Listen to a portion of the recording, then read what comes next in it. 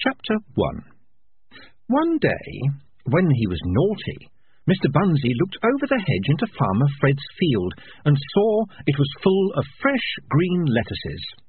Mr. Bunsey, however, was not full of lettuces. This did not seem fair. From Mr. Bunsey Has an Adventure Rats. They chased the dogs and bit the cats, they... But there was more to it than that. As the amazing Maurice said, it was just a story about people and rats and the difficult part of it was deciding who the people were and who were the rats. But Malicia Grim said it was a story about stories. It began, part of it began, on the mail coach that came over the mountains from the distant cities of the plain. This was the part of the journey that the driver didn't like. The way wound through forests and around mountains on crumbling roads. There were deep shadows between the trees, Sometimes he thought things were following the coach, keeping just out of sight. It gave him the willies. And on this journey, the really big willie was that he could hear voices. He was sure of it. They were coming from behind him, from the top of the coach, and there was nothing there but the big oilcloth mail sacks and the young man's luggage. There was certainly nothing big enough for a person to hide inside, but occasionally he was sure he heard squeaky voices whispering. There was only one passenger at this point. He was a fair-haired young man, sitting all by himself inside the rocking coach and reading a book. He was reading slowly and aloud, and moving his finger over the words. Aberweld, he read aloud. That's Uberwald, said a small, squeaky, but very clear voice.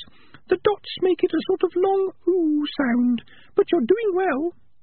Uberwald, there's such a thing as too much pronunciation, kid, said another voice, which sounded half asleep. But you know the best thing about Uberwald? It's a long, long way from Sto Lat. It's a long way from Pseudopolis. It's a long way from anywhere where the head of the watch says he'll have us boiled alive if he ever catches us. And it's not very modern. Bad roads. Lots of mountains in the way. People don't move about much up here, so news doesn't travel very fast, see? And they probably don't have policemen. Kid, we can make a fortune here. Maurice, said the boy carefully. Yes, kid? You don't think what we're doing is, you know, dishonest, do you? There was a pause before the voice said, How do you mean, dishonest? Well, we take their money, Maurice, the coach rocked and bounced over a pothole. All right, said the unseen Maurice, but what you've got to ask yourself is, who do we take the money from actually? Well, it's generally the mayor or the city council or someone like that. Right, and that means it's what? I've told you this bit before. Uh, it is government money, kid said Maurice patiently. Say it. Government money. Government money, said the boy obediently. Right. And what do governments do with money? Uh, they, they play soldiers, said Maurice. They have wars. In fact, we probably stopped a lot of wars by taking the money and putting it where it can't do any harm. They'd put up statues to us if they thought about it. Some of those towns looked pretty poor, Maurice, said the kid doubtfully. Hey, just the kind of places that don't need wars, then. Dangerous Beans says it's... The boy concentrated, and his lips moved before he said the word, as if he was trying out the pronunciation to himself. Uh, it's unethical. That's right, Maurice, said the squeaky voice. Dangerous Beans says we shouldn't live by trickery. Listen, Peaches, trickery is what humans are all about, said the voice of Maurice. They're so keen on tricking one another all the time that they elect governments to do it for them. We give them value for money. They get a horrible plague of rats, they pay a rat piper, the rats all follow the kid out of town hoppity skip, End of plague. Everyone's happy that no one's whittling in the flour anymore. The government gets re-elected by a grateful population, general celebration all round. Money well spent, in my opinion. But there's only a plague because we make them think there is, said the voice of Peaches. Well, my dear, another thing all those little governments spend their money on is rat catchers, see? I don't know why I bother with a lot of you, I really don't. Yes, but we... They realized that the coach had stopped. Outside, in the rain, there was the jingle of harness. Then the coach rocked a little, and there was the sound of running feet. A voice from out of the darkness said, Are there any wizards in there? The occupants looked at one another in puzzlement. No, said the kid, the kind of no that means, why are you asking?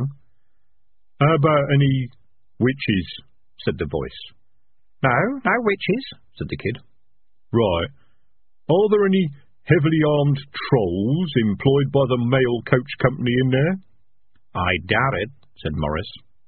There was a moment's pause, filled with the sound of the rain. Okay. How about werewolves? said the voice eventually. The speaker sounded as though he was working through a list. What do they look like? said the kid. Oh, well, they look perfectly normal right up to the point where they grow all like hair and teeth and giant paws and leap through the window at you, said the voice. We've all got hair and teeth, said the kid. Is that any help? So you are werewolves, then? No. Fine, fine. There was another pause filled with rain. Okay, vampires, said the voice. It's a wet night. You wouldn't want to be flying in weather like this. Any vampires in there? No, said the kid. We're all perfectly harmless. Oh, boy, muttered Maurice, and crawled under the seat.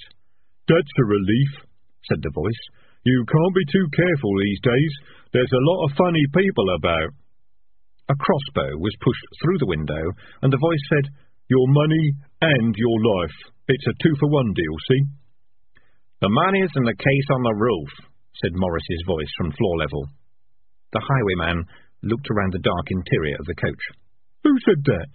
he said. Uh, me, said the boy. I didn't see your lips move, kid. Uh, the money is on the roof, uh, in the case, but if I was you, I wouldn't... Huh, I just expect you wouldn't, said the highwayman. His masked face disappeared from the window. The boy picked up the pipe that was lying on the seat beside him. It was the type still known as a penny whistle, although no one could remember when they'd ever cost only a penny. Play robbery with violence, kid, said Maurice quietly. Couldn't we just give him money? said the voice of Peaches. It was a little voice. Money is for people to give us, said Maurice sternly. Above them, they heard the scrape of the case on the roof of the coach as the highwayman dragged it down. The boy obediently picked up the flute and played a few notes. Now there were a number of sounds. There was a creak, a thud, a sort of scuffling noise, and then a very short scream. When there was silence, Maurice climbed back onto the seat and poked his head out of the coach into the dark and rainy night. Good man, he said. Sensible. The more you struggle, the harder they bite. Probably not broken skin yet. Good. Come forward a bit so I can see you. But carefully, eh? We don't want anyone to panic, do we? The highwayman reappeared in the light of the coach lamps.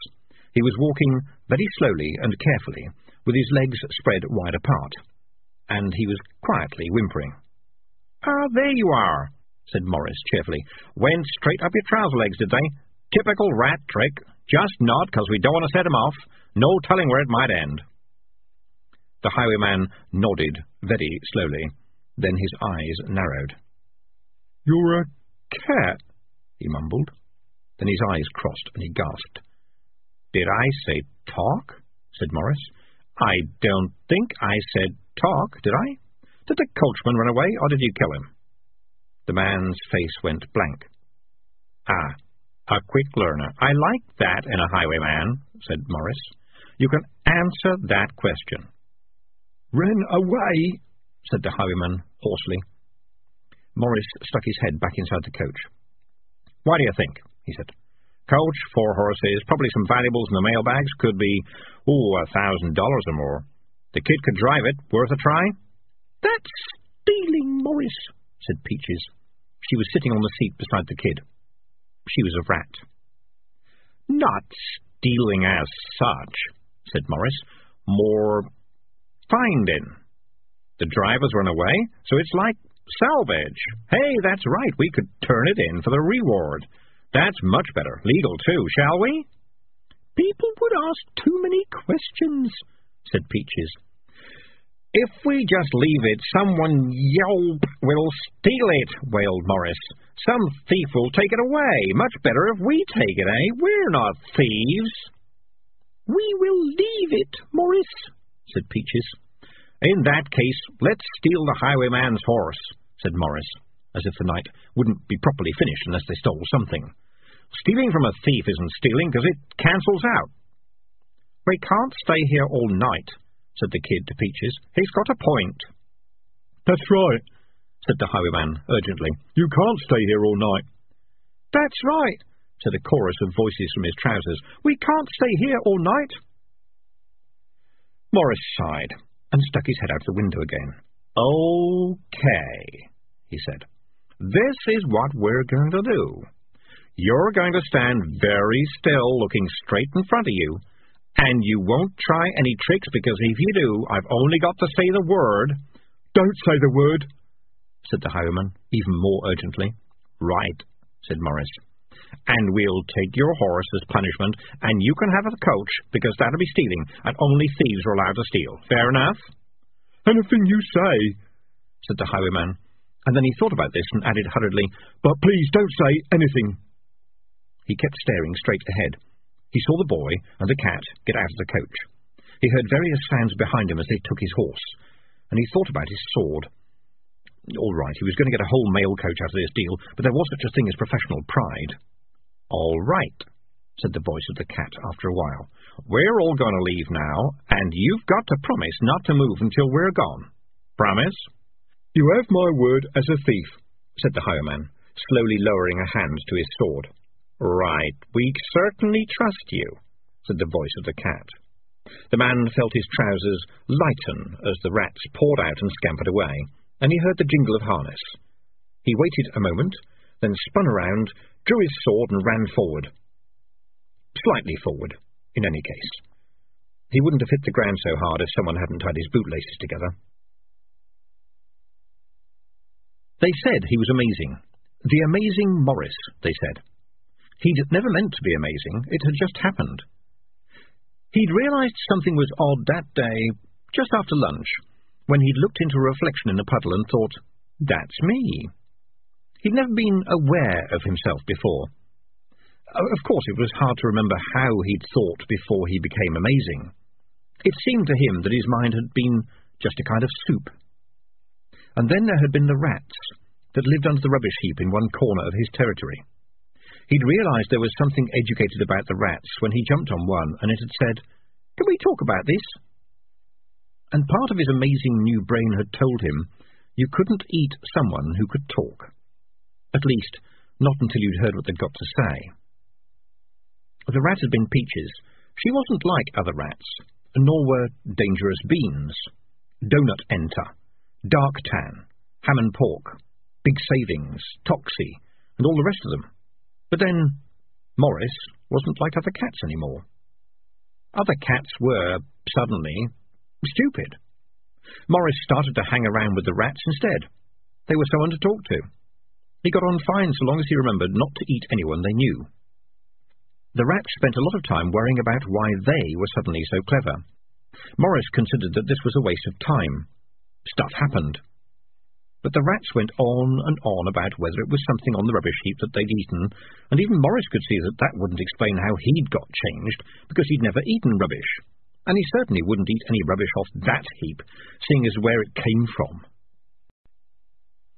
He considered that the rats were, quite frankly, dumb. Clever, okay, but dumb. Maurice had lived on the streets for four years and barely had any ears left and scars all over his nose, and he was smart. He swaggered so much when he walked that if he didn't slow down, he flipped himself over. When he fluffed out his tail, people had to step around it. He reckoned you had to be smart to live for four years on these streets, especially with all the dog gangs and freelance furriers. One wrong move, and you were lunch in a pair of gloves. Yes, you had to be smart. You also had to be rich.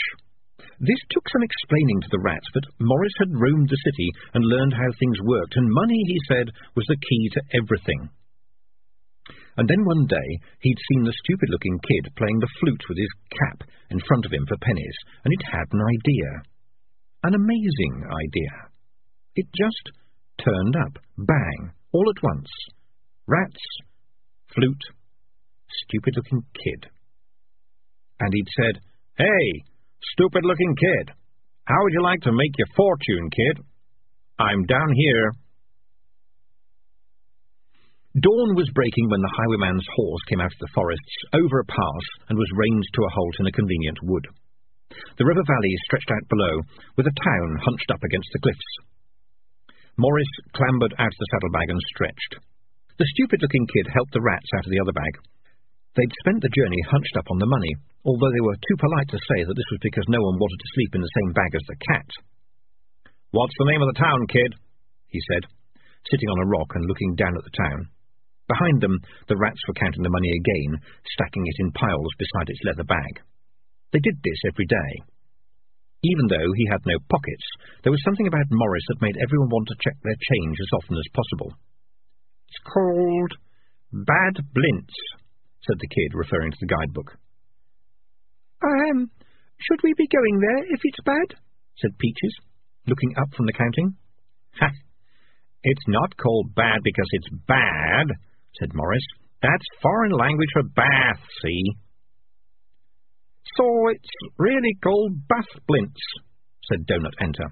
Nah, nah, they call it bath because... The amazing Maurice hesitated, but only for a moment.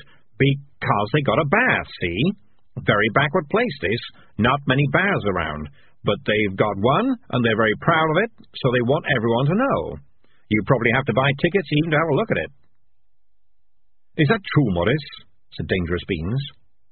He asked the question quite politely, but it was clear that what he was really saying was, I don't think that is true, Maurice. Ah, yes. Dangerous Beans. Dangerous Beans was difficult to deal with. Really, he shouldn't be. Back in the old days, Maurice thought, he wouldn't even have eaten a rat so small and pale and generally ill-looking. Maurice stared down at the little albino rat with its snow-white fur and pinky eyes. Dangerous Beans did not stare back because he was too short-sighted. Of course, being nearly blind was not too much of a drawback to a species that spent most of its time in the darkness and had a sense of smell that was, as far as Maurice could understand it, almost as good as sight and sound and speech all put together. For example, the rat always turned to face Maurice and looked directly at him when he spoke. It was uncanny. Maurice had known a blind cat that walked into doors a lot, but Dangerous Beans never did that. Dangerous Beans wasn't the head rat. That was Hamnpork's job. Hamnpork was big and fierce and a bit scabby, and he didn't much like having a new-fangled brain, and he certainly didn't like talking to a cat. He'd been quite old when the rats had changed, as they called it, and he'd said he was too old to change. He left talking to Maurice to Dangerous Beans, who'd been born just after the change. And that little rat was clever. Incredibly clever. Too clever. Maurice needed all his tricks when he was dealing with Dangerous Beans. It's amazing, the stuff I know, said Maurice, blinking slowly at him. Anyway, it's a nice-looking town. Looks rich to me. Now, what we'll do is... Um... Maurice hated that sound. If there was a sound worse than Dangerous Beans asking one of his odd little questions, it was Peaches clearing her throat. It meant she was going to say something, very quietly, which was going to upset him. Yes, he said sharply. Do we really need to keep on doing this? she said. Well, of course, no, said Maurice. I don't have to be here at all. I'm a cat, right? A cat with my talents? Ha! I could have got myself a really cushy job with a conjurer, or a ventriloquist, maybe. There's no end of the things I could be doing, right? Because people like cats. But owing to being incredibly, you know, stupid and kind-hearted, I decided to help a bunch of rodents who are, let's be frank here, not exactly number one favorites with humans. Now, some of you, and here he cast a yellow eye towards Dangerous Beans, have some idea of going to some island somewhere and starting up a kind of rat civilization of your very own, which I think is very, you know, admirable. But for that you need... What did I tell you that you need? Money, Maurice, said Dangerous Beans, but... Money, that's right. Cause what can you get with money? He looked around the rats. It begins with a B, he prompted. Boats, Maurice, but... And then there's all the tools you'll need, and food, of course. There's coconuts, said the stupid-looking kid who was polishing his flute. Oh. Did someone speak? said Maurice. What do you know about it, kid? You get coconuts, said the kid, on desert islands. A man selling them told me. How? said Maurice. He wasn't too sure about coconuts. I don't know.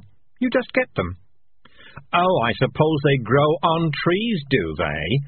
said Maurice sarcastically. Sheesh, I just don't know what you lot would do without... Anyone? He glared at the group.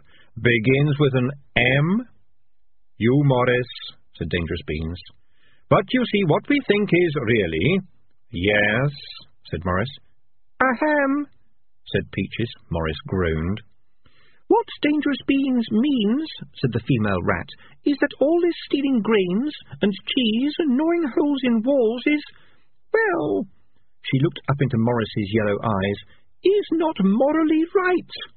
But it's what rats do, said Maurice. But we feel we shouldn't, said Dangerous Beans. We should be making our own way in the world. Oh dear, oh dear, oh dear, said Maurice, shaking his head. Ho for the island, eh? The kingdom of the rats. Not that I'm laughing at your dream, he added hastily. Everyone needs their little dreams. Maurice truly believed that, too. If he knew what it was that people really, really wanted, you very nearly controlled them. Sometimes he wondered what the stupid-looking kid really, really wanted. Nothing, as far as Maurice could tell, but to be allowed to play his flute and be left alone. But, well, it was like that thing with the coconuts. Every so often the kid would come out with something that suggested he'd been listening all along. People like that are hard to steer. But cats are good at steering people. A meow here, a purr there, a little gentle pressure with a claw, and Maurice had never had to think about it before. Cats didn't have to think. They just had to know what they wanted. Humans had to do the thinking. That's what they were for. Maurice thought about the good old days before his brain had started whizzing like a firework. He'd turn up at the door of the university kitchens and look sweet, and then the cooks would try to work out what he wanted. It was amazing. They'd say things like, Does you want a bowl of milk, Den? Does you want a biscuit? Does you want these nice scraps, Den? and all Maurice would have to do was wait patiently until he got to a sound he recognised, like turkey legs or minced lamb. But he was sure he'd never eaten anything magical. There was no such thing as enchanted chicken giblets, were there? It was the rats who'd eaten the magical stuff. The dump they called home, and also called lunch, was round the back of the university, and it was a university for wizards after all. The old Maurice hadn't paid much attention to people who weren't holding bowls, but he was aware that the big men in pointy hats made strange things happen. And now he knew what happened to the stuff they used, too. It got tossed over the wall when they'd finished with it.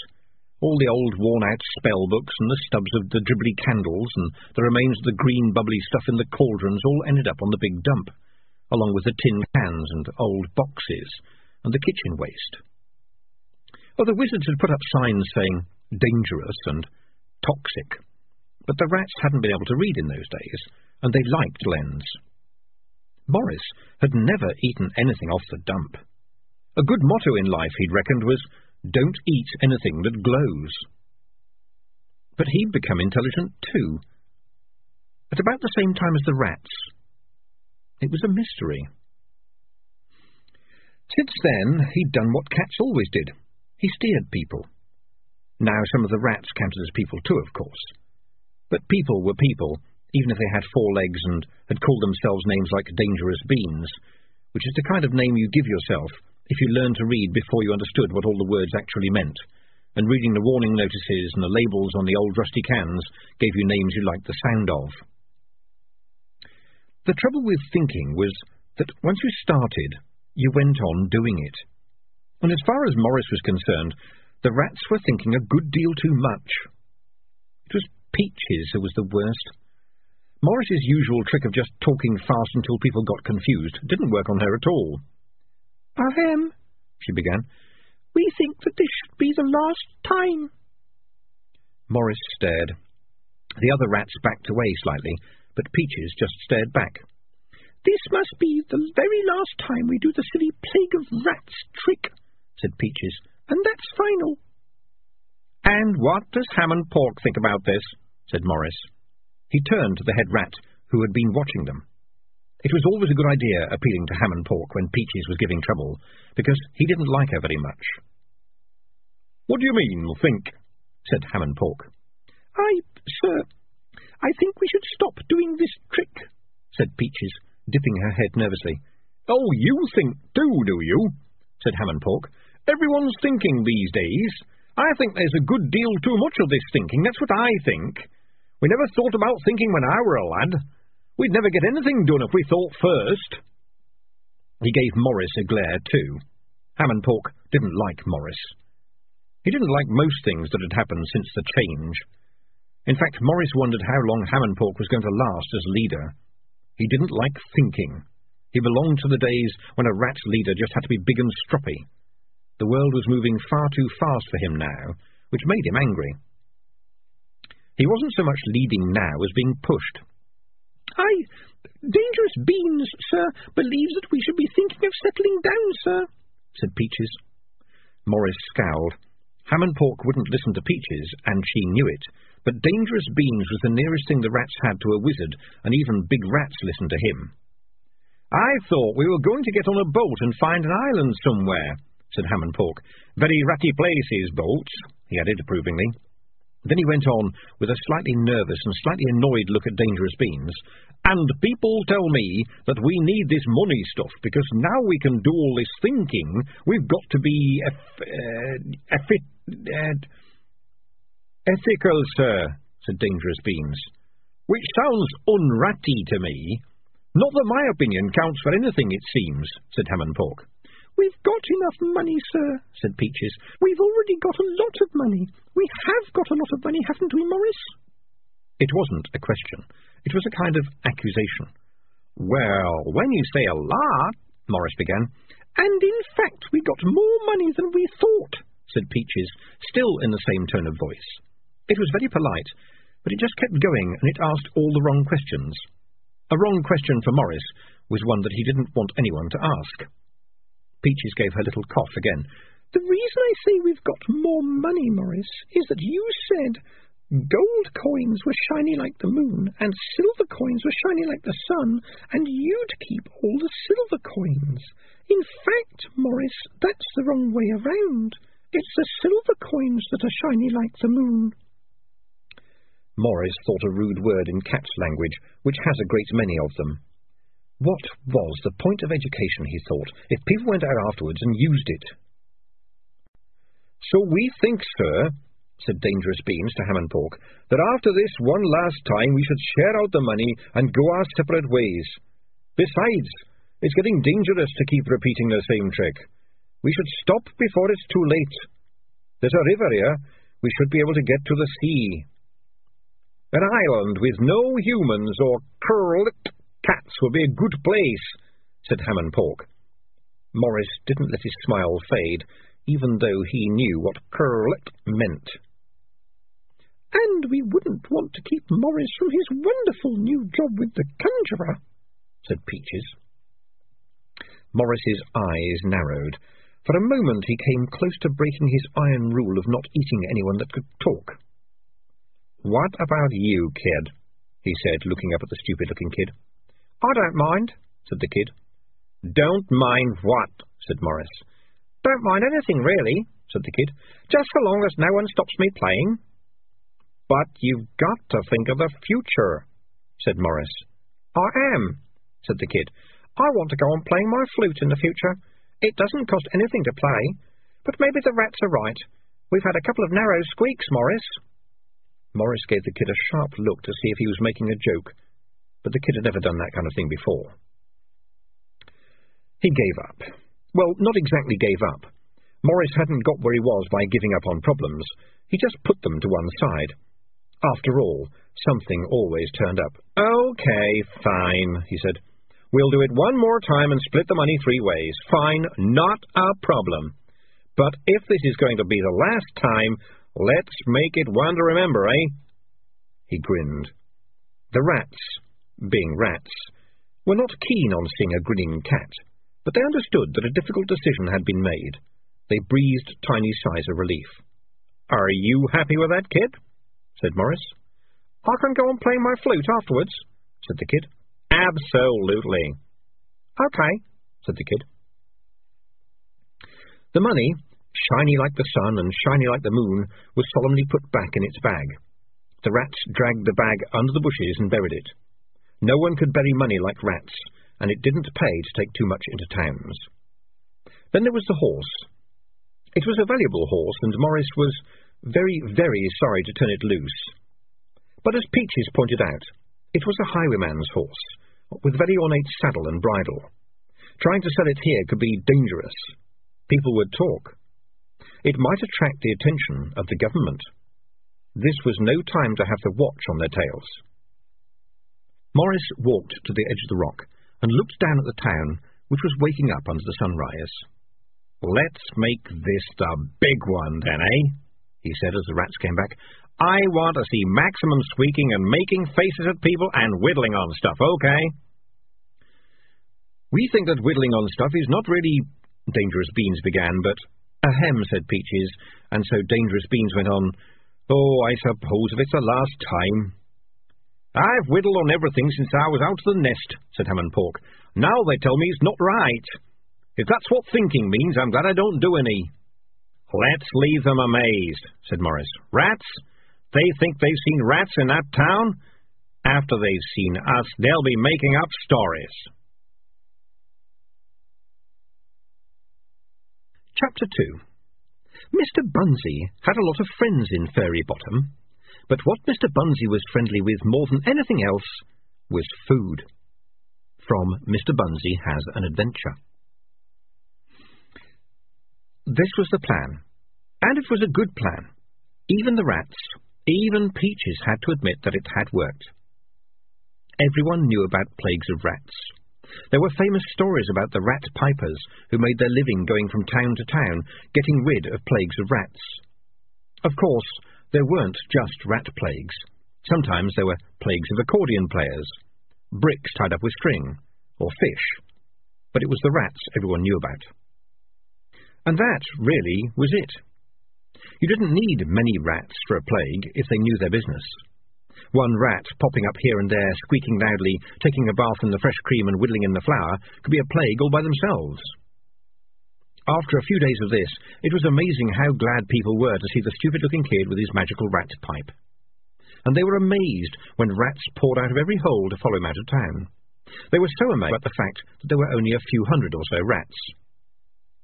They'd have been really amazed if they'd even found out that the rats and the piper met up with a cat somewhere in the bushes out of town and solemnly counted out the money. Bad Blintz was waking up when Maurice entered with the kid. No one bothered them, although Maurice got a lot of interest. This did not worry him. He knew he was interesting.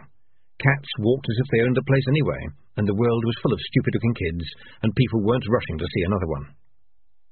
It looked as though today was a market day, but there weren't many stalls, and they were mostly selling, well, junk. Old pans, pots, used shoes. The kind of things people have to sell when they're short of money. Maurice had seen plenty of markets on their journey through other towns, and he knew how they should go.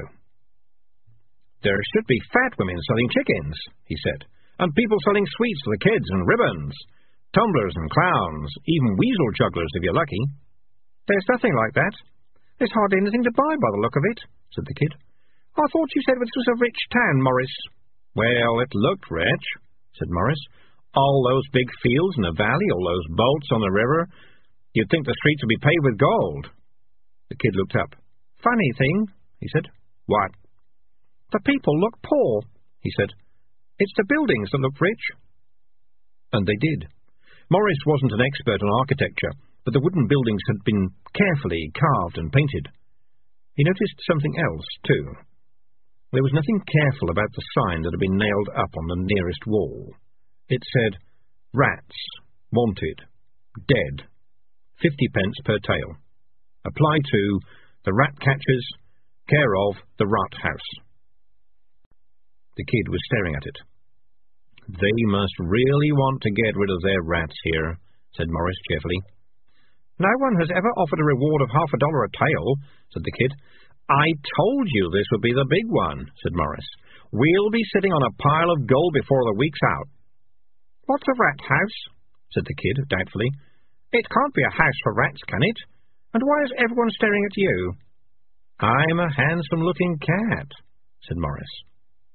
Even so, it was a little surprising. People were nudging one another and pointing at him. You'd think they'd never seen a cat before, he muttered, staring at the big building across the street. It was a big, square building, surrounded by people, and the sign said, Rat House. Oh, Rat House is just a local word for... Like the council house, the town hall, he said. It's nothing to do with rats, amusing though it may be. You really know a lot of words, Maurice, said the kid admiringly. I amaze myself sometimes, said Maurice. A queue of people were standing in front of one huge open door. Other people, who had presumably done whatever it was the queue was queuing to do, were emerging from another doorway in ones and twos. They were all carrying loaves of bread. Shall we queue up too? said the kid. I shouldn't think so, said Maurice carefully. Why not? See those men on the door? They look like watchmen. They got big truncheons and everyone's showing them a bit of paper as they go past. I don't like the look of that, said Maurice. That looks like government to me.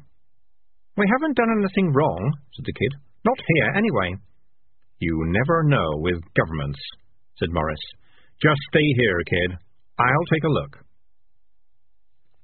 People stared at Maurice when he stalked into the building, but it seemed that in a town beset by rats, a cat was quite popular, and no one was inclined to turn him out. A man did try to pick him up, but lost interest when Maurice turned and clawed the back of his hand. The queue wound into a big hall and passed in front of a long trestle table. There, each person showed their piece of paper to two women in front of a big tray of bread and were given some bread. Then they moved on to a man with a vat of sausages and got considerably less sausage. Watching over all this, and occasionally saying something to the food servers, was the mayor. Maurice recognised him instantly because he had a gold chain round his neck. He'd run across a lot of mayors since working with the rats. This one was different from the rest. He was smaller, far more worried, and had got a bald spot that he tried to cover with three strands of hair. He was a lot thinner than the other mayors Maurice had seen, too. He didn't look as though he'd been bought by the ton. So... Food is scarce, Maurice thought. They're having to ration it out. Looks like they'll be needing a piper any day now. Lucky for us, we arrived just in time. He walked out again, but this time a bit faster because he realised that someone was playing a pipe. It was, as he feared, the kid. He'd do it if he left him alone for any length of time. He'd put his cap on the ground in front of him, and had even accumulated a few coins. The queue had bent around so that people could hear him, and one or two small children were dancing. Maurice was only an expert on cat singing, which consists of standing two inches in front of another cat and screaming at them till they give in.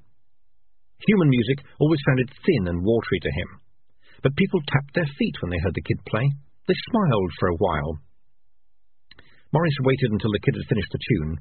While the queue was clapping, he sidled up behind the kid, brushed up against him, and hissed, Well done, fish for brains. We're be inconspicuous. Come on, let's go. Oh, grab the money, too. He led the way across the square until he stopped so suddenly that the kid almost walked into him. Whoops, here comes some more government, he said. And we know what these are, don't we? The kid did. They were rat catchers, two of them. Even here they wore the long, dusty coats and battered black top hats of their profession. They each carried a pole over one shoulder, from which dangled a variety of traps. From the other shoulder hung a big bag, the kind you really wouldn't want to look inside. And each man had a terrier on a string. They were skinny, argumentative dogs, and they growled at Maurice when they were dragged past. The queue cheered as the men approached, and clapped when they both reached into their bags and held up a couple of handfuls of what looked, to Maurice, like black string. Two hundred today, shouted one of the rat catchers. One of the terriers lunged at Maurice, tugging frantically on his string. The cat didn't move. Probably only the stupid-looking kid heard him say in a low voice, Heel, fleabag, bad dog. The terrier's face screwed up in the horribly worried expression of a dog trying to have two thoughts at the same time. It knew cats shouldn't talk, and this cat had just talked. This posed a terrible problem. The dog sat down awkwardly and whined. Maurice washed himself. It was a deadly insult. The rat catcher, annoyed at such a cowardly performance from his dog, jerked it away, and dropped a few of the black strings. Rat's tails, said the kid. They really must have a problem here. A bigger one than you think, said Maurice, staring at the bunch of tails. Just pick those up when no one's looking, will you? The kid waited until people weren't looking towards them and reached down. Just as his fingers touched the tangle of tails, a large, shiny black boot trod heavily on it. Now you don't want to go touching them, young sir, said a voice above him. You can get plague, you know, from rats. It makes your legs explode. It was one of the rat catchers. He gave the kid a big grin, but it was not a humorous one. It smelled of beer. That's right, young sir, and then your brains come down your nose, said the other rat catcher behind the kid. You wouldn't dare use your hanky, young sir, if you got the plague. My associate has, as usual, put his finger right on it, young sir, said the first rat catcher, breathing more beer into the kid's face. Which is more than you'd be able to do, young sir, said Ratcatcher Two, because when you get the plague, your fingers go all... Your legs haven't exploded, said the kid. Maurice groaned. It was never a good idea to be rude to a smell of beer. But the rat catchers were at a stage where, against all the odds, they thought they were funny. Ah, well said, young sir. But that's because lesson one at the Guild of Rat Catchers School is not letting your legs explode, said Ratcatcher One. Which is a good thing, cause the second lesson is upstairs, said Ratcatcher Two. Oh, I am a one, aren't I, young sir? The other rat catcher picked up the bundle of black strings, and his smile faded as he stared at the kid. Ain't I seen you before, kid, he said. And my advice to you is, keep your nose clean and don't say nothing to nobody about anything. Not a word. Understand? The kid opened his mouth and then shut it hurriedly. The rat catcher grinned his awful grin again. Ah, you'll catch on quick, young sir, he said. Perhaps we'll see you around, eh? The kid nodded. It seemed the best thing to do. Ratcatcher One leaned down until his red, pock-marked nose was an inch away from the kid's face. If you grow up, young sir, he said. The rat-catchers walked away, dragging their dogs with them. One of the terriers kept looking back at Maurice. Very unusual rat-catchers they have hereabouts, said the cat. I haven't seen rat catchers like them before, said the kid. They looked nasty, like they enjoyed it. I haven't seen rat catchers who've been so busy, but still have nice clean boots, said Maurice. Yes, they did, didn't they? said the kid. But even that's not as odd as the rats around here, said Maurice, in the same quiet voice, as though he was adding up money. What's odd about the rats? said the kid. Some of them have very strange tails, said Maurice. The kid looked around the square. The queue for bread was still quite long, and it made him nervous. But so did the steam. Little bursts of it puffed up from gratings and manhole covers all over the place, as if the whole town had been built on a kettle. Also, he had the distinct feeling that someone was watching him. I think we ought to find the rats and move on, he said. No, this smells like a town with opportunities, said Maurice.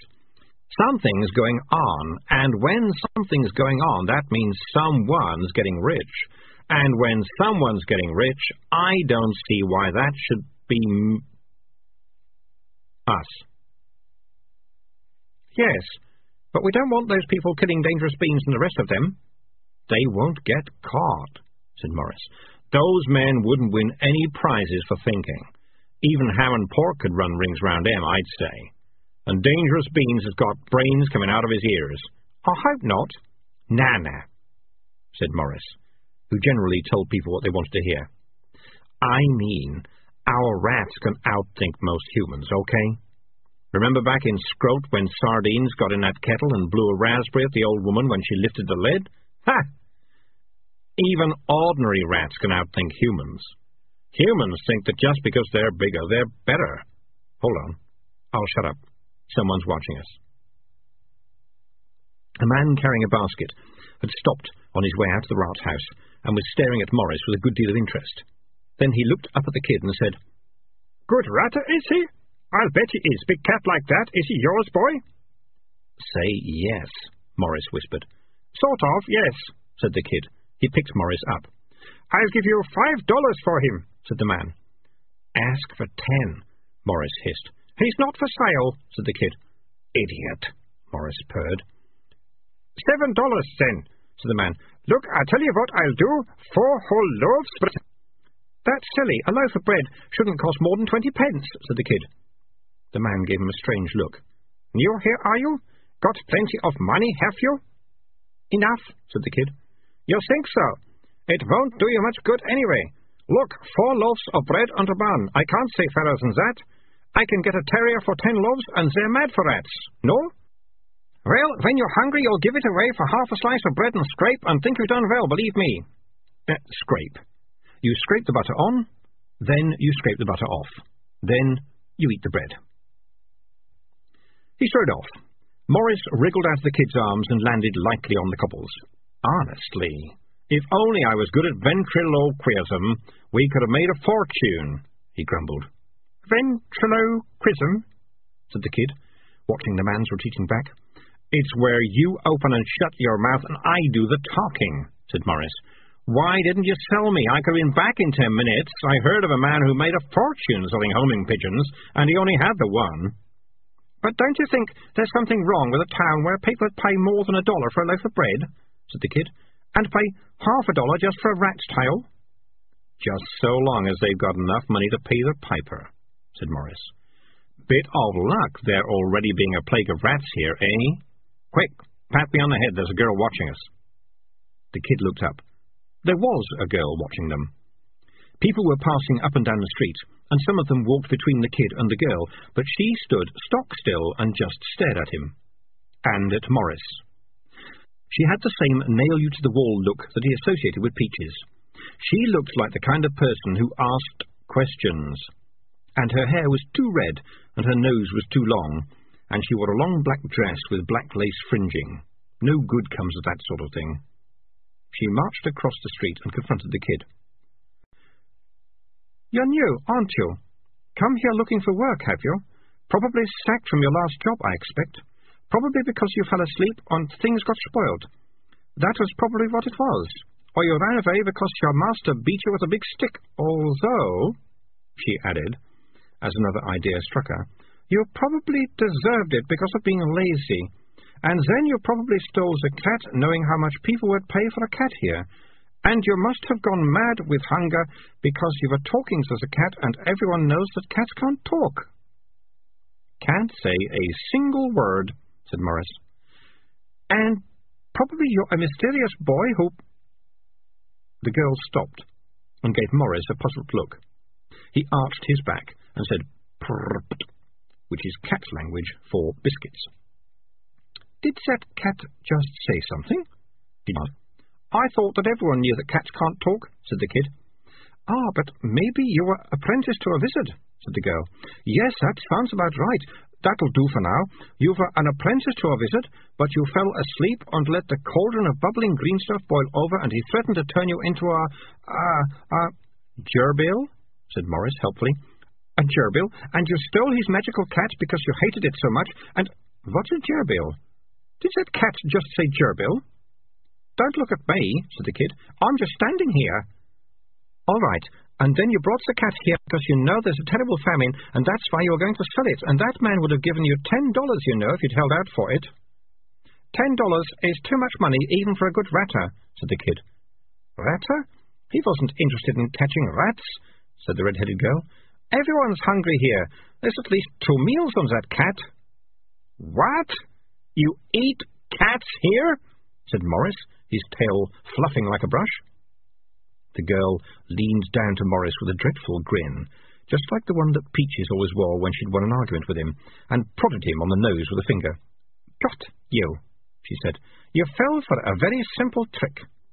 I think you two had better come with me, don't you? Or I'll scream. And people listen to me when I'm screaming. Chapter 3 Never go into the dark wood, my friend, said Ratty Rupert. There are bad things in there. From Mr. Bunnsy has an adventure. Far below Maurice's paws, the rats were creeping through the undertown of Bad Blintz. Old towns are like that. People build down as well as up. Cellars butt against other cellars, and some of the cellars get forgotten, except by creatures that want to stay out of sight. In the thick, warm, damp darkness, a voice said, All right, who's got the matches? Uh, me, Dangerous Beans. Feeds four. Well done, young rat. And who has the candle? Uh, me, sir. I'm bite-size. Um, it's hard to translate sir into rat. The rat word for sir isn't a word, it's a sort of momentary crouch, indicating that, just at the moment, the crouching rat is prepared to accept that the other rat is the boss, but that he or she shouldn't get funny about it. Good. Put it down and peaches will light it. There was a lot of scuffling in the darkness. Not all the rats had got used to the idea of making fire, and they were getting out of the way. There was a scratching noise, and then the match flared. Holding the match with both front paws, Peaches lit the candle stub. The flame swelled for a moment and settled down to a steady glow. Can you really see it? said Hamnpork. Yes, sir, said Dangerous Beans. I am not completely blind. I can tell the difference between light and dark. You know, said Hamnpork, watching the flame suspiciously, I don't like it at all. Even so, darkness was good enough for our parents. It'll end in trouble. Besides, setting fire to a candle is a waste of perfectly good food. We have to be able to control the fire, sir, said Dangerous Beans calmly. With the flame, we make a statement to the darkness. We say, we are separate. We say, we are not just rats. We say, we are the clan. Hm, said Hamnpork, which was his usual response when he didn't understand what had just been said. Just lately, he'd been hming a lot. I've heard the younger rats are saying that the shadows frighten them, said Peaches. Why? said Hamnpork. They're not frightened of complete darkness, are they? Darkness is ratty. Being in the dark is what a rat is all about. It's odd, said Peaches, but we didn't know the shadows were there until we had the light. One of the younger rats timorously raised a paw. Um, and even when the light has gone out, we know the shadows are still around, it said. Dangerous Beans turned towards the young rat. You're, he said. Delicious, said the younger rat. Well, delicious, said Dangerous Beans in a kindly voice. Being afraid of shadows is all part of us becoming more intelligent, I think. Your mind is working out that there's a you, and there's also everything outside you. So now you're not just frightened of things that you can see and hear and smell, but also of things that you can sort of see inside your head. Learning to face the shadows outside helps us to fight the shadows inside, and you can control all the darkness. It's a big step forward. Well done. Delicious looked slightly proud, but mostly nervous. I don't see the point myself, said Hamnpork. We used to do all right on the dump, and I was never scared of anything. We were prey to every stray cat and hungry dog, sir, said Dangerous Beans. Oh, well, if we go about cats, growled Hamnpork. I think we can trust Maurice, sir, said Dangerous Beans. Perhaps not when it comes to money, I admit. But he is very good at not eating people who talk, you know. He checks every time. You can trust a cat to be a cat, said Hamnpork, talking or not. Yes, sir. But we are different, and so is he.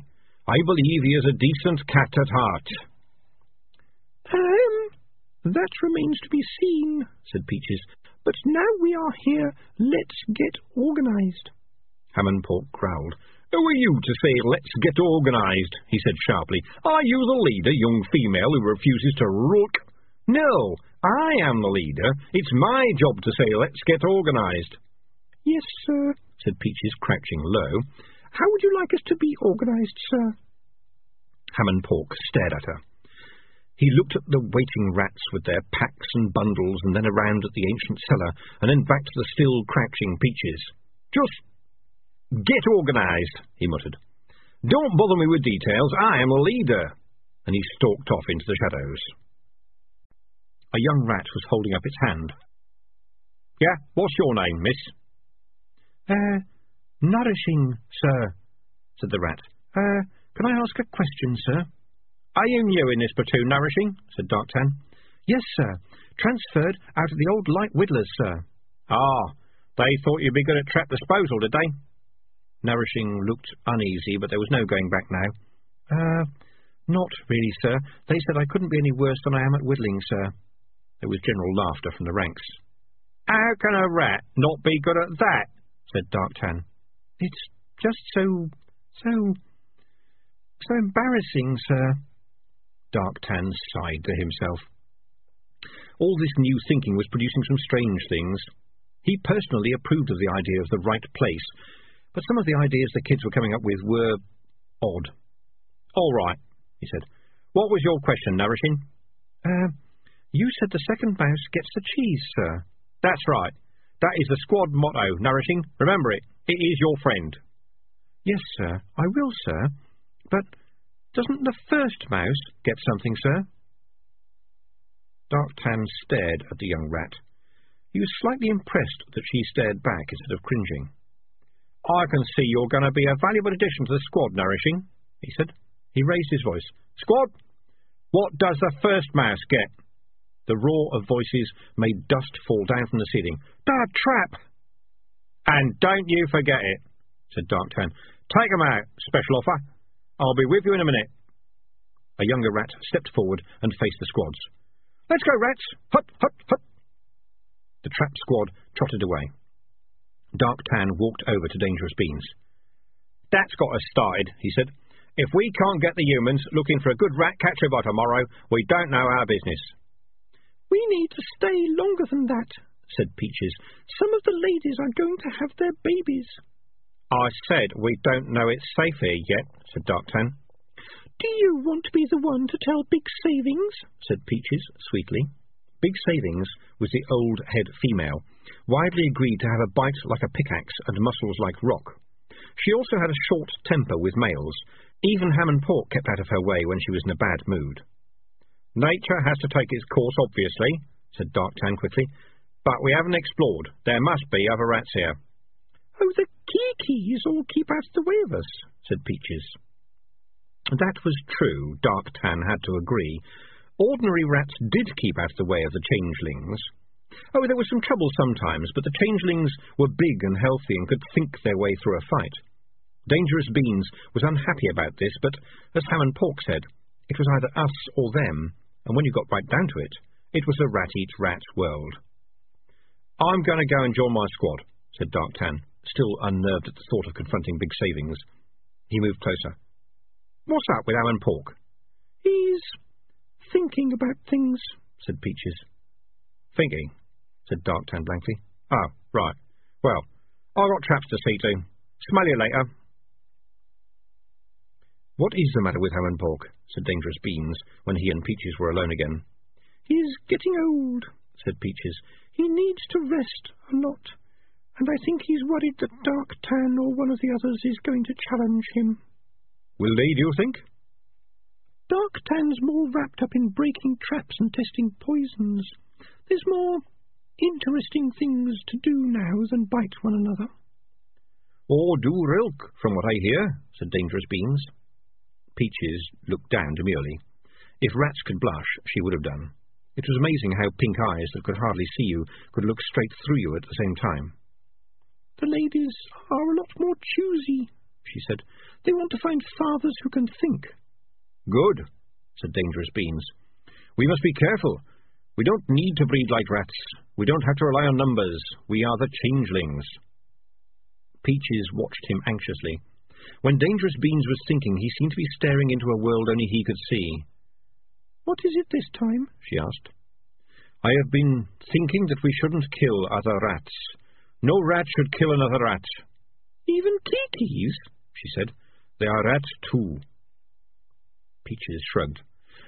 Well, we've tried talking to them, and that didn't work. Anyway, they mostly stay away these days.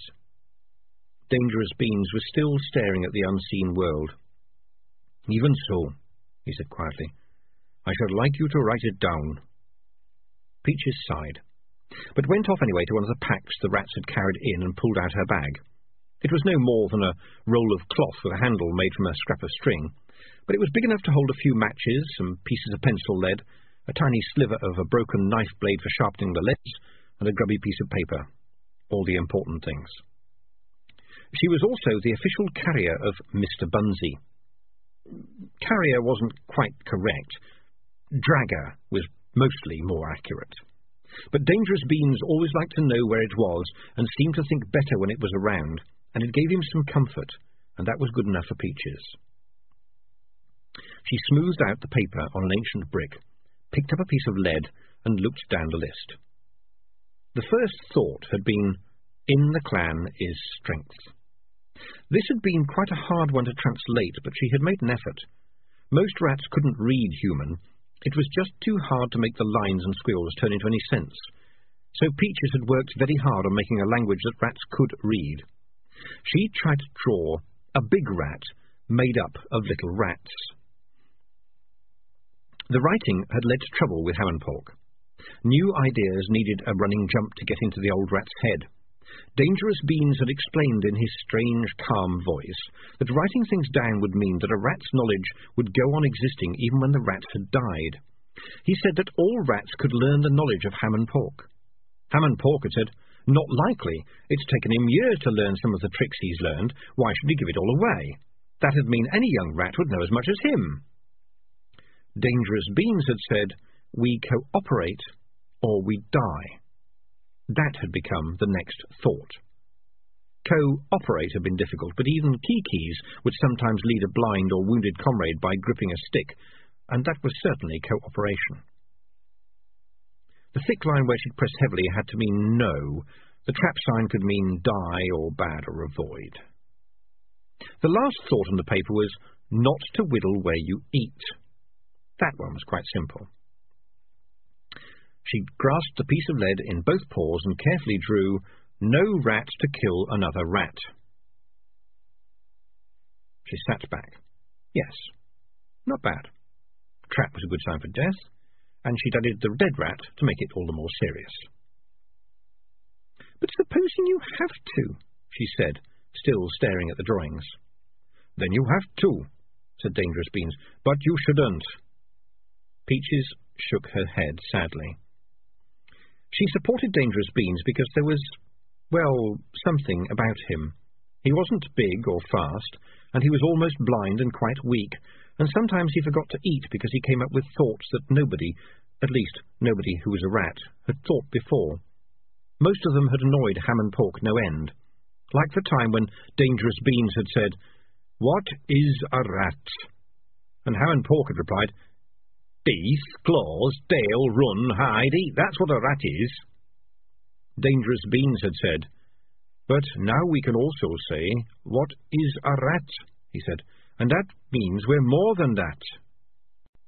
We're rats, Hamnpork had argued. We run around and squeak and steal and make more rats. That's what we're made for. Who by? Dangerous Beans had said and that had led to another argument about the big rat deep under the ground theory. But even Hamnpork followed dangerous beans, and so did rats like Dark Tan and Donut Enter, and they listened when he talked. Peaches listened when they talked. We were given noses, Dark Tan had told the squads. Who had given them noses? The thoughts of dangerous beans worked their ways into other people's heads without them noticing.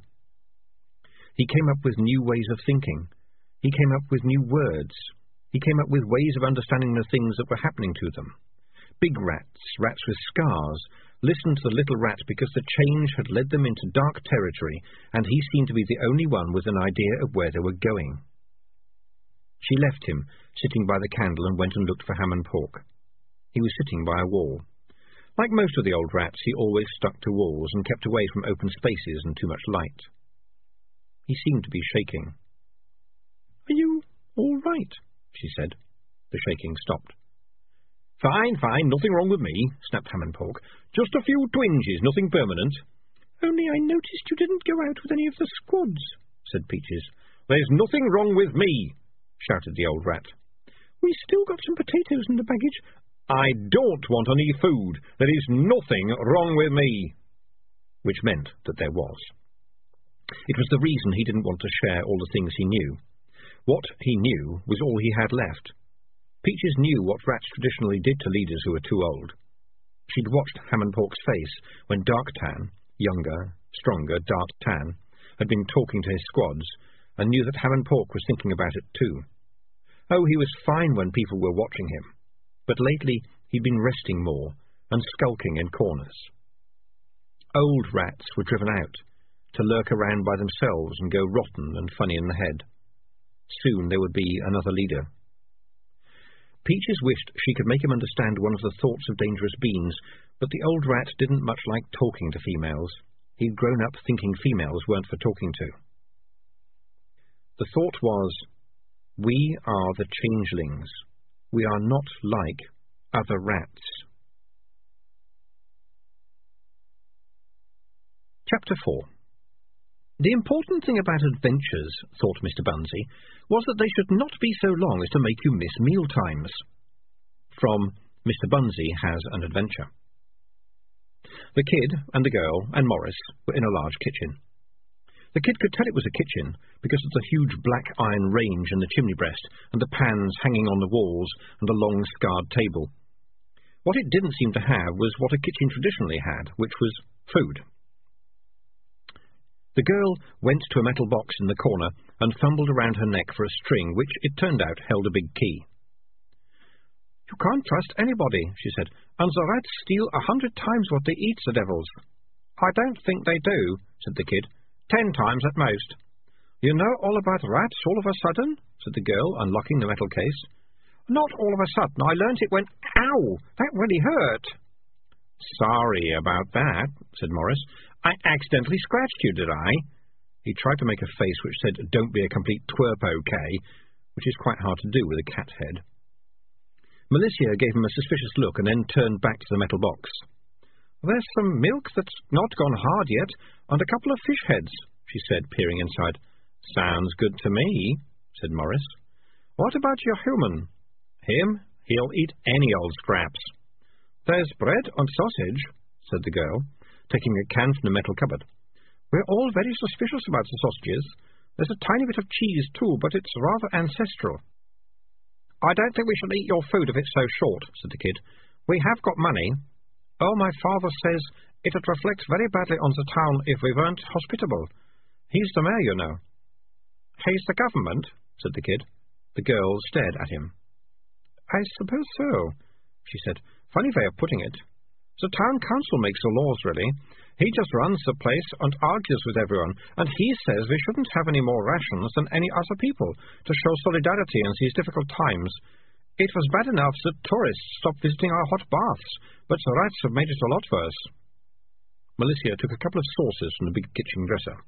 My father says if we're all sensible, there will be enough to go round, she went on, which I think is very commendable. I entirely agree. But I think that once you've shown solidarity, you should be allowed just a little extra. In fact, I think we get a bit less than everyone else. Can you imagine?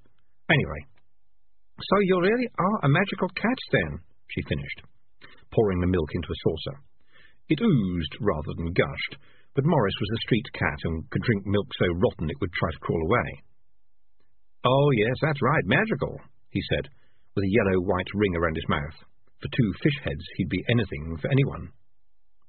Probably belonged to a witch, I expect, with a name like Griselda or one of those names. said the girl, putting the fish heads on another saucer. Yeah, right, Griselda, right, said Maurice, not raising his head. Who lived in a gingerbread cottage in the forest, probably. Yeah, right, said Maurice. And then, because he wouldn't be Maurice if he couldn't be a bit inventive, he added, Only it was a Crisbread's cottage because she was slimming. Very healthy witch, Griselda. The girl looked puzzled for a moment. That's not how it should go, she said. Sorry, I tell a lie. It was gingerbread, really, said Maurice quickly. Someone giving you food was always correct. And she had big warts, I'm sure.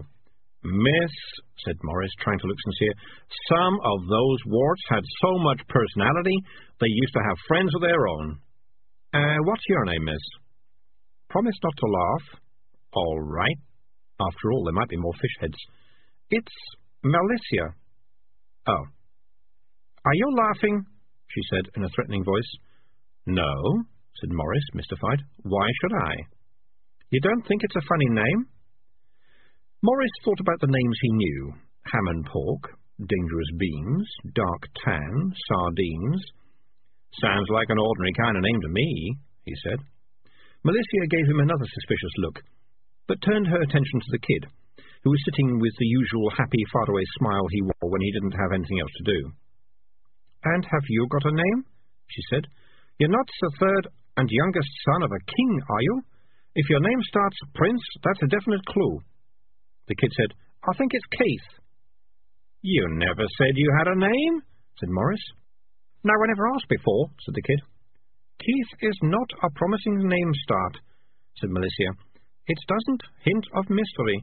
It just hints of Keith. Are you sure it's your real name? It's just the one they gave me. Ah, that's more like it. A slight hint of mystery, said Malicia, suddenly looking interested. Just enough to build up suspense. You've uh, stolen a way at birth, I expect. You probably are the rightful king of some country, but they found someone who looked like you and did a swap. In that case, you'll have a magic sword, only it won't look magic, you see, until it's time for you to manifest your destiny. You've uh, probably found on a doorstep. I was, yes, said Keith. See, I'm always right. Maurice was always on the lookout for what people wanted, and what Malicia wanted, he felt, was a gag but he'd never heard the stupid-looking kid talk about himself before. What were you doing on a doorstep? he said. I don't know. Gurgling, I expect, said Keith. You never said, said Maurice accusingly. Is it important? There was a magic sword or a crown in the basket with you, probably, and you've got a mysterious tattoo or a strange-shaped birthmark, too, said Malicia. I don't think so. No one ever mentioned them, said Keith. There was just me and a blanket and a note. A note? But that's important. It said, nineteen pints and a strawberry yoghurt, said Keith. Ah, not helpful then, said Malicia. Why nineteen pints of milk? It was the Guild of Musicians, said Keith. Quite a large place. I don't know about the strawberry yoghurt. Abandoned orphan is good, said Malicia. After all, a prince can only grow up to be a king, but a mysterious orphan could be anybody. Were you beaten and starved and locked in the cellar? I don't think so, said Keith, giving her a funny look. Everyone at the guild was very kind. They were mostly nice people. They taught me a lot. We've got guilds here, said Malicia. They teach boys to be carpenters and stonemasons and things like that. The guilds taught me music, said Keith. I'm a musician. I'm good at it too, I've been earning my own living since I was six. Aha! Mysterious orphan, strange talent, distressed upbringing, it's all shaping up, said Malicia. The strawberry yoghurt is probably not important. Would your life have been different if it had been banana-flavoured? Who can say? What kind of music do you play? Kinds? There aren't any kinds, there's just music, said Keith. There's always music if you listen. Malicia looked at Maurice. Is he always like this? she demanded. This is the most I've ever heard him say, said the cat. I expect you're very keen to know all about me, said Malicia. I expect you're just too polite to ask. Gosh, yes, said Maurice. Well, you probably won't be surprised to know that I've got two dreadful stepsisters, said Malicia, and I have to do all the chores. Gosh, really? said hmm? Maurice, wondering if there were any more fish heads, and, if there were any more fish heads, whether they were worth all this. Well, most of the chores, said Malicia, as if revealing an unfortunate fact. Some of them, definitely. I have to clean up my own room, you know, and it's extremely untidy. Gosh, really? And it's very nearly the smallest bedroom. There's practically no cupboards, and I'm running out of bookshelf space. Gosh, really? And people are incredibly cruel to me. You will note that we are here in a kitchen, and I'm the mayor's daughter. Should the daughter of a mayor be expected to wash up at least once a week? I think not. Gosh, really? And will you just look at these torn and bedraggled clothes I have to wear? Maurice looked. He wasn't good on clothes. Fur was enough for him. As far as he could tell, Malicia's dress was pretty much like any other dress. It seemed to be all there. There weren't any holes except where the arms and head poked through. Here, just here, said Malicia, pointing to a place on the hem which to Maurice looked no different than the rest of the dress. I had to sew that back myself, you know. Gosh, Rip! Maurice stopped. Sardines was abseiling down from a crack in the ancient ceiling. He had a knapsack on his back. And on top of this, I'm the one that has to queue for the bread and sausages every day. Malicia continued, but Maurice was listening even less than he had been before. It had to be sardines, he thought. Idiot. He always goes ahead of the trap squad. Of all the kitchens in all the town he could turn up in, he's turned up in this one. Any minute she's going to turn round and scream. Sardines would probably treat it as applause, too. He lived life as if it was a performance. Other rats just ran around squeaking and messing up things, and that was quite good enough to convince humans there was a plague, but oh no. Sardines always had to go further. Sardines and his yowl song and dance act. And the rats take everything, Malicia was saying. What they don't take, they spoil. It's been terrible. We have to buy corn and stuff from the traders that sail up the river. That's why bread is so expensive. Expensive, eh? said Maurice. We've tried traps and dogs and cats and poison, and still the rats keep coming, said the girl. They've learned to be really sneaky, too. They hardly ever end up in our traps anymore. What's the good of the rat catchers offering us 50p a tail if the rats are so cunning? The rat catchers have to use all kinds of tricks to get them, they say. Behind her, Sardines looked carefully around the room and then signalled to the rats on the ceiling to pull the rope up. Don't you think this would be a good time to go away? said Maurice. Why are you making faces like that? said Malicia, staring at him. Oh, well, you know the kind of cat that grins all the time? Heard of that? Well, I'm the kind that makes, you know, weird faces, said Maurice desperately. And sometimes I just burst out and say things, get away, get away. See, I did it again. It is an affliction. I probably need counseling. Oh, no, don't do that. This is not the time to do that. Whoops, there I go again. Sardines had pulled his straw hat out of his knapsack and was holding a small walking stick. It was a good routine, even Maurice had to admit. Some towns had advertised for a rat piper the very first time he'd done it. People could tolerate rats in the cream and rats in the roof and rats in the teapot, but they drew the line at tap dancing. If you saw tap dancing rats, you were in big trouble. Maurice had reckoned that if only the rats could play an accordion as well, they could do two towns a day. He'd stared for too long. Malicia turned and her mouth opened in shock and horror as sardines went into his routine. The cat saw her hand reach out for a pan that was on the table. She threw it, very accurately. But Sardines was a good pot dodger. The rats were used to having things thrown at them. He was already running when the pan was halfway across the room, and then he leapt onto the chair, and then he jumped onto the floor, and then he dodged behind the dresser, and then there was a sharp, final, metallic Snap! Ha! said Malicia, and Maurice and Keith stared at the dresser. That's one rat less at any rate. I really hate them. It was sardines, said Keith. No, it was definitely a rat, said Malicia.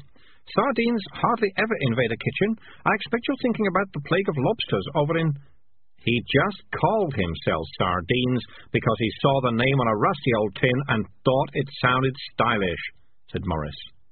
He wondered if he dare look behind the dresser. He was a good rat, said Keith.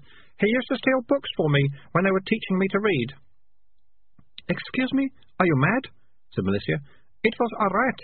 The only good rat is a dead rat. Hello, said a little voice. It came from behind the dresser. It can't be alive. It's a huge trap, said Malicia. It's got teeth. Anyone there? Only the stick is bending, said the voice. The dresser was massive, the wood so old that time had turned it black and as solid and heavy as stone. That's not a rat talking, is it? said Malicia. Please tell me rats can't talk. In fact, it's bending quite a bit now, said the voice, which was slightly muffled. Maurice squinted into the space behind the dresser. I can see him, he said. He wedged the stick in the jaws as they closed. Watch your Sardines, how you doing? Fine, boss, said Sardines in the gloom.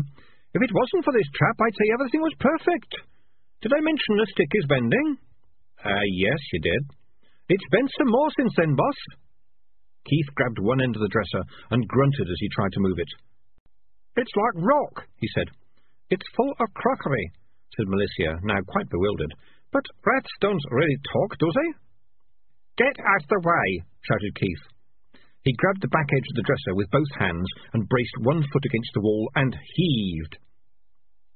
Slowly, like a mighty forest tree, the dresser pitched forward. The crockery started to fall out as it tipped, plate slipping off plate in one glorious, chaotic deal from a very expensive pack of cards. Even so, some of them survived the fall onto the floor, and so did some of the cups and saucers as the cupboard opened and added to the fun but that didn't make any difference because then the huge, heavy woodwork thundered down on top of them. One miraculously whole plate rolled past Keith, spinning round and round and getting close to the floor with the going sound circumstances. Keith reached down to the trap, grabbing sardines. As he pulled the rat up, the stick gave way and the trap snapped shut. A bit of the stick spun away through the air. Are you all right? said Keith. Well, boss, all I can say is it's a good job rats don't wear underwear. Thanks, boss, said Sardines. He was quite plump for a rat, but when his feet were dancing, he could float across the floor like a balloon. There was the sound of a tapping foot. Malicia, with arms folded and an expression like a thunderstorm, looked at Sardines and then at Maurice, and then at the stupid-looking Keith, and then at the wreckage on the floor. Uh, sorry about the mess, said Keith, but he was... She waved this away. Okay, she said, as if she'd been thinking deeply.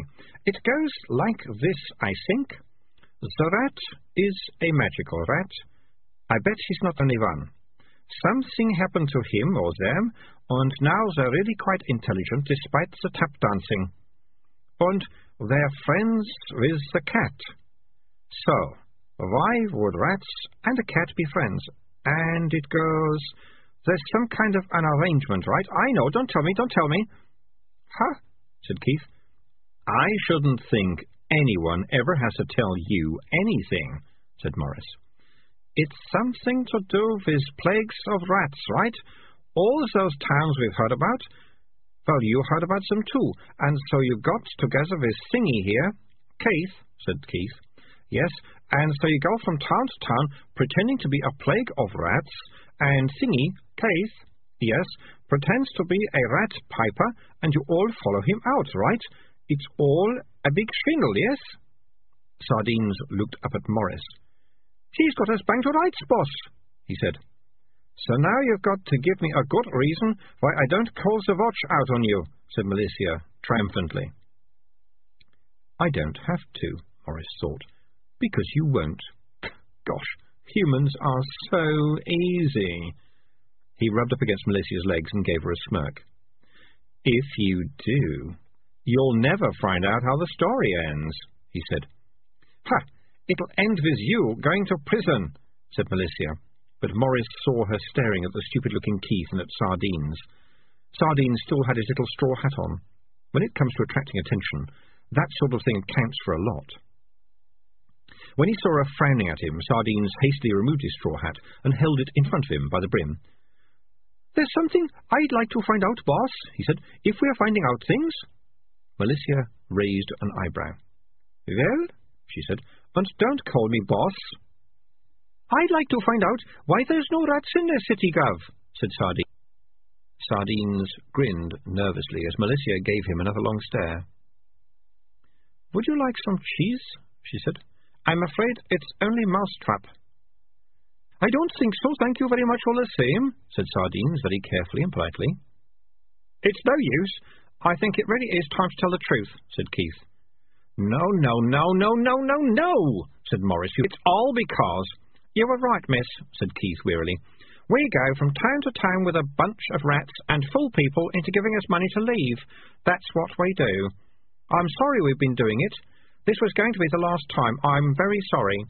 You shared your food with us, and you haven't got much, too. We ought to be ashamed.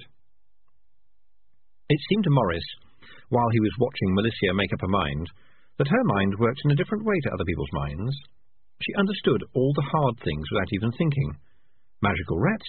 Yeah, yeah. Talking cats? Been there, done that, bought the singlet.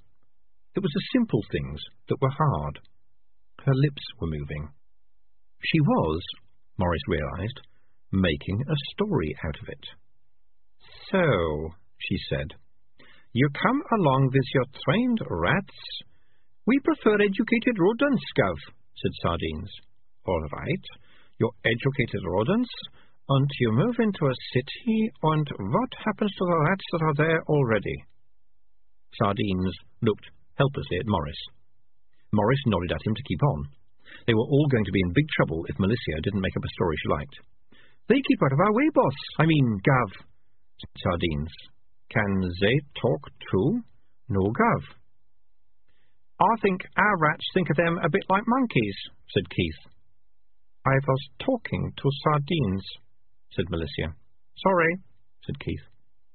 And there's no other rats here at all? Malicia went on. No, Gav. A few old skeletons, and some piles of poisons, and lots of traps, boss, but no rats, boss. But the rat catchers nail up a lot of rat tails every day. Speak as I find, boss, Gov. No rats, boss, Gov. No other rats anywhere we've been, boss, Gov.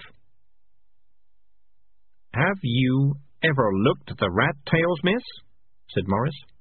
What do you mean? said Malicia. They're fake, said Maurice. Some of them, anyway. They're just old leather bootlaces. I saw some in the street. They weren't real rat tails, said Keith. I'm a cat. You think I don't know what rat tails look like? Surely people would notice, said Malicia. Yeah, said Maurice. Do you know what an aglet is? Aglet? Aglet? What's an aglet got to do with anything? snapped Malicia. It's those little metal bits on the end of shoelaces, said Maurice. How come a cat knows a word like that? said the girl. Everyone's got to know something, said Maurice. Have you ever looked closely at the rat tails? Of course not. You can get the plague from rats, said Malicia. That's right. Your legs explode, said Maurice, grinning. That's why you didn't see the aglets. Your legs exploded lately, Sardines? Not today, boss, said Sardines. Mind you, it's not even lunchtime yet. Malicia Grim looked, well, grim. Aha, she said, and it seemed to Maurice that the ha had a very nasty edge to it. So you're not going to tell the watch about us? he ventured, hopefully. What? That I've been talking to a rat and a cat? said Malicia. Of course not. They'll tell my father I've been telling stories, and I'll get locked out of my room again. You get locked out of your room as a punishment? said Maurice. Yes, it means I can't get at my books. I'm a rather special person, as you may have guessed, said Malicia proudly. Haven't you heard of the Sisters Grim? Agonista and Eviscera Grim? They were my grandmother and my great aunt. They wrote fairy tales. Ah, so we're temporarily out of trouble here, thought Maurice. Best to keep her talking. I'm not a big reader as cats go, he said. So, what were these then? Uh, stories about little people with wings going tinkle tinkle? No, said Malicia. They were not big on tinkling little people. They wrote real fairy tales, ones with lots of blood and bones and bats and rats in. I've inherited the storytelling talent, she added. I kind of thought you had, said Maurice. And if there's no rats under the town, but the rat catchers are nailing up bootlaces, I smell a rat, said Malicia. Sorry, said Sardines. I think that was me. I'm a bit nervous. There were sounds from upstairs. Quick, Go out across the backyard, Malicia commanded. Get up into the hayloft over the stables. I'll bring you some food. I know exactly how this sort of thing goes. Chapter 5 Ratty Rupert was the bravest rat that ever was. Everyone in Furry Bottom said so. From Mr. Bunnsy Has an Adventure. Darktan was in a tunnel several streets away, hanging from four bits of string attached to his harness. They were tied onto a stick which had been balanced like a seesaw on the back of a very fat rat. Two other rats were sitting on the other end, and several other rats were steering it. Darktan was hanging just above the teeth of the big steel trap that completely filled the tunnel. He squeaked the signal to stop. The ruler vibrated a little under his weight. I'm right over the cheese, he said. Smells like Lancre Blue Vein, extra tasty. Not been touched, pretty old too. Move me in about two paws. Um, rat measurement about an inch. The stick bounced up and down as he was pushed forward. Careful, sir, said one of the younger rats who crowded the tunnel behind the trap disposal squad. Darktan grunted and looked down at the teeth an inch away from his nose. He pulled a short piece of wood out of one of his belts. A tiny sliver of mirror had been glued to one end of it. You lot, Move the candle this way a bit, he commanded. That's right. That's right. Let's see now. He pushed the mirror past the teeth and turned it gently. Ah, just as I thought. It's a Prattle and Johnson little snapper, sure enough. One of the old Mark III's, but with the extra safety catch. That's come a long way. OK, we know all about these, don't we? Cheese for tea, lads. There was nervous laughter from the watchers, but a voice said, Oh, they're easy. Who said that? said Dark Tan sharply. There was silence. Darktan craned his head back. The young rats had carefully moved aside, leaving one looking very, very alone. Ah, Nourishing, said Dark Tan, turning back to the trap's trigger mechanism. Easy, is it? Glad to hear it. You can show us how it's done, then. Um, when I said easy, Nourishing began, I mean Inbrine showed me on the practice trap, and he said, No need to be modest, said Darktan, a gleam in his eye. It's all ready. I'll just watch, shall I? You can get into the harness and do it, can you? But, but, but, but, but, I, I couldn't see too well when he showed us. Now, I, I come to think about it, and, and, and, and, and. I'll tell you what, said Darktan. I'll work the trap, shall I? Nourishing looked very relieved. And you can tell me exactly what to do. Darktan added. Ah, uh, Nourishing began. Now she looks like a rat prepared to rejoin the widdling squad really quickly. Jolly good, said Darktan. He carefully put his mirror away and pulled a length of metal out of his harness. He prodded the trap carefully. Nourishing shuddered at the sound of metal on metal. Now, where was I? Oh, yeah. Here's a bar and a little spring and a catch. Uh, what shall I do now, Miss Nourishing? Uh, uh, uh, Nourishing stuttered. Things are creaking here, Miss Nourishing, said Darktan from the depths of the trap. Um, uh, you wedged the thingy. Which one is the thingy, Miss Nourishing? Take your time. Oh, whoops. Oh, this bit of metal is wobbling, but don't let me hurry you in any way. You wedged the, uh, the thingy, uh, the, the, the thingy, uh... Nourishing's eyes rolled wildly. Maybe it's this big snap. Ah, ah, ah, ah. Nourishing fainted. Darktan slipped out of the harness and dropped onto the trap.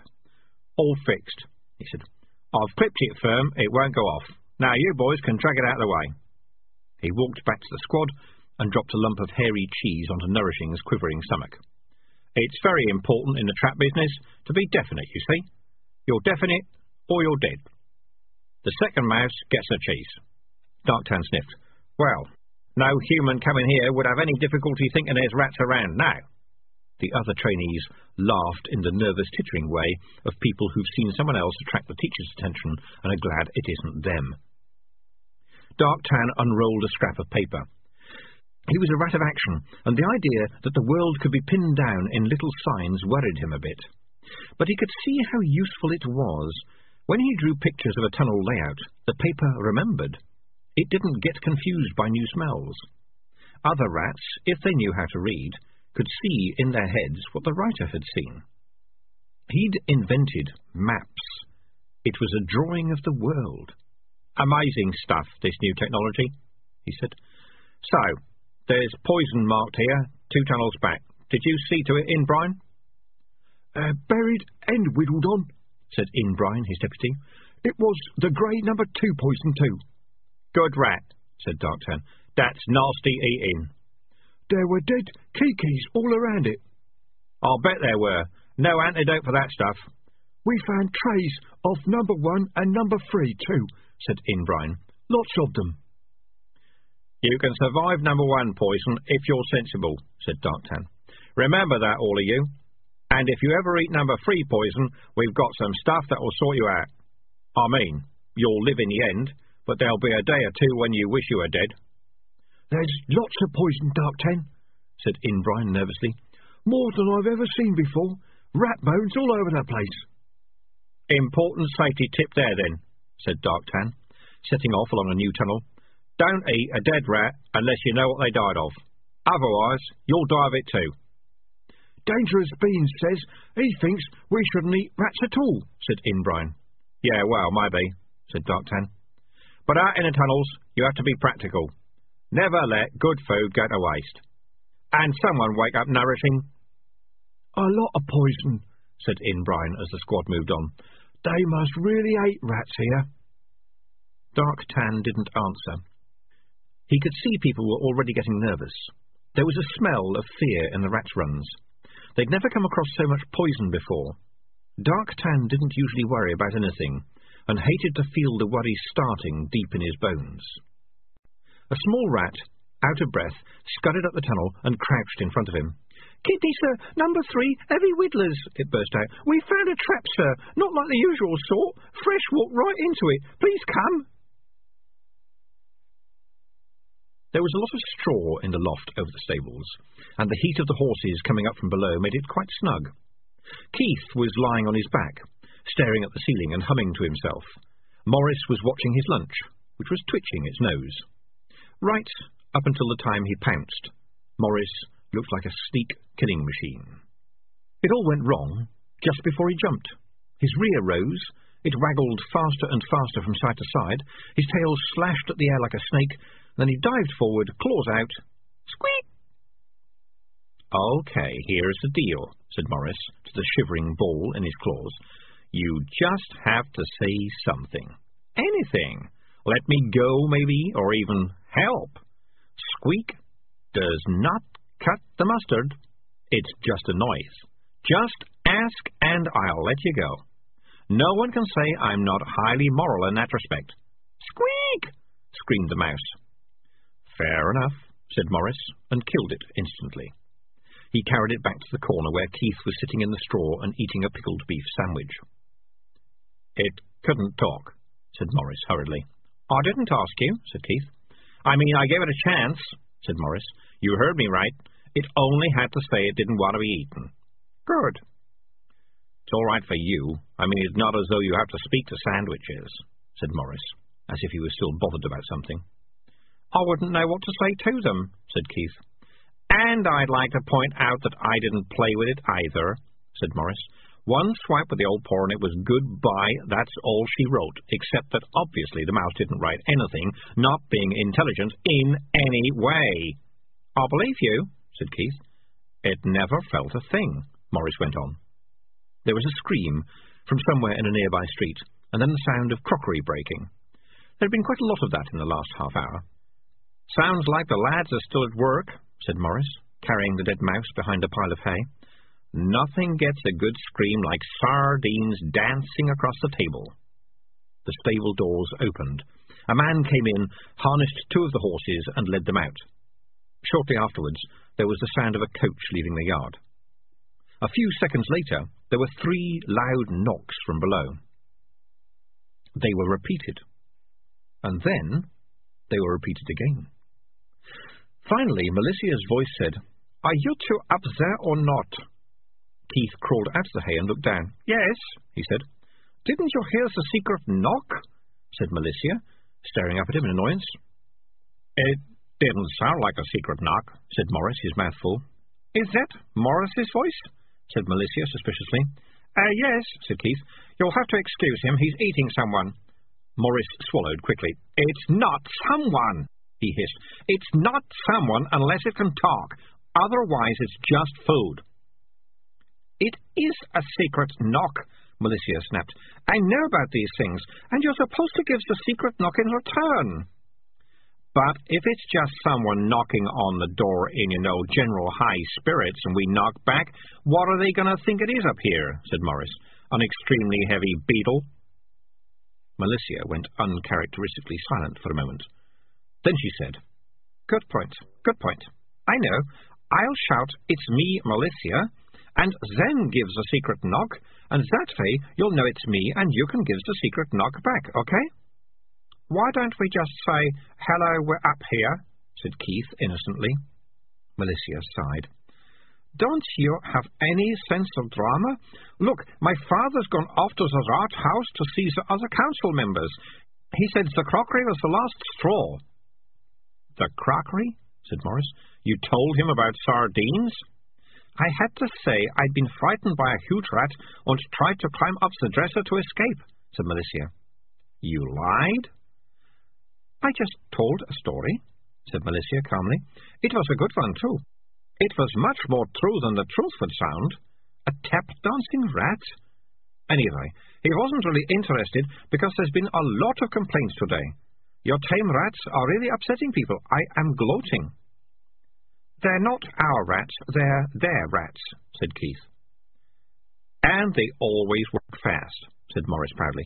They don't mess about when it comes to messing about. One time we were in Last advertised for a rat piper the very next morning, said Keith. That was Sardine's big day. My father shouted a lot and sent for Blunkett and Spears, too, said Malicia. There's the rat catchers, and you know what that means, don't you? Maurice and Keith looked at one another. Let's pretend we don't, said Maurice. It means we can break into their shed and solve the mystery of the bootlace tails, said Malicia. She gave Maurice a critical look. Of course, it would be more satisfying if we were four children and a dog, which is the right number for an adventure, but we'll make do with what we got. Hey, we just steal from governments, said Maurice. Uh, only governments who aren't people's fathers, obviously, said Keith. So? Said Malicia, giving Keith an odd look. That's not the same as being criminals, said Maurice. Ah, but when we've got the evidence, we can take it to the council, and then it won't be criminal at all, because we will be saving the day, said Malicia with weary patience. Of course, it may be that the council and the watch are in league with the rat catchers, so we shouldn't trust anyone.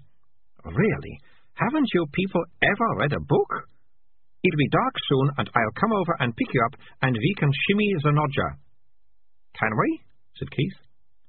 Yes, with a hairpin said Malicia. I know it's possible because I've read about it hundreds of times. What kind of nodger is it? said Maurice. A big one, said Malicia. That makes it easier, of course. She turned around abruptly and ran out of the stables. Maurice, said Keith. Yes, said the cat. What is a nodger, and how do you shimmy it? I don't know. A lock, maybe? But you said Yes, but I was just trying to keep her talking in case she turned violent, said Maurice. She's gone in ahead, if you ask me. She's one of those people like actors, you know, acting all the time, not living in the real world at all. Like it's all a big story. Dangerous Beans is a bit like that. Highly dangerous person, in my opinion. He's a very kind and thoughtful rat. Ah, yes. But the trouble is, see, that he thinks everyone else is like him. People like that are bad news, kid. And our lady friend, she thinks life works like a fairy tale. Well, that's harmless, isn't it? said Keith. Yeah, but in fairy tales, when someone dies, it's just a word. The number three heavy widdlers squad were taking a rest, and they'd run out of ammunition in any case. No one felt like going past the trap to the trickle of water that dripped down the wall, and no one liked looking at what was in the trap. Poor old Fresh, said a rat. He was a good rat. Should have paid attention to where he was going, though, said another rat. thought he knew it all, said yet another rat. A decent rat, though, if a bit smelly. So let's get him out of the trap, shall we? Said the first rat. Doesn't seem right leaving him in there like that. Yeah, especially since we're hungry. One of the rats said, Dangerous Beans says we shouldn't eat rat at all. Another rat said, No, it's only if you don't know what they died of, because they might have died of poison. Another rat said, And we know what he died of. He died of squashing. You can't catch squashing. They all looked at the late Fresh. What do you think happens to you after you're dead? Said a rat slowly. You get eaten, mm. or you go all dried up or mouldy. What, all of you? Well, people usually leave the feet. The rat who'd asked the question said, What about the bit inside? And the rat who'd mentioned the feet said, Oh, the squishy green wobbly bit.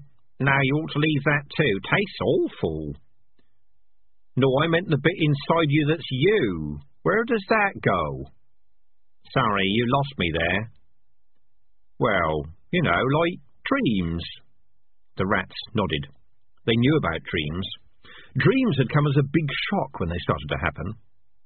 Well then, in the dreams, when you're being chased by dogs or flying or whatever, who is it that's doing that? It's not your body, because that's asleep. So it must be an invisible part that lives inside you, yes? And being dead is like being asleep in it. Not exactly like a sleep, said a rat, uncertainly, glancing at the fairly flat thing formerly known as Fresh. I mean, you don't get all blood and bits sticking out, and you wake up. So, said the rat who'd raised the whole question about the invisible part, when you wake up, where does the dreaming part go? When you die, where does that bit that's inside you go? What, the green wobbly bit? No, the bit that's behind your eyes. You mean the pinky grey Bear? No, not that. The invisible bit. How would I know? I've never seen an invisible bit. All the rats stared down at Fresh. I don't like this kind of talk, said one of them. It reminds me of the shadows in the candlelight. Another one said, Did you hear about the bone rat? It comes and gets you when you're dead, they say. They say, they say, muttered the rat. They say there's a big rat underground who made everything, they say. So it made the humans too. Must be really keen on us to go and make humans too, huh? How do I know? Maybe they were made by a big human. Oh, now you're just being silly, said the doubting rat, who was called Tomato. All right, all right. But you've got to admit that everything couldn't have just, well, turned up, could it? There's got to be a reason. And Dangerous Beans says there's things we should do because they're right. Well, who works out what's right? Where does right and wrong come from? They say if you've been a good rat, maybe the big rat has got this tunnel full of good eating that the bone rat will take you to. But Fresh is still here, and I ain't seen a bony rat, said Doubting Tomato.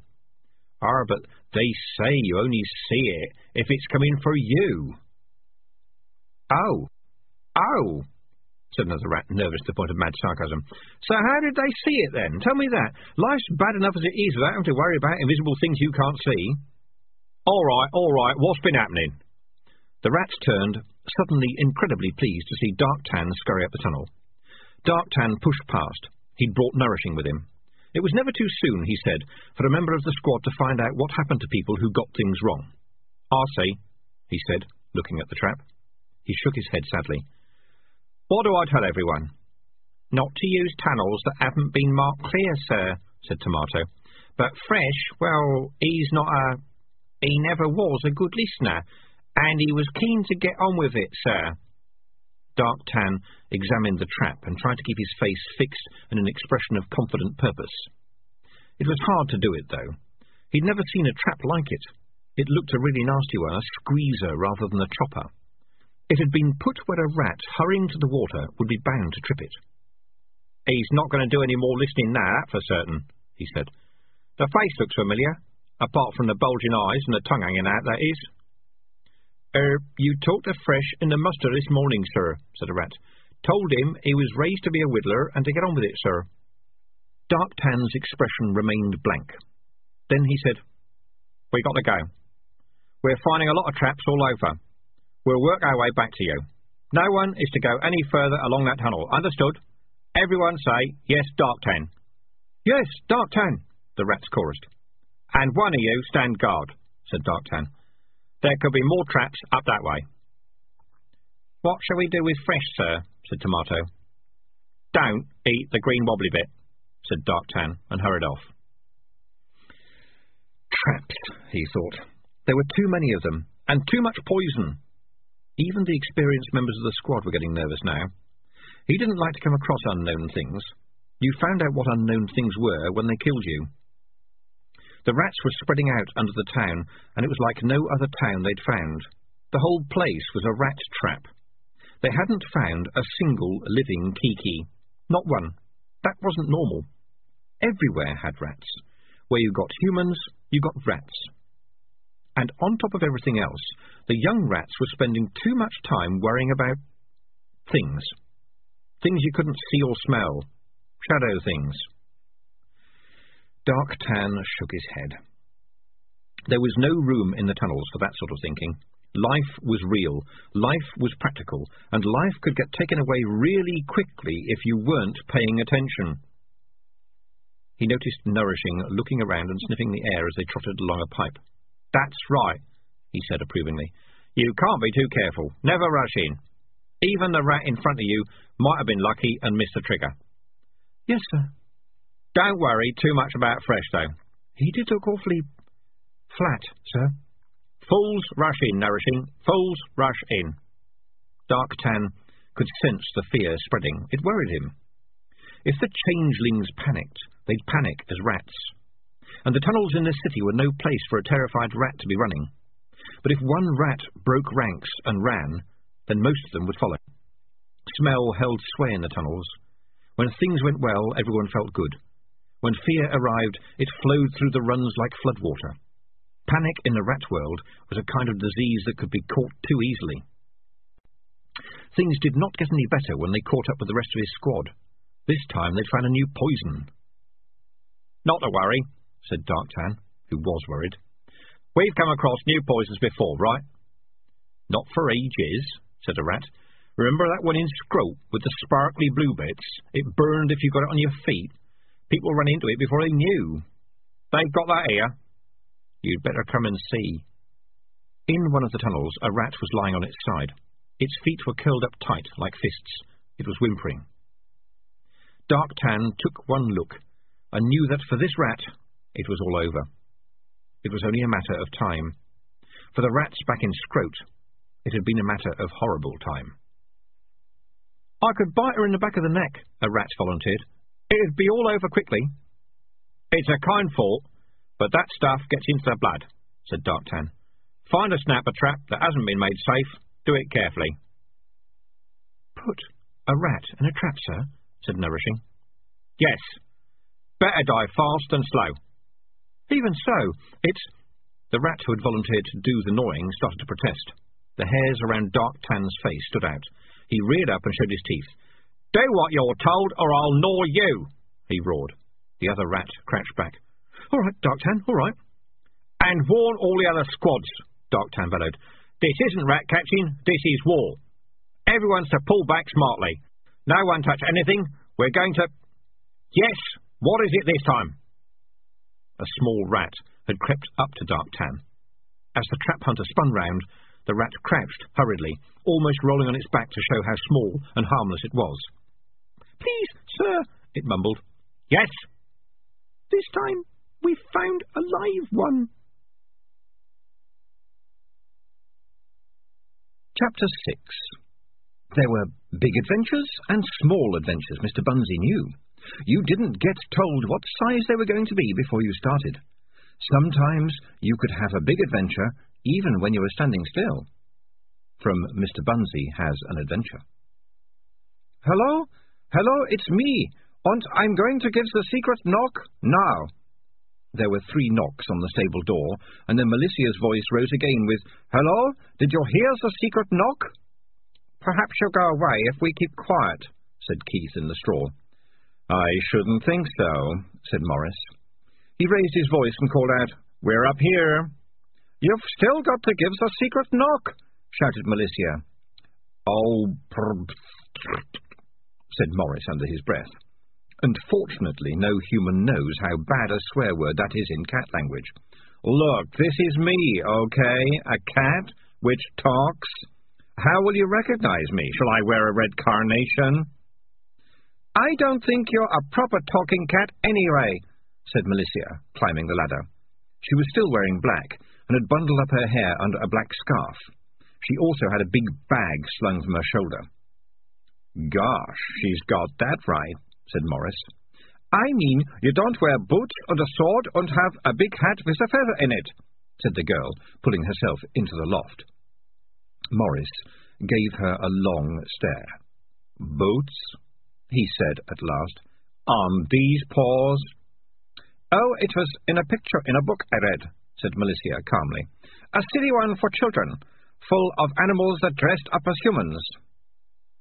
It crossed Maurice's cat mind, and not for the first time, that if he moved fast he could be at the city in five minutes and onto a barge or something. Once, when he was no more than a kitten, he'd been taken home by a small girl who dressed him up in doll's clothes and sat him at a small table with a couple of dolls and three quarters of a teddy bear. He'd managed to escape through an open window, but it had taken him all day to get out of the dress. That girl could have been Malicia. She thought animals were just people who hadn't been paying enough attention. I don't do clothes, he said. It wasn't much of a line, but it was probably better than saying, I think you're a loony. Could be an improvement, said Malicia. It's nearly dark. Let's go. We shall move like cats. Oh, right, said Maurice.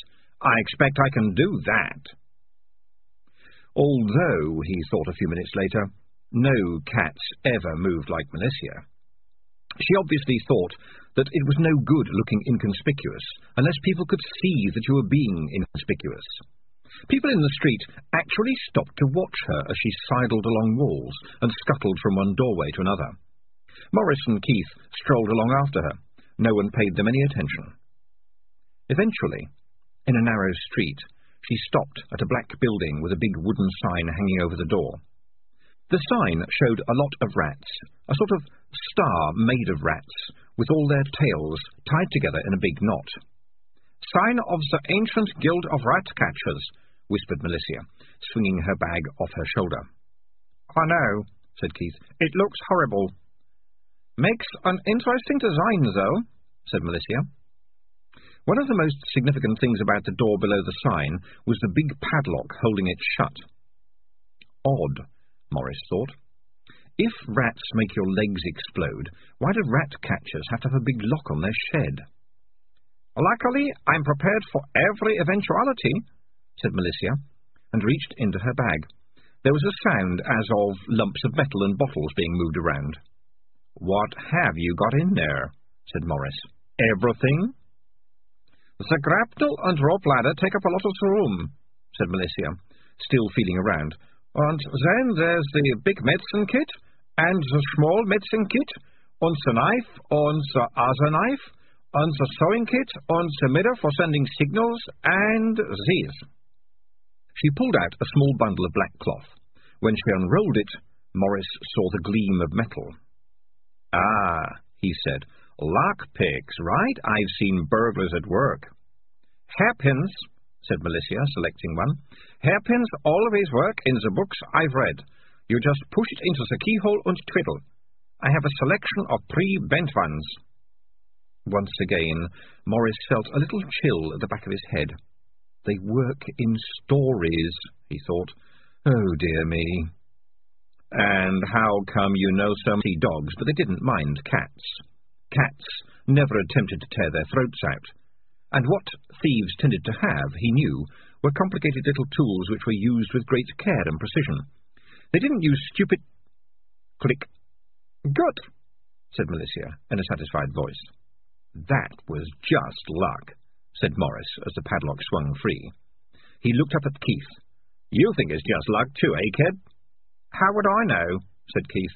I've never seen it done before. I knew it would work, said Malicia. It worked in the fairy story The Seventh Wife of Greenbeard. There she broke out of his room of terror and stabbed him in the eye with a frozen herring. That was a fairy story, said Keith. Yes, said Malicia proudly, right out of Grim fairy tales. You've got some bad fairies in these parts, said Maurice, shaking his head. Malicia pushed the door open. Oh, no, she moaned. I didn't expect this. Somewhere below Maurice's paws, and about a street away, the one local rat that the changelings had found alive was crouched in front of Dangerous Beans. The squads had been called back. This was not turning out to be a good day. Traps that didn't kill, Darktan thought. You found them sometimes. Sometimes humans wanted to catch rats alive. Darktan didn't trust humans who wanted to catch rats alive. Honest traps that killed outright, well, they were bad, but you could usually avoid them, and at least there was something honest about them. Live traps were like poison. They cheated. Dangerous Beans was smelling the newcomer. It was strange, but the rat who could think the most unrat-like thoughts was also the best at talking to keekees. Except that talking wasn't the right word. No one, not even Hamnpork, had a sense of smell like dangerous beans. The new rat certainly wasn't giving any trouble. For one thing, it was surrounded by rats who were big and well-fed and tough, so its body was respectfully saying sir as hard as it could. The changelings had also given it some food, which it was engulfing rather than eating. She was in a box trap, said Darktan, who was drawing lines on the floor with a stick. We found a lot of them. I got caught in one of those once, said Hamnpork. Then a female human came along and tipped me out over the garden wall. Couldn't see the point of it. I believe some humans do it to be kind, said Peaches. They get the rat out of the house without killing them. Didn't do her any good anyway, said Hamnpork with satisfaction. I went back next night and widdled on the cheese. I don't think anyone is trying to be kind here, said Darktan. There was another rat in there with her. At least, he added, there was part of a rat in there with her. I think she'd been eating it to stay alive. Very sensible, nodded Hamnpork. We found something else, Darktan said, still drawing furrows in the dirt. Can you see these, sir? He'd drawn a network of lines on the floor. I can see them, but I don't have to know what they are, said Hamnpork. He rubbed his nose. I've never needed any more than this. Darktan gave a patient sigh. Then smell, sir, that this is a a picture of all the tunnels we've explored today. It's the shape I have in my head. We've explored a lot of the town. There's a lot of the, he glanced at Peaches, a lot of the kind traps, mostly empty. There's poison all over the place. It's mostly quite old. Lot of empty box traps, lots of killer traps still set, and no live rats. None at all, except for our new friend. We know that's very odd. I sniffed around a bit near where I found her, and I smelled rats. Lots of rats. I mean, lots. Alive? said Dangerous Beans. Yes. All in one place. It smells that way, said Darktan. I think a squad should go and look. Dangerous Beans padded over to the rat and sniffed at her. The rat sniffed at him. They touched paws. The watching changelings were astonished. Dangerous Beans was treating the keekee as an equal. Lots of things, lots of things, he murmured. Many rats, humans, fear, lots of fear, lots of rats. Crowded, food, rat. You said she'd been eating rats. It's a ratty rat world, said Hamnpork. Always has been, always will be. Dangerous Beans wrinkled his nose. There's something else. Something odd. Strange. She's really scared. She was in a trap, said Peaches, and then she met us. Much, much worse than that, said Dangerous Beans. She's... she's frightened of us because we're strange rats, but she smells relieved that we're not what she's used to. Humans, Darktan spat. I don't think so. Other rats? Yes, no, no, I don't... It's hard to tell. Dogs? Cats? No. Dangerous Beans stepped back. Something new. What shall we do with her? said Peaches. Let her go, I suppose. We can't do that, said Darktan. We've triggered all the traps we've found, but there are still poisons all over the place. I wouldn't send a mouse out into that lot. She hasn't tried to attack us after all. So, said Hamnpork, what's another dead keekee? I know what Darktan means, said Peaches. We can't just send her out to die.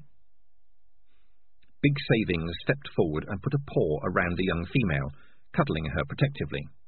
She glared at Hamnpork. Although she might nip him sometimes if she was annoyed, she wouldn't argue with him. She was too old to do that. But her look said, All males are stupid, you stupid old rat. He looked lost. We've killed keekees, haven't we? he said. Why do we want this one hanging around? We can't send her out to die, said Peaches again, looking at Dangerous Bean's expression. He had that far-away look in his pink eyes. You want it trailing around eating our food and messing things up, said Hamnpork. It can't talk, it can't think. Nor could we not long ago, snapped Peaches. We were all like her. We can think now, young female, said Hamnpork, his hair rising. Yes, said Dangerous Beans quietly. We can think now. We can think about what we do. We can pity the innocent one who means us no harm, and that's why she can stay. Hamnpork's head turned sharply. Dangerous Beans was still facing the newcomer. Hamnpork reared up instinctively, a rat ready to fight, but Dangerous Beans couldn't see him. Peaches watched the old rat with concern. He'd been challenged by a weedy little rat who would not last a second in a fight, and Dangerous Beans hadn't even realized he'd made the challenge. He doesn't think like that, Peaches told herself. The other rats were watching Hamnpork. They still thought like that, and were waiting to see what he would do. But it was dawning even on Hamnpork that pouncing on the white rat would be unthinkable. It would be like cutting off his own tail. He very carefully let himself relax. It's just a rat, he muttered. But you, dear Hamnpork, are not, said Dangerous Beans. Will you go with Dark Tan's crew to find out where she came from? It could be dangerous. This made Hamnpork's hair rise again. I'm not afraid of danger, he roared. Of course not. That is why you should go. She was terrified said Dangerous Beans. I've never been scared of anything, shouted Hamnpork. Now Dangerous Beans turned to face him. In the candlelight there was a glow in the pink eyes. Hamnpork was not a rat who spent a lot of time thinking about things he couldn't see or smell or bite, but... He looked up. The candlelight made big rat shadows dance on the wall. Hamnpork had heard the young rats talking about shadows and dreams and what happened to your shadow after you died? He didn't worry about that stuff. Shadows couldn't bite you. There was nothing to be frightened of in shadows. But now, his own voice in his own head told him, I'm frightened of what those eyes can see. Hamnpork glared at Darktan, who was scratching something in the mud with one of his sticks. I'll go, but I will lead the expedition, he said. I'm senior rat here. That doesn't worry me, said Darktan. Mr. Clicky is going to be going in front in any case. I thought he got smashed last week, said Peaches. We've got two left, said Darktan. Then we'll have to raid another pet shop. I'm the leader, said Hamnpork. I'll say what we do, Dark Dan. Fine, sir, fine, said Darktan, still drawing in the mud. And you know how to make all the traps safe, do you? No, but I can tell you to. Good, good, said Darktan, making more marks with his stick, and not looking at the leader. And you'll tell me which levers to leave alone and which bits to wedge open, will you? I don't have to understand about traps, said Hamnpork. But I do, sir, said Darktan, speaking in the same calm voice. And I'm telling you that there's a couple of things about some of these new ones I don't understand. And until I understand them, I'd very respectfully suggest that you leave it all to me. That is not the way to talk to a superior rat. This is where we find out who is the leader. Then Darktan picked up the astonishment amongst the older males who were watching Darktan. Hamnpork's fur settled. Obviously, as the leader, you must give the orders. Unknown things are dangerous. Yes, and that is what I am saying. Ratcatcher's shed, he said. Benches, chairs, a considerable amount of a, a lack of any dusting ever being done. It's what I'd have expected a rat catcher's hut to look like inside.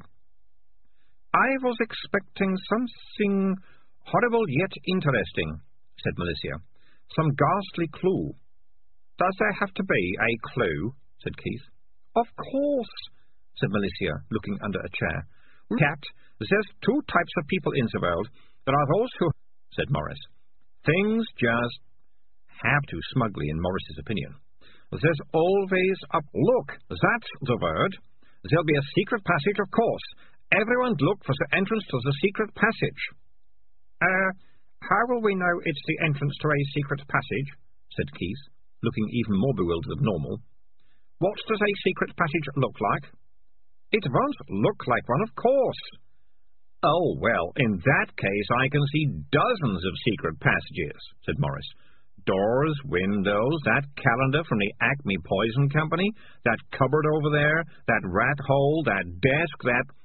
You're just being sarcastic, said Malicia, lifting up the calendar and sternly inspecting the wall behind it. Actually, I was just being flippant, said Maurice, but I can do sarcastic if you like. Keith stared at the long bench which was in front of a window frosted with ancient cobwebs.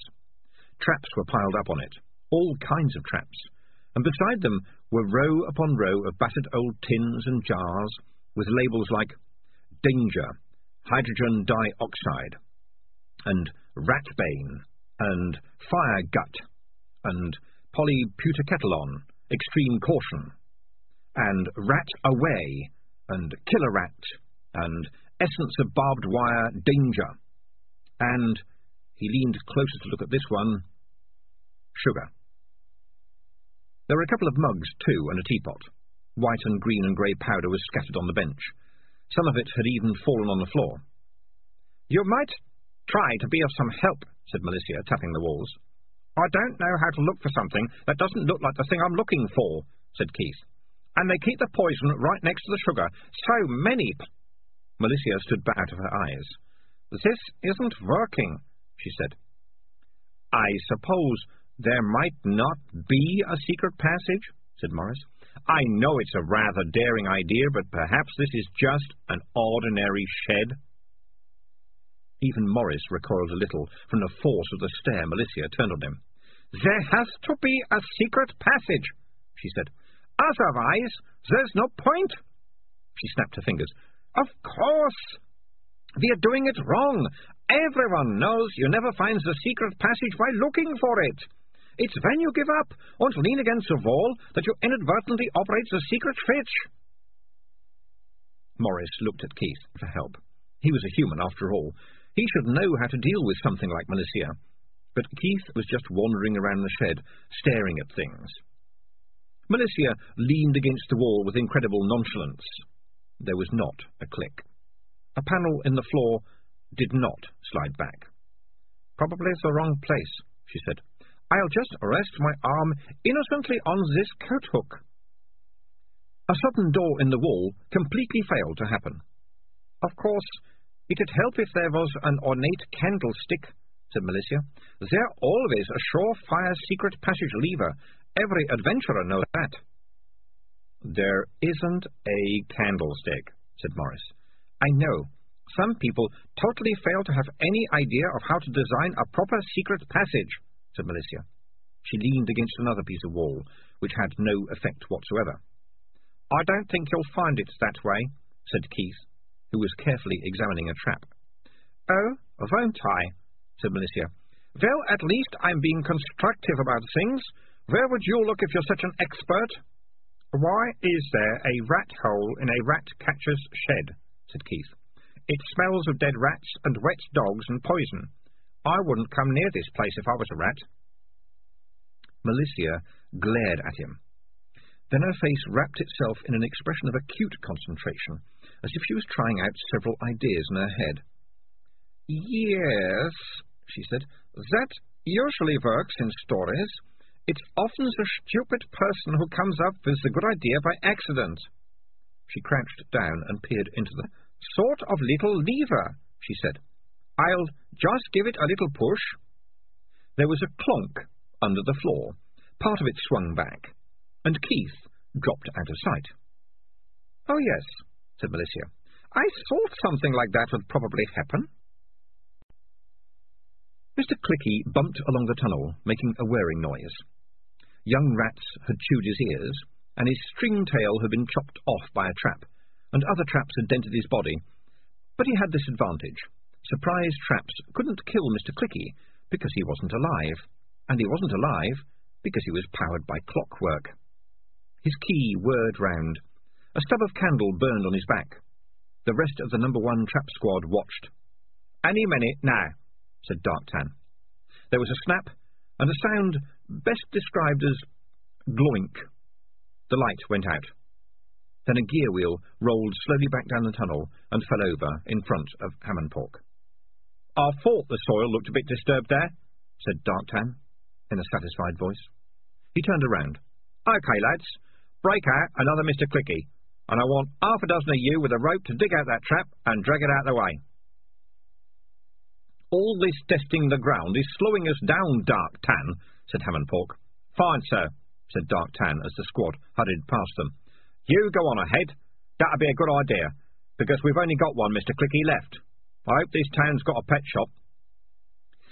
The rats had found one in the town of Quirm, which is where they'd got the Mr. Clickies. They were on a shelf labelled Kitty Toys, along with a box of squeaky rubber rats called, with great imagination, Mr. Squeaky. The rats had tried to set off traps by poking them with a rubber rat on the end of a stick, but the squeak when the trap shut upset everyone. No one cared about what happened to a Mr. Clicky. I just think we should move faster, said Hammond. To go then, sir. Try to shout out where the next trap. He could see mangled springs and wheels in the jaws. He added, I couldn't quite understand what he was going on about at the time, but now I think I can see what he meant. He looked back along the tunnel to where a candle flame burned and grabbed a passing rat. Dangerous beans are to stay right back, understand? he said. They're not to come any further. Right, sir, said the rat, and hurried away. The expedition moved forward cautiously as the tunnel opened up into a large... It had a trickle of water in the bottom. There were ancient pipes in the roof of it. Here and there steam hissed from them. Weak green light came from a street grating further down the drain. The place smelled of rats. It smelled freshly of rats. In fact, nibbling at a tray of food that had been set on a crumbling brick. It glanced at the changelings and fled. Get after it! Hamnpork yelled. No! shouted Darktan. A couple of rats, who'd begun to chase the keekee, hesitated. That was an order I gave, roared Hamnpork, turning on Darktan, made a very brief crouch, and said, Of course, but I think the view of Hamnpork in possession of all the facts will be a little different than the view of Hamnpork who just shouted because he saw a rat run away, hmm? Sniff the air. Hamnpork's nose wrinkled. Poisoned? Grey number two, he said. Foul stuff, some of the houses. Why? To bathe in, sir. Hmm. Hamnpork didn't like that idea. A lot of the young rats were keen on taking baths. Darktan turned to the squad. Hamnpork wants that poison buried and widdled on and a marker on it right now. Hamnpork heard a metallic sound beside him. He turned and saw that Dark Tan had drawn from his web of tools a long, thin piece of metal. What the crick is that? he said. Darktan swished the thing backwards and forwards. I've got a stupid-looking kid to make this for me, he said. Then Hamnpork realized what it was. That's a sword, he said. You got the idea out of Mr. Bunnsy as an adventure. That's right. I've never believed that stuff, Hamnpork grumbled. It's too far-fetched. But a spike is a spike, said Darktan calmly. I think we're close to the other rats. It'd be a good idea if most of us stay here. Sir. Hamnpork felt he was being given orders again, but Darktan was being polite. I suggest that a few of us go on ahead to sniff them out, Darktan went on. Sardines would be useful, and I'll go, of course. And me, said Hamnpork. He glared at Darktan, who said, Of course. Chapter 7 And because of Ollie the Snake's trick with the road sign, Mr. Bunnsy did not know that he had lost his way. He wasn't going to Howard the Stoat's tea party. He was heading into the dark wood. From Mr. Bunnsy Has an Adventure.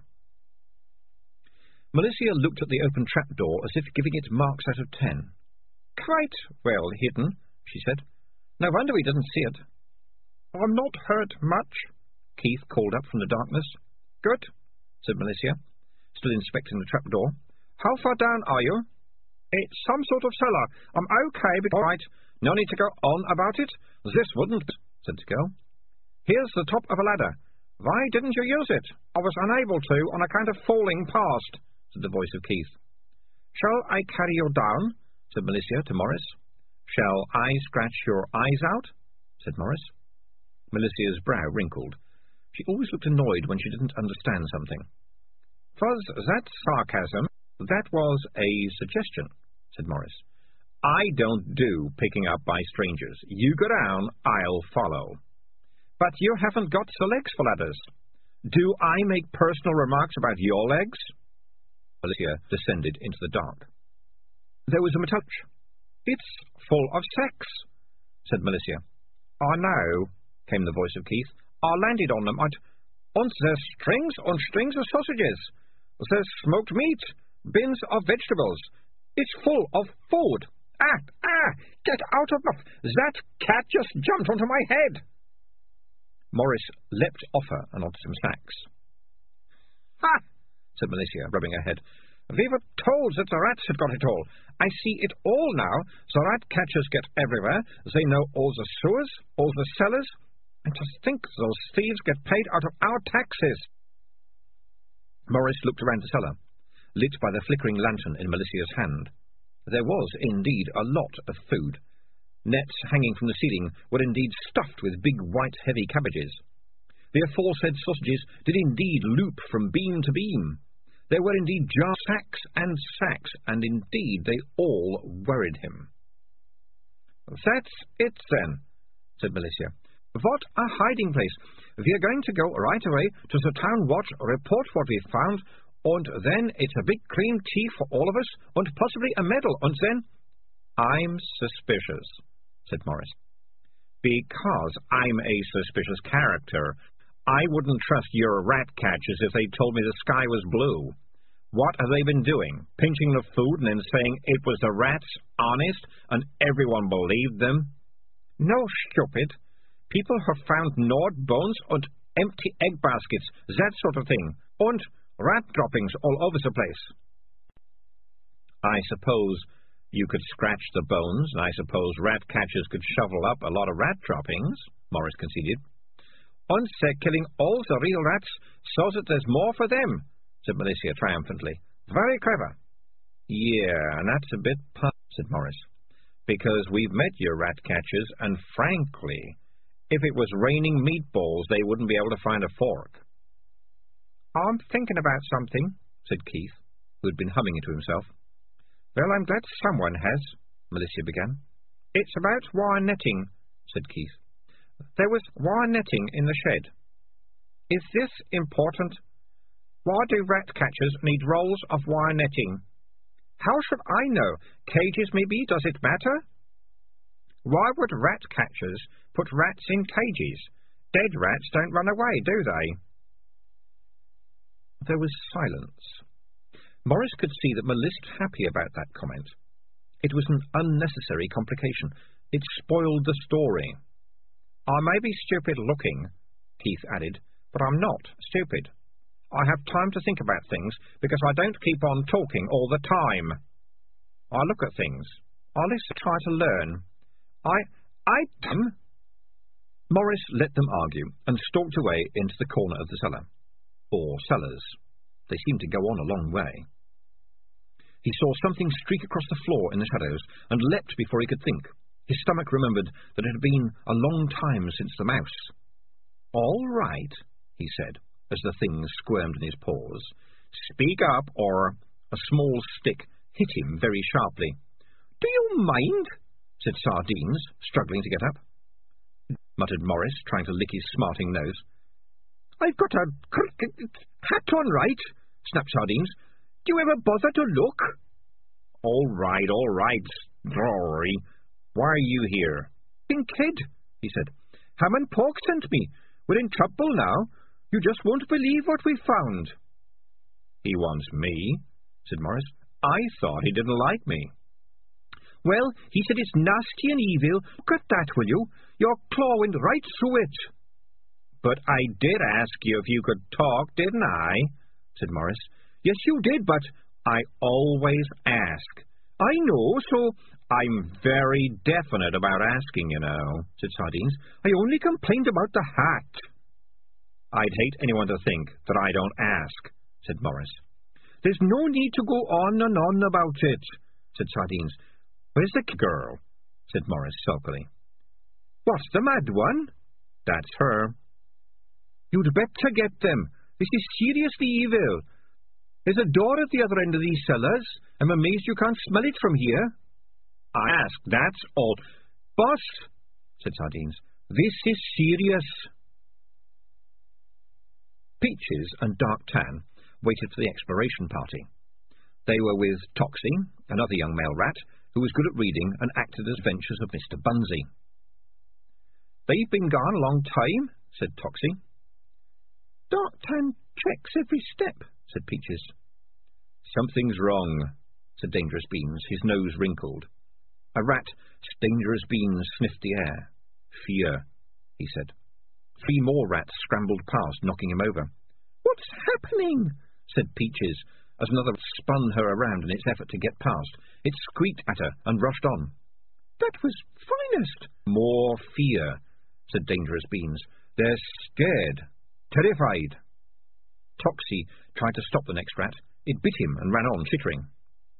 We must go back, said Peaches urgently. Can't be, said Toxie. Hamnpork killed a ferret once. Three more rats ran past, trailing fear behind them. One of them squealed at Peaches, gibbered madly at Dangerous Beans, and ran on. They... they forgot. Something terrible must have frightened them, said Peaches, snatching up at They've never been that frightened, said Toxie. Remember when that dog found us? We were all frightened, but we talked, and we trapped it, and Ammon Peaches saw that Dangerous Beans was crying. They've forgotten how to talk. Half a dozen more rats pushed their way past, screeching.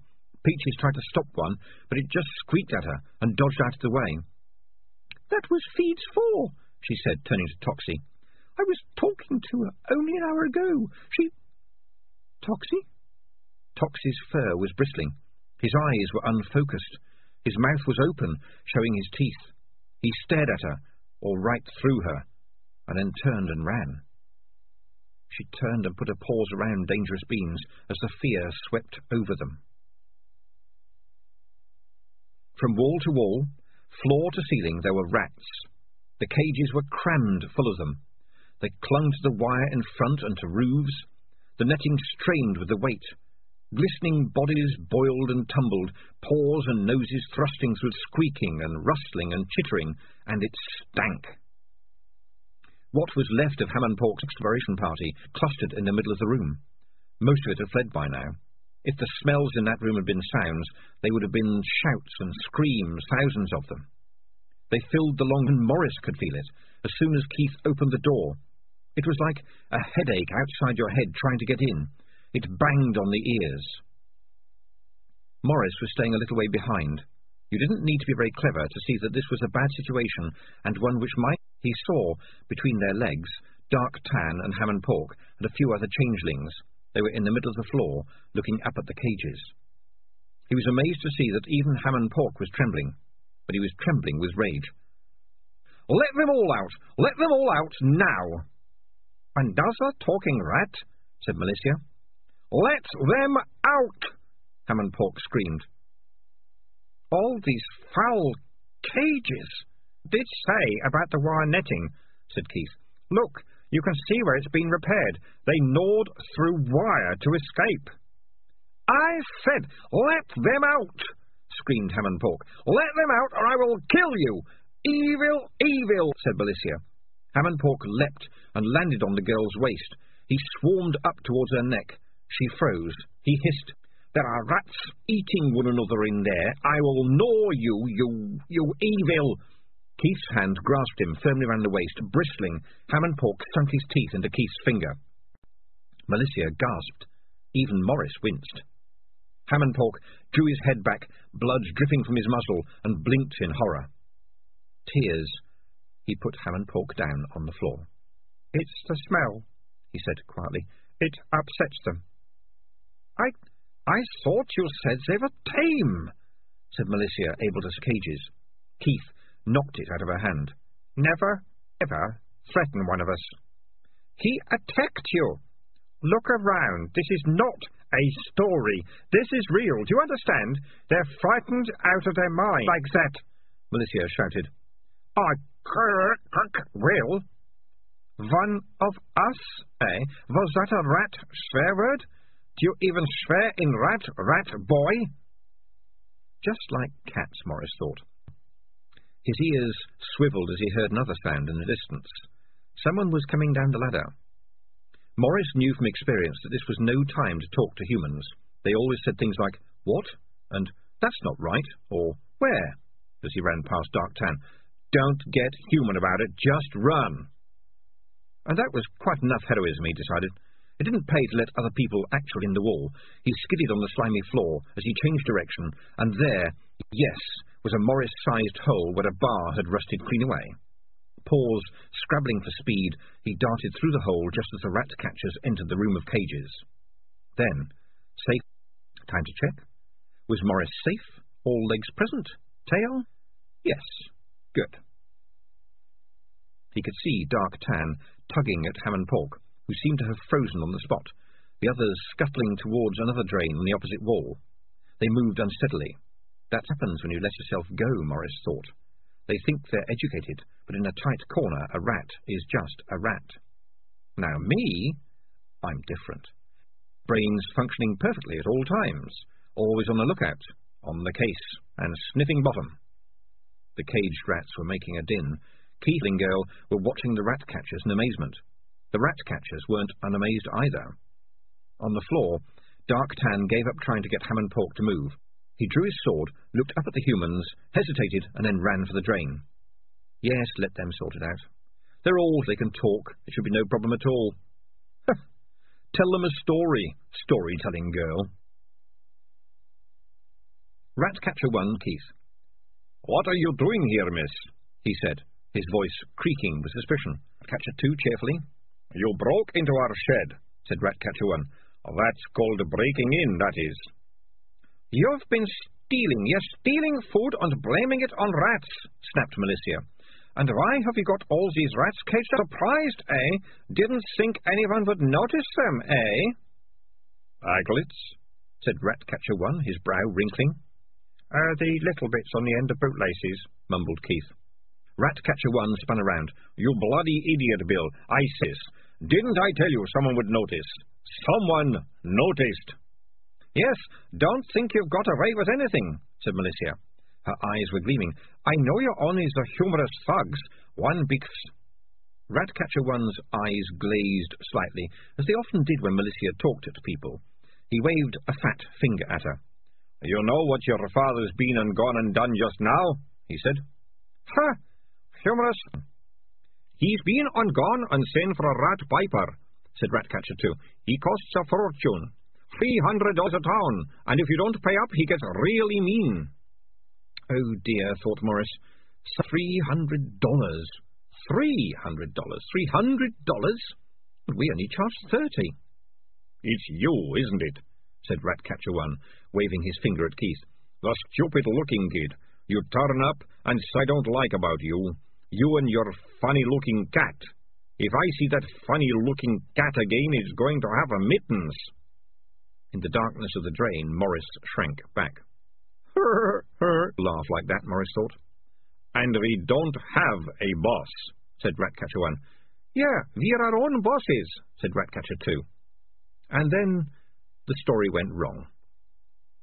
And you, miss, said Ratcatcher 1, turning to Malicia. He swung his fist, lifting her off her feet and slamming her against the rat cages. The rats went mad and the cages boiled with frantic activity as she slumped to the ground. The rat catcher turned to Keith. You're going to try anything, kid? She was a girl, so I was nice and kind, but you, I'll put in one of the cages. Yeah, and they ain't been fed today, said the delighted Ratcatcher too. Go on, kid, Maurice thought. Do something. But Keith just looked him up and down scornfully. What's that you got there, boy? A pipe? Give it here. The pipe was grabbed from Keith's belt, and he was pushed to the floor. A penny whistle? Think you're the rat piper, do you? Ratcatcher one snapped the pipe in two and tossed the bits inside. You know, they say that over in Pork Scratchins, the rat piper led the man with a right idea. Keith looked up. His eyes narrowed. He got to his feet. Here it comes, thought Maurice. He's going to leap forward with superhuman strength because he's so angry, and they're going to wish they'd never been born. Ordinary human strength. Landed one punch on Ratcatcher one, and was smacked again by a big, brutal sledgehammer blow. All right, all right, he got knocked down, thought Maurice, as Keith struggled for breath. But he's going to get up again. There was a shrill scream, and Maurice thought, aha, but the scream hadn't come from the wheezing Keith. A grey figure had launched itself from the top of the rat cages right at the rat-catcher's face. It landed teeth first, and blood spurted from the rat-catcher's nose. Aha! thought Maurice again. It's Hamnpork to the rescue. What? Lip! I'm thinking like the girl. I keep thinking it's a story. The rat-catcher grabbed at the rat and held him out at arm's length by his tail. Hamnpork twisted and turned, squealing with rage. His captor dabbed at his nose with his spare hand and stared at Hamnpork as he struggled. He's a bit of a fighter, said one. He's a red. Red? What's red about him? A red rat's a kind of grey rat, as you would very well know if you were an experienced guild member like me, said the rat catcher. They ain't local. You get 'em down on the plains. Funny to find one up here. Very funny. Greasy old devil, too but game as anything. Your nose is all runny. Yeah, I know. I've had more rat bites than you've had hot dinners. Don't feel them any more, said Ratcatcher One, in a voice that suggested that the spinning, screeching Hamnpork was a lot more interesting than his colleague. I only have cold sausage for dinner. There you are, then. What a little fighter you are, to be sure. Real little devil, aren't you? Plucky as anything. Of you say so. I was talking to the rat, mister. The rat catcher prodded Keith with his boot. Go and tie up these two somewhere, okay? We'll put them in one of the other cellars for now. One with a proper door, and a proper lock, and no handy little trapdoors. And you give me the key. She's the mayor's daughter, said Ratcatcher 2. Mayors can get really upset about daughters. Then he'll do what he's told, right? You're gonna give that rat a good squeezing? What? A fighter like this one? Are you joking? It's thinking like that that'll keep your ratcatcher's assistant for your whole life. I've got a much better idea. How many's in the special cage? Morris watched Ratcatcher 2 go and examine one of the other cages on the far wall. Only two rats left. They've eaten the other four, he reported. Just skin left. Very neat. Ah, so they'll be full of vim and vinegar. Well, we'll see what they do to him, shall we? Maurice heard a little wire door open and shut. Hamnpork was seeing red. It filled his vision.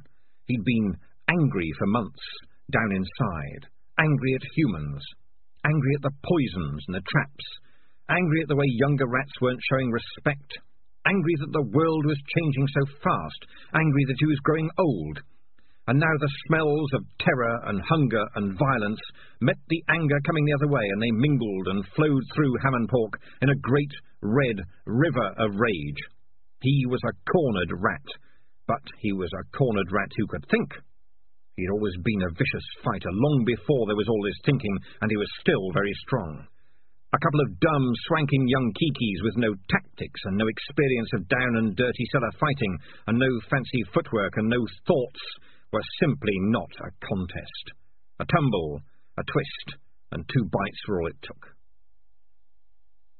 The caged rats across the room leapt back from the netting. Even they could feel the fury. Now there's a clever boy, said Ratcatcher One admiringly when it was all over. I've got a use for you, my lad. Not the pit, said Ratcatcher Two. Yes, the pit. Tonight? Yeah, because Fancy Arthur is putting in his Jacko on a bet to kill a hundred rats in less than a quarter of an hour. I bet he can, too. Jacko's a good terrier. He did ninety a few months ago, and Fancy Arthur has been training him up. Should be a good show. You'd bet on Jacko doing it, would you? said Ratcatcher One. Sure, everyone will be. Even with our little friend here among the rats, said Ratcatcher One full of lovely spite and bite and boiling bile? Well, uh... Yeah, right. Ratcatcher One grinned. I don't like leaving those kids here, though. It's them kids, not those kids. Get it right. How many times have I told you? Rule 27 of the Guild sounds stupid. People get suspicious of rat catchers that talk too good. Sorry. Talk thick, be clever. That's the way to do it, said Ratcatcher One. Sorry, I forgot. You tend to do it the other way round. Sorry, them kids. It's cruel tying people up, and they're only kids after all.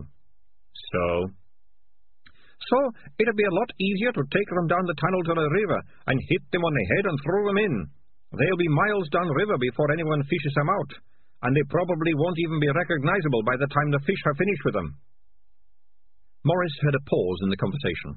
Then Ratcatcher One said, I didn't know you were such a kind-hearted soul, Bill.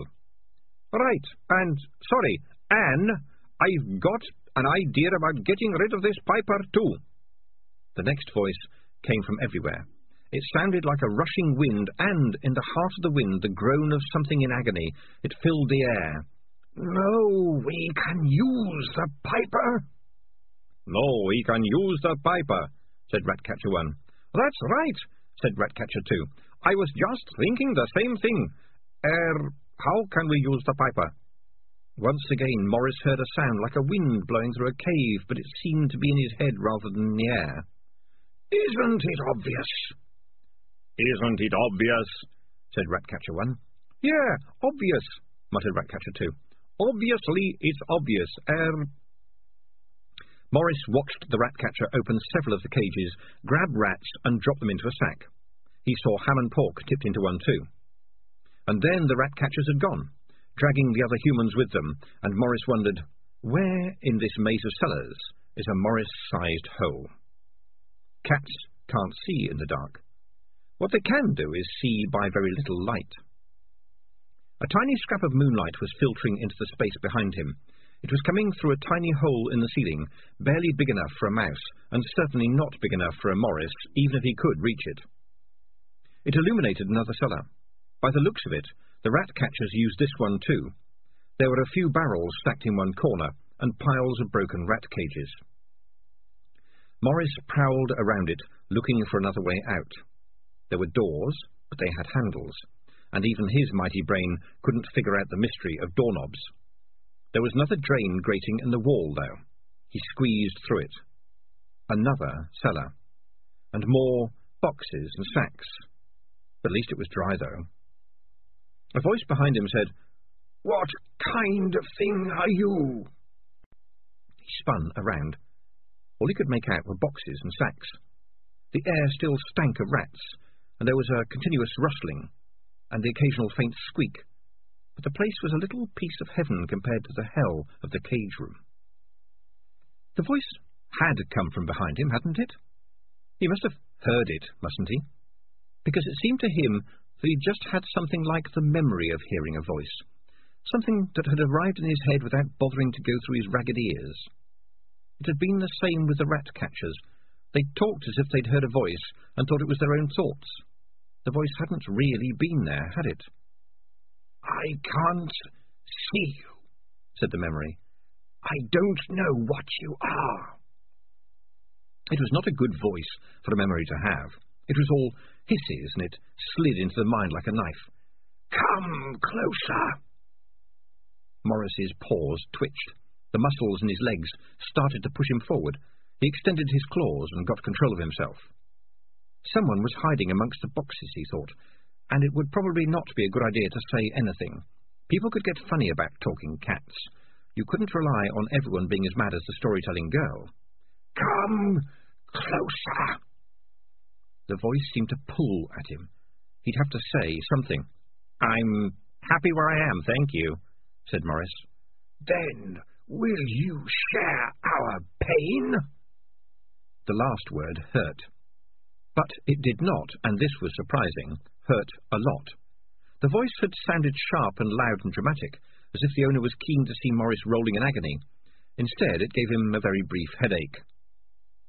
When the voice arrived again, it sounded very suspicious. What kind of creature are you? Your mind is wrong. I prefer amazing, said Maurice. Anyway, who are you asking me questions in the dark? All he could smell was rat.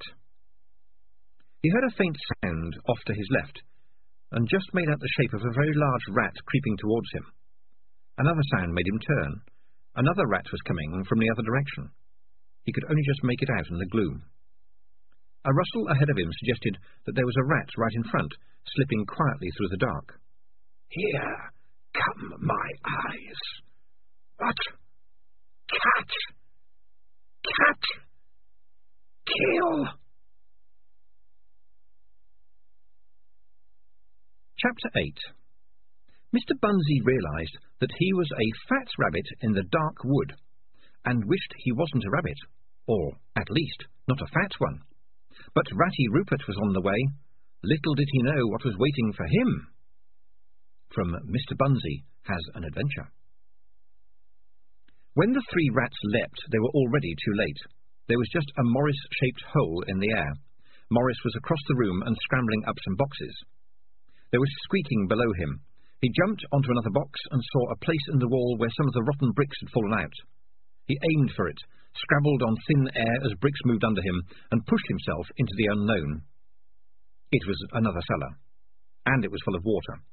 In fact, what it was full of was not exactly water. It was what water eventually becomes when rat cages drain into it, and gutters up above drain into it, and it has had the chance to sit and bubble gently to itself for a year or so. To call it mud would be an insult to perfectly respectable swamps all over the world. Maurice landed in it. It went gloop. He cat-paddled furiously through the thick stuff, trying not to breathe, and dragged himself out on what felt like a pile of rubble on the other side of the room. A fallen rafter, slimy with mould, led up to more tangled, fire-blackened wood in the ceiling. He could still hear the dreadful voice in his head, but it was muffled. It was trying to give him orders. Trying to give a cat orders. It was easier to nail jelly to a wall. What did it think he was, a dog? Stinking mud oozed off him. Even his ears were full of mud. He went to lick himself clean and then stopped. It was a perfectly normal cat reaction, licking yourself clean, but licking this off would probably kill him. There was a movement in the dark. He could just make out some big rat shapes pouring through the hole. There were a couple of splashes. Some of the shapes were creeping along the walls. Ah, said the voice. You see them? Watch them come for you. Cat! Maurice stopped himself from running. This was no time to listen to his inner cat. His inner cat had got him out of the room, but his inner cat was stupid. It wanted him to attack things small enough and run away from everything else but no cat could tackle a bunch of rats this size. He froze and tried to keep an eye on the advancing rats. They were heading directly for him. Hold on. Hold on. The voice had said, You can see them. How did it know? Maurice tried to think loudly. Can you read my mind? Nothing happened. Maurice had a burst of inspiration. He shut his eyes. Oh, Open them! came the immediate command, and his eyelids trembled. Shan't, thought Maurice. You can't hear my thoughts, he thought. You only use my eyes and ears. You're just guessing what I'm thinking. There was no reply. Maurice didn't wait. He leapt. The sloping beam was where he remembered it. He clawed his way up and hung on. At least all they could do was follow him up. With any luck, he could use his claws. The rats got closer. Now there was sniffing for him down below, and he imagined quivering noses in the darkness. One started to climb the beam, still sniffing. It must have been within inches of Maurice's tail when it turned around and went back down again. He heard them reach the top of the rubble. There was more bewildered sniffing, and then, in the dark, the sound of the rats paddling through the mud. Maurice wrinkled his mud-caked forehead in amazement. Rats who couldn't smell a cat. And then he realized. He didn't smell of cat, he stank of mud. He felt like mud, in a room full of stinking mud. He sat, still as stone, until through muddy-caked ears he heard claws head back to the hole in the wall. Then, without opening his eyes, and with his heart beating hard, he crept carefully back down to the rubble and found that it had piled up against a rotten wooden door. What must have been a piece of plank, soggy as a sponge, fell out as he touched it. A feeling of openness suggested that there was another cellar beyond. It stank of rot and burned wood. Would the voice know where he was if he opened his eyes now? Didn't one cellar look like another? Perhaps this room was full of rats too. His eyes sprang open. There were no rats, but there was another rusted drain cover, which opened into a tunnel just big enough for him to walk through. He could see a faint light. So this is the rat world, he thought, as he tried to scrape the mud off himself. Dark and muddy and stinky and full of weird voices. I'm a cat. Sunlight and fresh air, that's my style.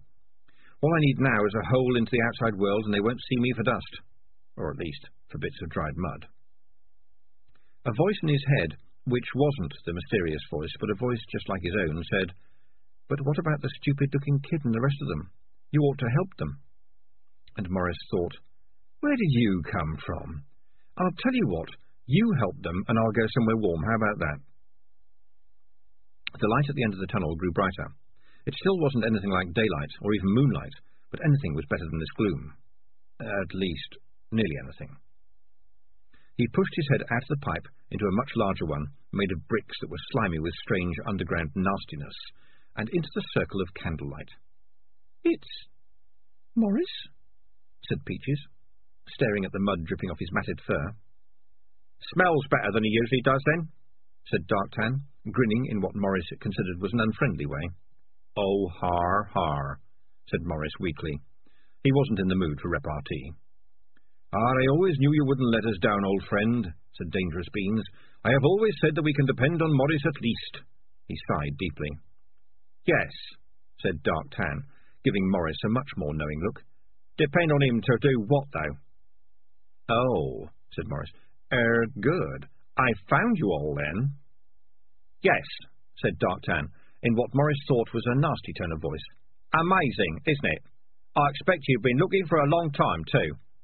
I saw you rush off to look for us. Can you help us? said Dangerous Beans. We need a plan. All right, said Maurice. I suggest we go upwards at every opportunity to rescue Hamnpork, said Darktan. We don't leave our people behind. We don't, said Maurice. We don't, said Darktan. And then there's the kid, said Peaches. Sardines says he's tied up with the female kid in one of the cellars. Oh, well, you know, humans, said Maurice, wrinkling his face. Humans and humans, you know. It's a human kind of thing. I don't think we should meddle. Could be misunderstood. I know about humans. They'll sort it out. I don't care a ferret's shroot for humans, snapped Darktan. But those rat catchers took Hamnpork off in a cage. You saw that room, cat. You saw the rats crammed in cages. It's the rat catchers who are stealing the food. Sardines says there's sacks and sacks of food. And there's something else. A voice, said Maurice, before he could stop himself. Dark Tan looked up wild-eyed. You heard it, he said. I thought it was just us. The rat catchers can hear it too, said Maurice. Only they think it's their own thoughts. It frightened the others, mumbled Dangerous Beans. They just stopped thinking. He looked absolutely dejected. Open beside him, grubby with dirt and paw marks, was Mr. Bunnsy Has an Adventure. Even Toxie ran off, he went on, and he knows how to write. How can that happen? It seemed to affect some of us more than others, said Darktan, in a more matter-of-fact voice. I've sent some of the more sensible ones to try and round up the rest, but it's going to be a long job. They were just running blindly. We've got to get Ammon Hamnpork, he's the leader. We're rats after all. A clan. Rats will follow the leader. But he's a bit old, and you're the tough one, and he's not exactly the brains of the outfit, Maurice began. They took him away, said Darktan. They're rat catchers. He's one of us. Are you going to help or not? Maurice thought he heard a scrabbling noise at the other end of his pipe. He couldn't turn around to check, and he suddenly felt very exposed. Uh, yeah, uh, help you, yeah, yeah, he said hurriedly. Ahem. Do you really mean that, Maurice? said Peaches. Uh, yeah, yeah, right, said Maurice. He crawled out of the pipe and looked back along it. There was no sign of any rats. Sardines is following the rat catchers, said Darktan, so we'll find out where they're taking him. I've got a bad feeling that I already know, said Maurice. How? snapped Peaches. I'm a cat, right, said Maurice. Cats hang around places. We see things. A lot of places don't mind cats wandering, right? Because we keep down the vermin. Uh, we keep the. Uh... All right, all right.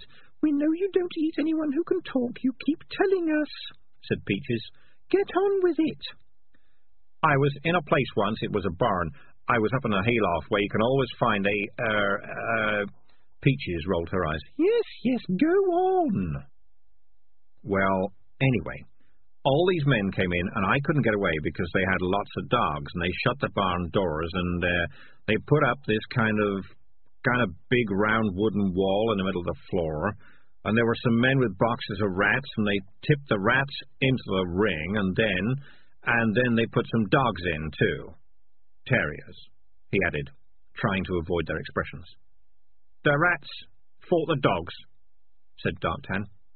Well, I suppose they could have done, said Maurice.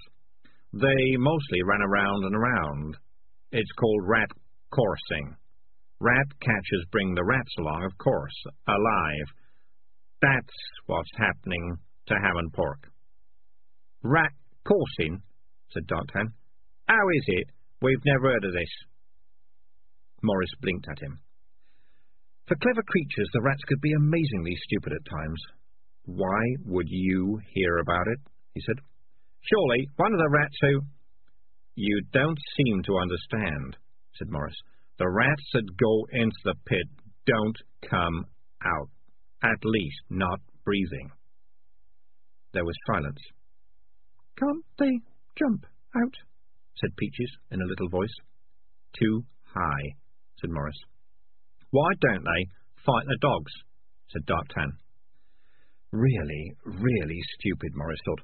Because they're rats, Dark Tan, said Maurice. Lots of rats, all stinking of one another's fear and panic. You know how it happens. I bit a dog on a nose once, said Darktan. Right, right, said Maurice soothingly. One rat can think and be brave, right? But a bunch of rats is a mob.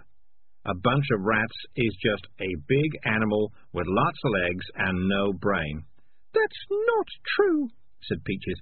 Together we are strong. Exactly how high? said Dark Tan, who was staring at the candlelight as if seeing pictures in it. What? said Peaches and Maurice together. The wall. How high exactly? Huh? I don't know. High. Humans were leaning their elbows on it. Does it matter? It's far too high for a rat to jump on all that. Everything we've done, we've done because we've stuck together, Peaches began. We'll rescue Hamnpork together then, said Darktan. We'll... He spun around at the sound of a rat coming along the pipe, and then wrinkled his nose. It's sardines, he said. And, let's see, smells female, young, nervous, nourishing? The youngest member of the trap disposal squad was trailing after sardines. She was wet and dejected. You look like a drowned rat, miss, said Darktan. Fell in the broken drain, sir, said Nourishing. Good to see you, anyway. What's happening, Sardines? The dancing rat did a few nervous steps. I've been climbing up more drain pipes and along more washing lines than is good for me, he said. And don't ask me about cats, boss. I'd like to see every last one of them dead, saving your honour's presence, of course, Sardines added, eyeing Maurice nervously. And, said Peaches, kind of stables, right on the edge of town, said Sardines. Smells bad. Lots of dogs around. Men, too. Rat pit, said Maurice. I told you they've been breeding rats for the rat pit. Right, said Darktan. We're gonna get Hamnpork out of there. Sardines, you will show me the way. We'll try to pick up anyone on the way who looks halfway sensible. The rest of you should try and find a kid. Why are you giving orders? said Peaches. Because someone has to, said Darktan. Hamnpork might be a bit scabby and set in his ways, but he's the leader, and everyone smells that, and we need him. Any questions? Right. Can I come, sir? said Nourishing. She's helping me carry my string, boss, Sardines explained. Both he and the younger rat were carrying bundles of it. Do you need all of that? said Darktan. You should never say no to a piece of string, boss, said Sardines earnestly. It's amazing some of the stuff I've been finding. All right, so long as she's useful for something, said Darktan. She'd better be able to keep up. Let's go. And then there was just Dangerous Beans, Peaches, and Maurice. Dangerous Beans sighed. One rat can be brave, but a bunch of rats is just a mob, he said. Are you right, Maurice? No, I was... Look, there was something back there, said Maurice. It's in a cellar. I don't know what it was. It's the voice that gets into people's heads. Not everyone, said Peaches. It didn't frighten you, did it? Or us? Or Darktan? It made Hamnpork very angry. Why? Maurice blinked. He could hear the voice in his head again. It was very faint, and it certainly wasn't his own thoughts, and it said, I will find a way in, cat. Did you hear that? he said. I didn't hear anything, said Peaches. Perhaps you have to be close, Maurice thought. Perhaps, if you've been close, it knows where your head lives. He'd never seen a rat so miserable as Dangerous Beans. The little rat was huddled by the candle, staring unseeing at Mr. Bunnsy has an adventure. I hoped it would be better than this, said Dangerous Beans. But it turns out we're just rats. As soon as there's trouble, we're just rats. It was very unusual for Maurice to feel sympathetic to anyone who wasn't Maurice. In a cat, that is a major character flaw. I must be ill, he thought. If it's any help, I'm just a cat, he said. Oh, but you are not. You are kind, and deep down I sense that you have a generous nature, said Dangerous Beans. Maurice tried not to look at Peaches. Oh, boy, he thought. At least you ask people before you eat them, said Peaches. You'd better tell them, said Maurice's thoughts. Go on, tell them. You'd feel better. Maurice tried to tell his thoughts to shut up. What a time to get a conscience. What good was a cat with a conscience? A cat with a conscience was a... a hamster or something. Uh, I've been meaning to talk to you about that, he muttered. Go on, tell them, said his shiny new conscience. Get it out in the open. Yes, said Peaches. Maurice squirmed. Well, you know, I do always check my food these days. Yes, and it does you great credit, said Dangerous Beans. Now Maurice felt even worse. Well, you know how we've always wondered how come I got changed even though I never ate any of that magical stuff on the dump? Yes, said Peaches. That has always puzzled me. Maurice shifted uneasily. Well, you know, uh, did you ever know a rat quite big, one ear missing, bit of white fur on one side, couldn't run too fast because of a bad leg? That sounds like additives, said Peaches. Oh, yes, said Dangerous Beans. He disappeared before we met you, Maurice. A good rat. He had a bit of a speech difficulty. Speech difficulty, said Maurice gloomily. He stammered, said Peaches, giving Maurice a long, cool stare. Couldn't get his words out but easily. Not very easily, said Maurice, his voice now quite hollow. But I'm sure you never met him, Maurice, said Dangerous Beans. I miss him. He was a wonderful rat once you got him talking. Um, did you meet him, Maurice? said Peaches, her stare nailing him to the wall. Maurice's face moved. It tried various expressions, one after another. Then he said, All right, I ate him, okay, all of him. Except for the tail and the green wobbly bit and that nasty purple lump. No one knows what it is. I was just a cat. I hadn't learned to think yet. I didn't know. I was hungry. Cats eat rats, that's how it goes. It wasn't my fault. And he'd been eating the magical stuff, and I ate him, so then I got changed too. Know how that feels, seeing the green wobbly bit like that? It doesn't feel good. Sometimes on dark nights I think I can hear him talking down there. All right, satisfied? I didn't know he was anyone. I didn't know I was anyone. I ate him. He'd been eating the stuff on a dump, and I ate him, so that's how I got changed. I admit it. I ate him. It wasn't my fault. And then there was silence. After a while, Peaches said, Yes, but that was a long time ago, wasn't it? What? You mean, have I eaten anyone lately? No. Are you sorry for what you did? said Dangerous Beans. Sorry? What do you think? Sometimes I have nightmares where I burp and he... Then that's probably all right, said the little rat. All right? said Maurice. How can it be all right? And you know the worst part? I'm a cat. Cat don't go round feeling sorry or guilty. We never regret anything. Do you know what it feels like saying, Hello, food, can you talk? That's not how a cat is supposed to behave. We don't act how rats are supposed to behave, said Dangerous Beans, and then his face fell again. Up until now, he sighed. Everyone was frightened, said Peaches. Fear spreads. I hoped we could be more than rats, said Dangerous Beans. I thought we could be more than things that squeak and whittle, whatever Hamnpork says. And now, where is everyone? Shall I read to you from Mr. Bunnsy? said Peaches, her voice full of concern. You know that always cheers you up when you're in one of your dark times. There was a nod from Dangerous Beans. Peaches pulled the huge book towards her and began to read. One day, Mr. Bunnsy and his friend Ratty Rupert the Rat went to see Old Man Donkey, who lived by the river. Read the bit when they talk to the humans, said Dangerous Beans.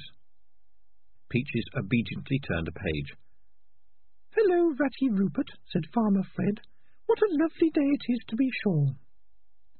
This is mad, thought Maurice, as he listened to a story about wild woods and fresh bubbling streams being read to one rat by another rat while they sat beside a drain along which ran something which certainly wasn't fresh. Anything but fresh. To be fair, though, it was bubbling a bit, or at least glooping. Everything's going down the drain, and they have this little picture in their heads about how nice things could be. Look at those little pink sad eyes, said Maurice's own thoughts in Maurice's own head. Look at those little wobbly, wrinkly noses. If you ran out on them and left them here, how could you look those little wobbly noses in the face again? I wouldn't have to, said Maurice out loud. That's the point. What? said Peaches, looking up from the book. Uh, oh, uh, nothing. Maurice paused. There was nothing for it. It went against everything a cat stood for. This is what thinking does for you, he thought. It gets you into trouble. Even when you know other people can think for themselves, you start thinking for them too. Of course, humans were useful. They could open doors and provide fish. He groaned. We'd better see what's happened to the kid, he said. It was completely black in this cellar. All there was, apart from the occasional drip of water, were voices. So, said the voice of Malicia, let's go over it again, shall we? You don't have a knife of any kind. That's right, said Keith. Or some handy matches that could burn through the rope. No? And no sharp edge near you that you could rub the rope on? No. And you can't pull your legs through your arms so that you can get your hands in front of you? No. And you don't have any secret powers? No. Are you sure? The moment I saw you, I thought, he's got some amazing power that will probably manifest itself when he's in dire trouble. I thought, no one could really be as useless as that unless it was a disguise. No, I'm sure. Look, I'm just a normal person. Yes, all right, I was abandoned as a baby. I don't know why. It was something that happened. They say it happens quite a lot. It doesn't make you special. And I don't have any secret markings, as if I was some kind of sheep, and I don't think I'm a hero in disguise, and I don't have some kind of amazing talent that I'm aware of. Okay, I'm good at playing quite a few musical instruments. I practice a lot. But I'm the kind of person heroes aren't. I get by and I get along. I do my best. Understand? Oh, you should have found someone else. In fact, you can't be any help at all. No. There was silence for a while, and then Malicia said, You know, in many ways, I don't think this adventure has been properly organized. Oh, really? said Keith. This is not how people should be tied up. Malicia, do you understand? This isn't a story, said Keith as patiently as he could. That's what I keep trying to tell you. Real life isn't a story. There isn't some kind of of magic that keeps you safe and makes crooks look the other way and not hit you too hard and tie you up next to a handy knife and not kill you. Do you understand? There was some more dark silence. My granny and my great aunt were very famous storytellers, you know, said Malicia eventually, in a strained little voice. Agonista und Eviscera Grim. You said, said Keith. My mother would have been a good storyteller too, but my father doesn't like stories. That's why I've changed my name to Grim for professional purposes. Really? I used to get beaten when I was small for telling stories, Malicia went on. Beaten, said Keith. All right then, smacked, said Malicia. On the leg. But it did hurt. My father says you can't run a city on stories. He says you have to be practical. Oh, Aren't you interested in anything except music? He broke your pipe. I expect I'll buy another one. The calm voice infuriated Malicia. Well, I'll tell you something, she said. If you don't turn your life into a story, you just become part of someone else's story. And what if your story doesn't work? You keep changing it until you find one that does. Sounds silly. Ha! Look at you. You're just a face in someone else's background. You let a cat make all the decisions. That's because Maurice is... A voice said, Would you like us to go away until you stop being human? Maurice, said Keith, is that you? Where are you? I'm in a drain, and believe me, this has not been a good night. Do you know how many old cellars there are here? Good job you two kept arguing, said the voice of Maurice in the blackness. Peaches is bringing a candle in. It's too dark even for me to see you. Who's Peaches? whispered Malicia. She's another changeling, a thinking rat, said Keith. Like pilchards? Like sardines, yes. Aha, hissed Malicia. See? A story. I am smug, I gloat. The plucky rats rescue our heroes, probably by gnawing through the ropes. Oh, we're back in your story, are we? said Keith. And what am I in your story? I know it's not going to be romantic interest, said Malicia. And you're not funny enough for comic relief. I don't know. Probably just someone. You know, like man in street. Something like that. There were faint sounds in the darkness. What are they doing now? she whispered. Trying to light their candle, I think. Rats play with fire? Malicia hissed. They don't play. Dangerous Beans thinks lights and shadows are very important. They always have a candle alight somewhere in their tunnels, wherever they... Dangerous Beans? What sort of name is that? Shh. They just learned words of old food tins and signs and things. They didn't know what the words meant. They just chose them because they liked the sounds. Yes, but dangerous beans? It sounds as if he makes you. It's his name. Don't make fun of it. Sorry, I'm sure, said Malicia. The match flared. The candle flame grew. Malicia looked down at two rats. One was, well, just a small rat, although sleeker than most of the ones she'd seen. In fact, most of the ones she'd seen had been dead, but even the living ones had always been twitchy, nervy, sniffing the air all the time. This one just watched. It stared right at her. The other rat was white and even smaller. It was also watching her, although peering was a better word. It had pink eyes.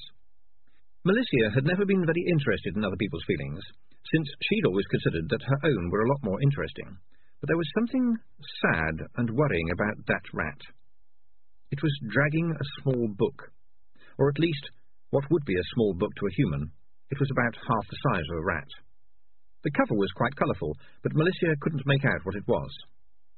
Peaches and Dangerous Beans, said Keith. This is Malicia. Her father is the mayor here.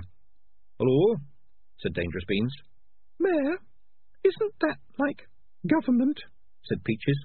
Maurice says governments are very dangerous criminals and steal money from people. How did you teach them to speak? said Malicia. They taught themselves, said Keith. They're not trained animals, you know. Well, my father does not steal from anyone. Who taught them that governments are very... Uh, excuse me, excuse me, said Maurice's voice hurriedly from the drain grate. That's right, I'm down here. Can we get on with things? We'd like you to knot our ropes, please, said Keith. I've got a bit of broken knife blade, said Peaches. It's for sharpening the pencil. Would that be better? Knife? Said Malicia. Pencil? I did say they weren't ordinary rats, said Keith. Nourishing had to run to keep up with Darktan, and Darktan was running because he had to run to keep up with Sardines. When it came to moving fast across a town, Sardines was champion of the world. They picked up more rats on the way. Nourishing couldn't help noticing that these were mostly the younger ones, who'd fled because of the terror but hadn't gone far. They fell in behind Darktan readily, grateful to be doing something with a purpose. Sardines danced on ahead. He just couldn't help it. And he liked drain pipes, roofs, and gutters. You got no dogs up there, he said, and not many cats. No cat could have followed Sardines. The people of Bad Blintz had strung washing lines between the ancient houses, and he leapt onto them, clinging upside down and moving as fast as he would on a flat surface.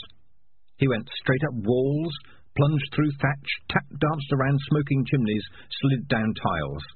Pigeons erupted from their roosts as he sped past, the other rats trailing behind him. Clouds rolled across the moon. Sardines reached the edge of a roof and leapt, landing on a wall just below. He ran along the top and disappeared in the crack between two planks. Nourishing followed him into a kind of loft. Hay was piled in parts of it, but a larger part was simply open to the ground floor below and supported by several heavy beams that ran right across the building. Bright light shone up from below, and there was the buzz of human voices and, she shuddered, the barking of dogs. This is a big stables, boss, said Sardines. The pit's under the beam over there. Come on. They crept out on the ancient woodwork and peered over the edge. Far below was a wooden circle, like half a giant barrel. Nourishing realized that they were right over the pit.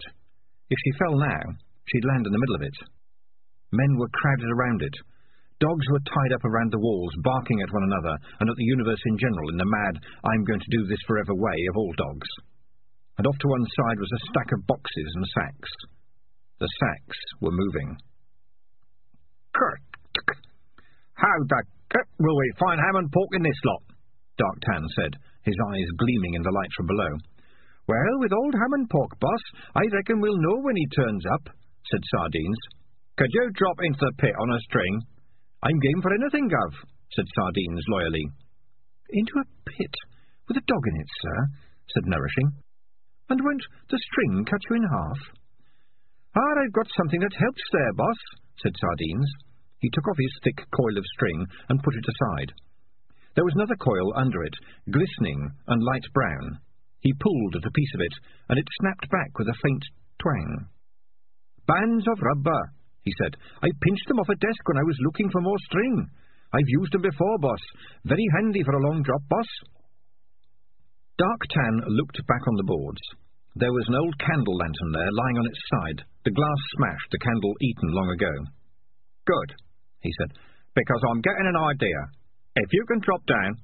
There was a roar from below. The rats looked over the beam again. The circle of heads had thickened around the lip of the pit. A man was talking in a loud voice. Occasionally there was a cheer. The black top hats of the rat catchers moved through the crowd. Seen from above, they were sinister black blobs among the grey and brown caps. One of the rat catchers emptied a sack into the pit, and the watchers saw the dark shapes of rats scurrying in a panic as they tried to find in that circle a corner to hide in. The crowd opened slightly, and a man walked to the edge of the pit, holding a terrier. There was some more shouting, a ripple of laughter, and the dog was dropped in with the rats. The changelings stared down at the circle of death and the cheering humans. After a minute or two, Nourishing tore her gaze away. When she looked around, she caught the expression on Darktan's face. Maybe it wasn't just the lamplight made his eyes look full of fire. She saw him look along the stable to the big doors at the far end. They had been barred shut. Then his head turned to the hay and straw piled up in the loft, and in the cribs and the mangers below. Darktan pulled a length of wood out of one of his belts. Nourishing smelled the sulphur in the red blob on the end. It was a match.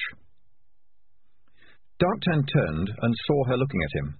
He nodded towards the piles of hay in the loft. My plan might not work, he said. If it doesn't, you'll be in charge of the other plan. Me? said Nourishing. You. Because I won't be around, said Darktan.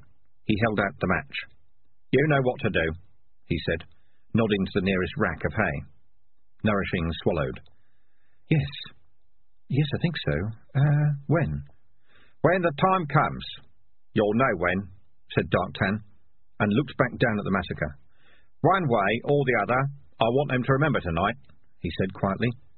They'll remember what they did, and they'll remember what we did, for as long as they live.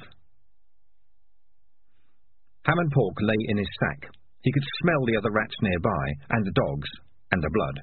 Especially the blood. He could hear his thoughts, but they were like a little of insects against the thunderstorm of his senses. Bits of memory danced in front of his eyes. Cages, Panic, the White Rat, Hamnpork. That was his own name. Odd. Never had names, just used to smell other rats. Darkness. Darkness inside behind the eyes. That bit was Hamnpork. Everything outside was everything else. Hamnpork. Me. Leader. The red-hot rage still boiled inside him, but now it had a kind of shape, like the shape a canyon gives to a river in flood, narrowing it, forcing it to flow faster, giving it direction. Now he could hear voices. Just slip him in, no one will notice. Okay, I'll shake it up a bit first to get him angry. The sack was jerked around. It didn't make Hamnpork any more angry than he was already. There wasn't any room for more anger. The sack swung as it was carried. The roar of humans grew louder. The smells grew stronger. There was a moment of silence. The sack was upturned, and Hamnpork slid out into a roar of noise and a pile of struggling rats. He snapped and clawed his way to the top as the rats scattered, and saw a growling dog being lowered into the pit. It snatched up a rat, shook it vigorously, and sent the limp body flying. The rats stampeded. Idiots! screamed Hamnpork. Work together! You could strip this flea bag to the bone! The crowd stopped shouting. The dog stopped and stared down its nose at Hamnpork. It was trying to think. The rat had spoken. Only humans spoke. And it didn't smell right. Rats usually stank of panic. This one didn't. The silence rang like a bell. Then Jacko grabbed the rat, shook him, not too hard, and tossed him down. He decided to do a sort of test. Rats shouldn't be able to talk like humans, but this rat looked like a rat, and killing rats was okay. But talked like a human, and biting humans got you a serious thrashing. It had to find out for sure. If he got a wallop, this rat was a human. Hamnpork rolled and managed to get upright, but there was a deep tooth wound in his side. The other rats were still in a boiling huddle as far away from the dog as possible, every rat trying to be the one on the bottom. Hamnpork spat blood. All right, then, he snarled, advancing on the puzzled dog. Now you'll find out how a real rat dies. Hamnpork? He looked up. String uncoiled behind Sardines as he fell through the smoky air towards the frantic circle. He was right above Hamnpork, getting bigger and bigger and slower and slower he came to a stop between the dog and the rat. For a moment, he hung there. He raised his hat politely and said, Good evening. Then he wrapped all four legs round Hamnpork. And now the rope of elastic bands, stretched to twanging point, finally sprang back. Too late, too late, Jacko snapped at the empty air. The rats were accelerated upwards, out of the pit, and stopped, bouncing in midair just out of reach. The dog was still looking up when Darktan leapt off the other side of the beam. As the crowd stared in astonishment, he plummeted down towards the terrier. Jacko's eyes narrowed. Rats disappearing into the air was one thing, but rats dropping right towards his mouth was something else. It was rat on a plate. It was rat on a stick. Darktan looked back as he fell. Up above, Nourishing was doing some frantic knotting and biting.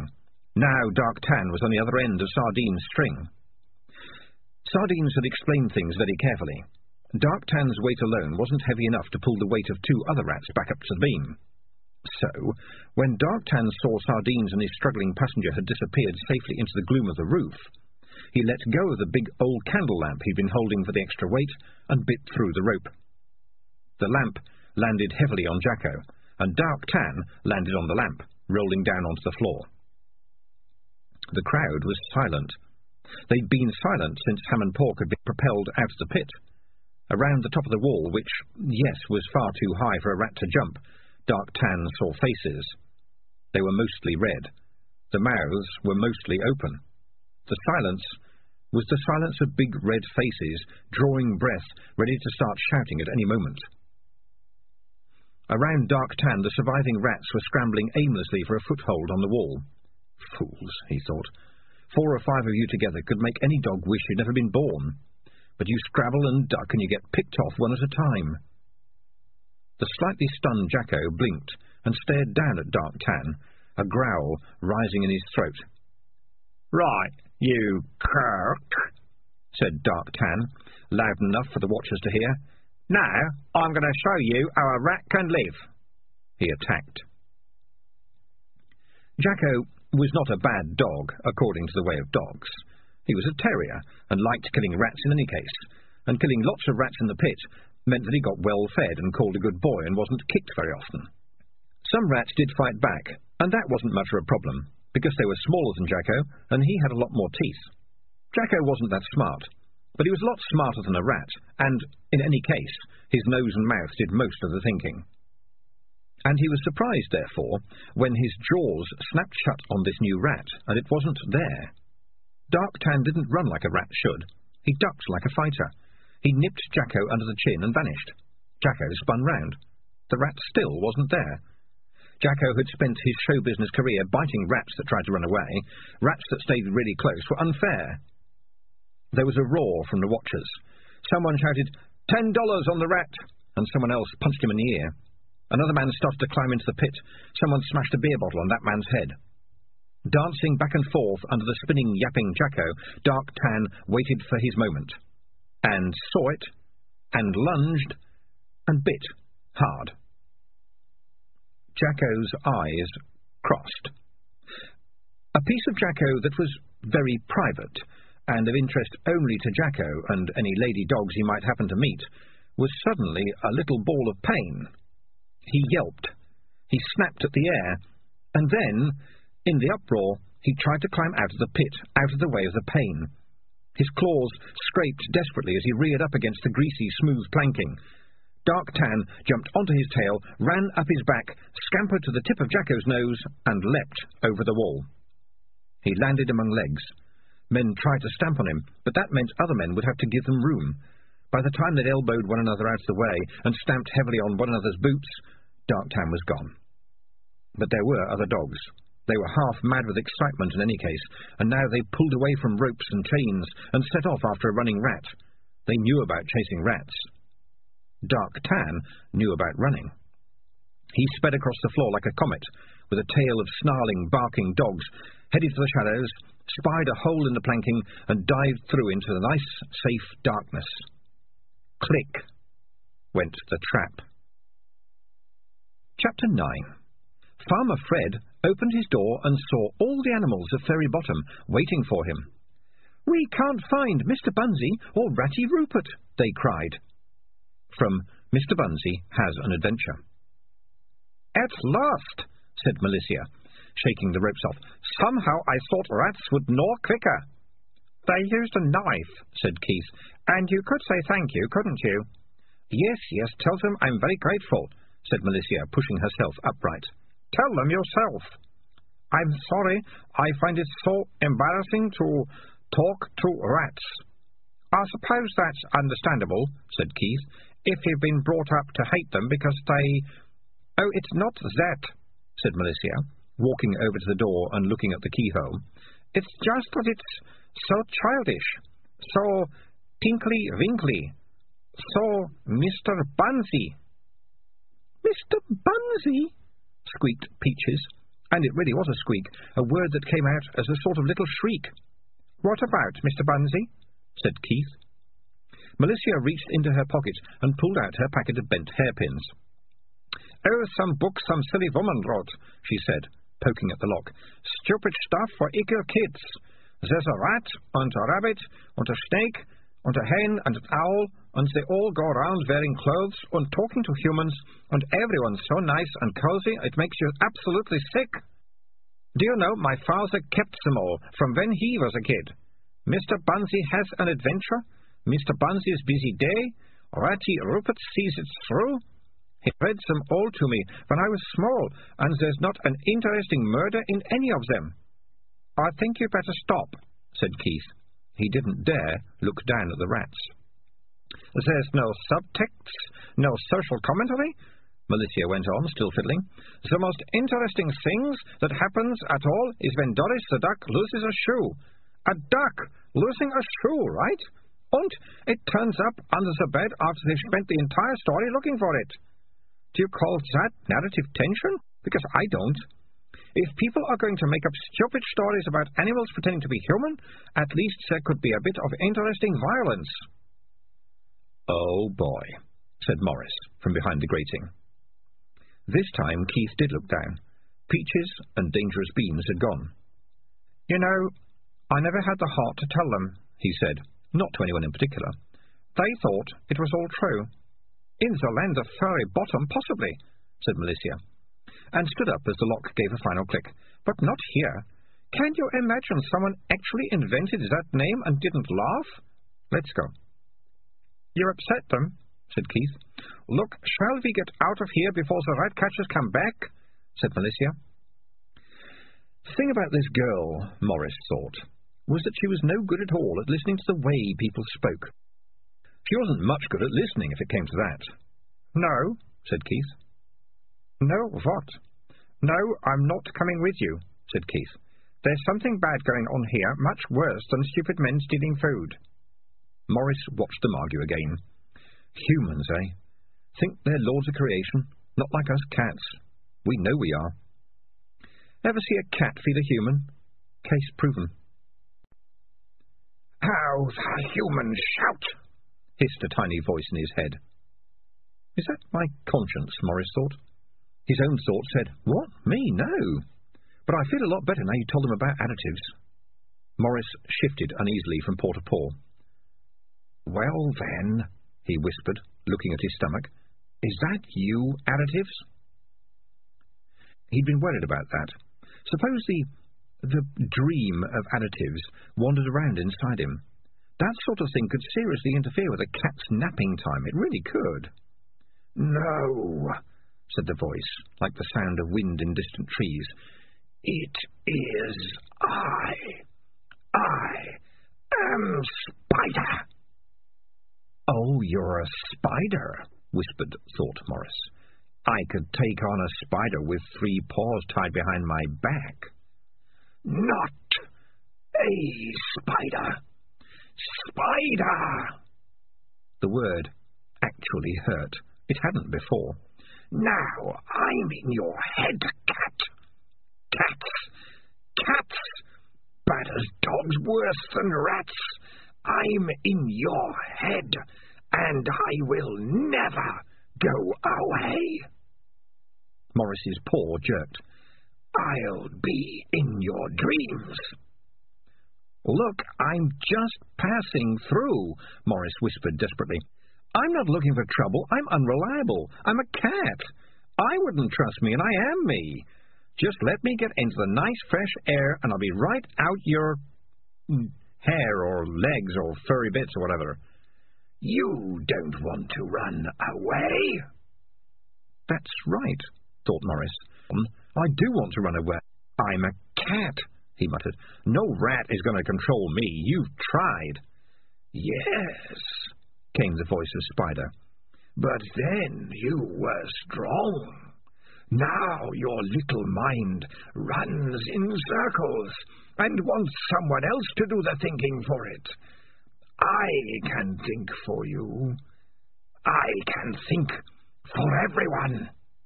I will always be with you. The voice faded away. Right, thought Maurice. Time to say farewell then, Bad Blintz. The party is over.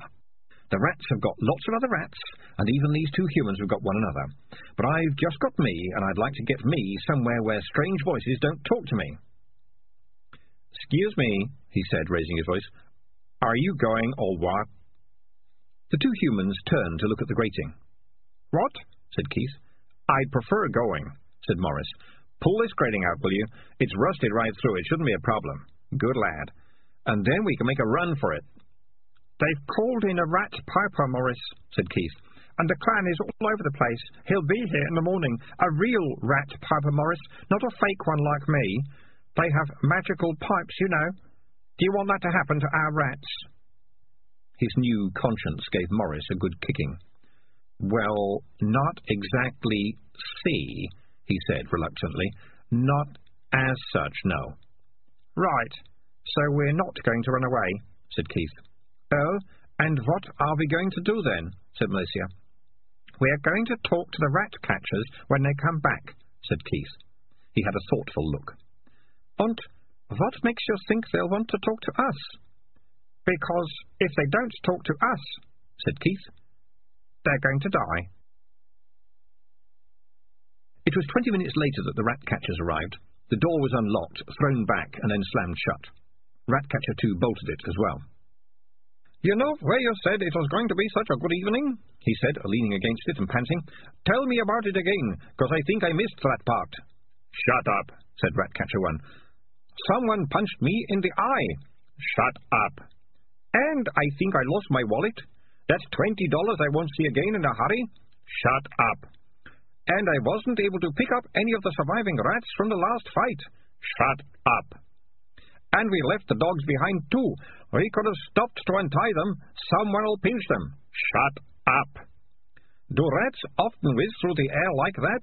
Or is that the kind of thing you only get to hear about when you are a experienced rat catcher? Did I say shut up? Yes, shut up. All right. We'll leave right now. We'll take the money and nick a boat down at the jetty, okay? We'll leave the stuff we haven't sold and just go. Just like that? Johnny No Hands and his lads are coming up river tomorrow night to pick up the next load, and we'll go, Bill. I can smell things going bad. Just like that, he owes us two hundred dollars. Yes, just like that. Time to move on. The jig is up, the bird has flowed, and the cat is out of the bag. The... Did you say that? Say what? Did you just say, I wish I was? Me? No. The rat catcher looked around the shed. There was no one else there. All right, then, he said. It's been a long night. Look, when things start to go bad, then it's time to go away. Nothing fancy. We just go, right?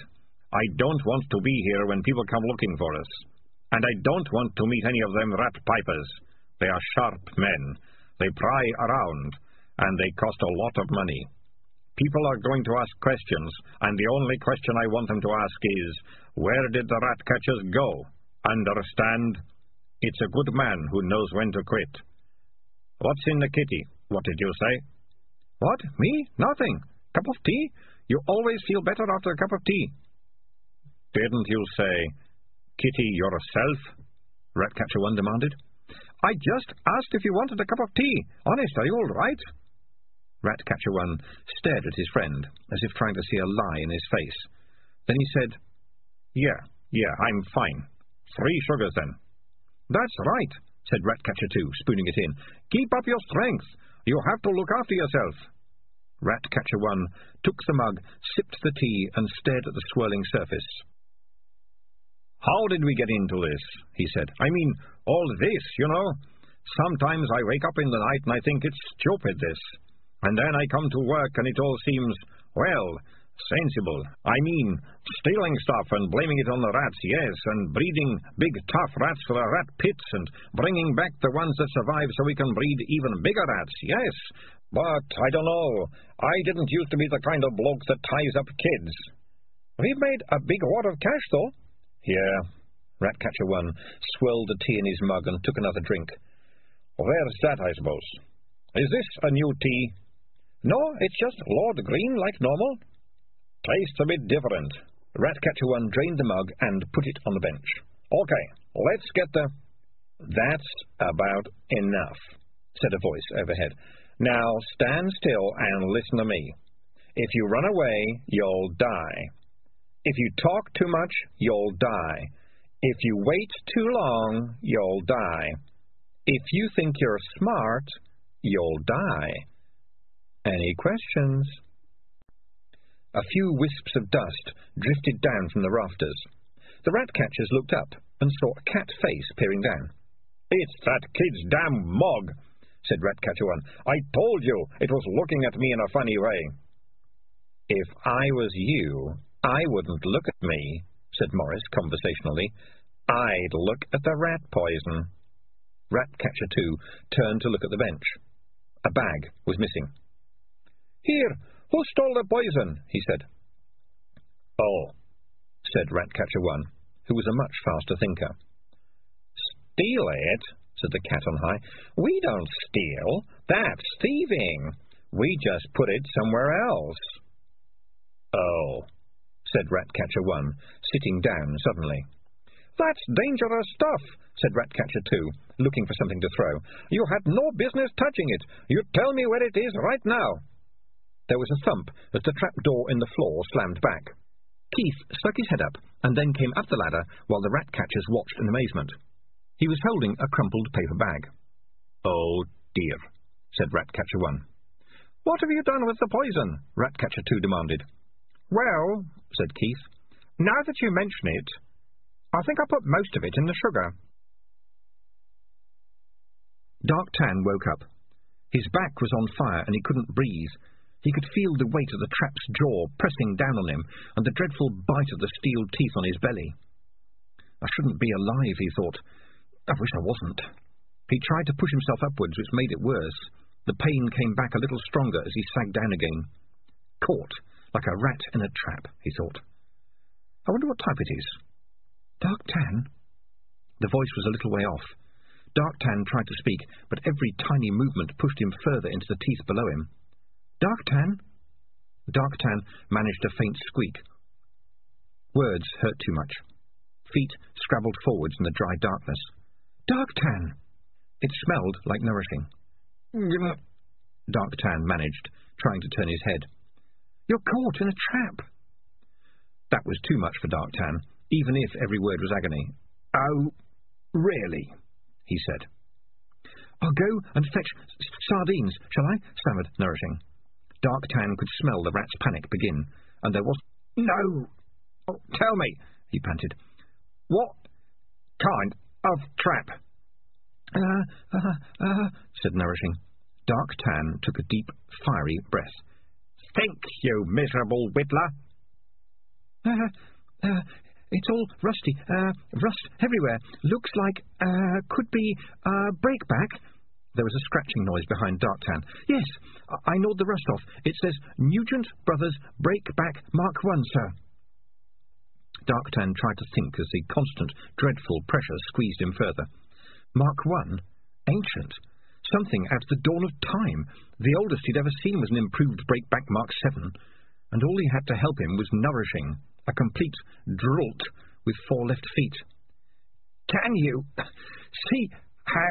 he began, but there were purple lights in front of his eyes now, a great tunnel of purple lights. He tried again as he felt himself drift off towards the lights. Can you see how the spring... It's all rusted, sir, came the panicking voice. It looks like it's a non-return action, like on the Jenkins and Jenkins Big Snapper, sir. But it hasn't got the hook on the end. Uh, what does this bit do, sir? Sir? Sir? Darktan felt the pain go away. So this is how it happens, he thought dreamily. Too late now. She'll panic and she'll run. That's what we do. When we're in trouble, we bolt for the first hole. Even me. But it doesn't matter. It is just like a dream, after all. Nothing to worry about. Quite nice, really. Perhaps there really is a big rat deep under the ground. That'd be nice. He drifted happily in the warm silence. There were bad things happening, but they were a long way off, and they didn't matter any more.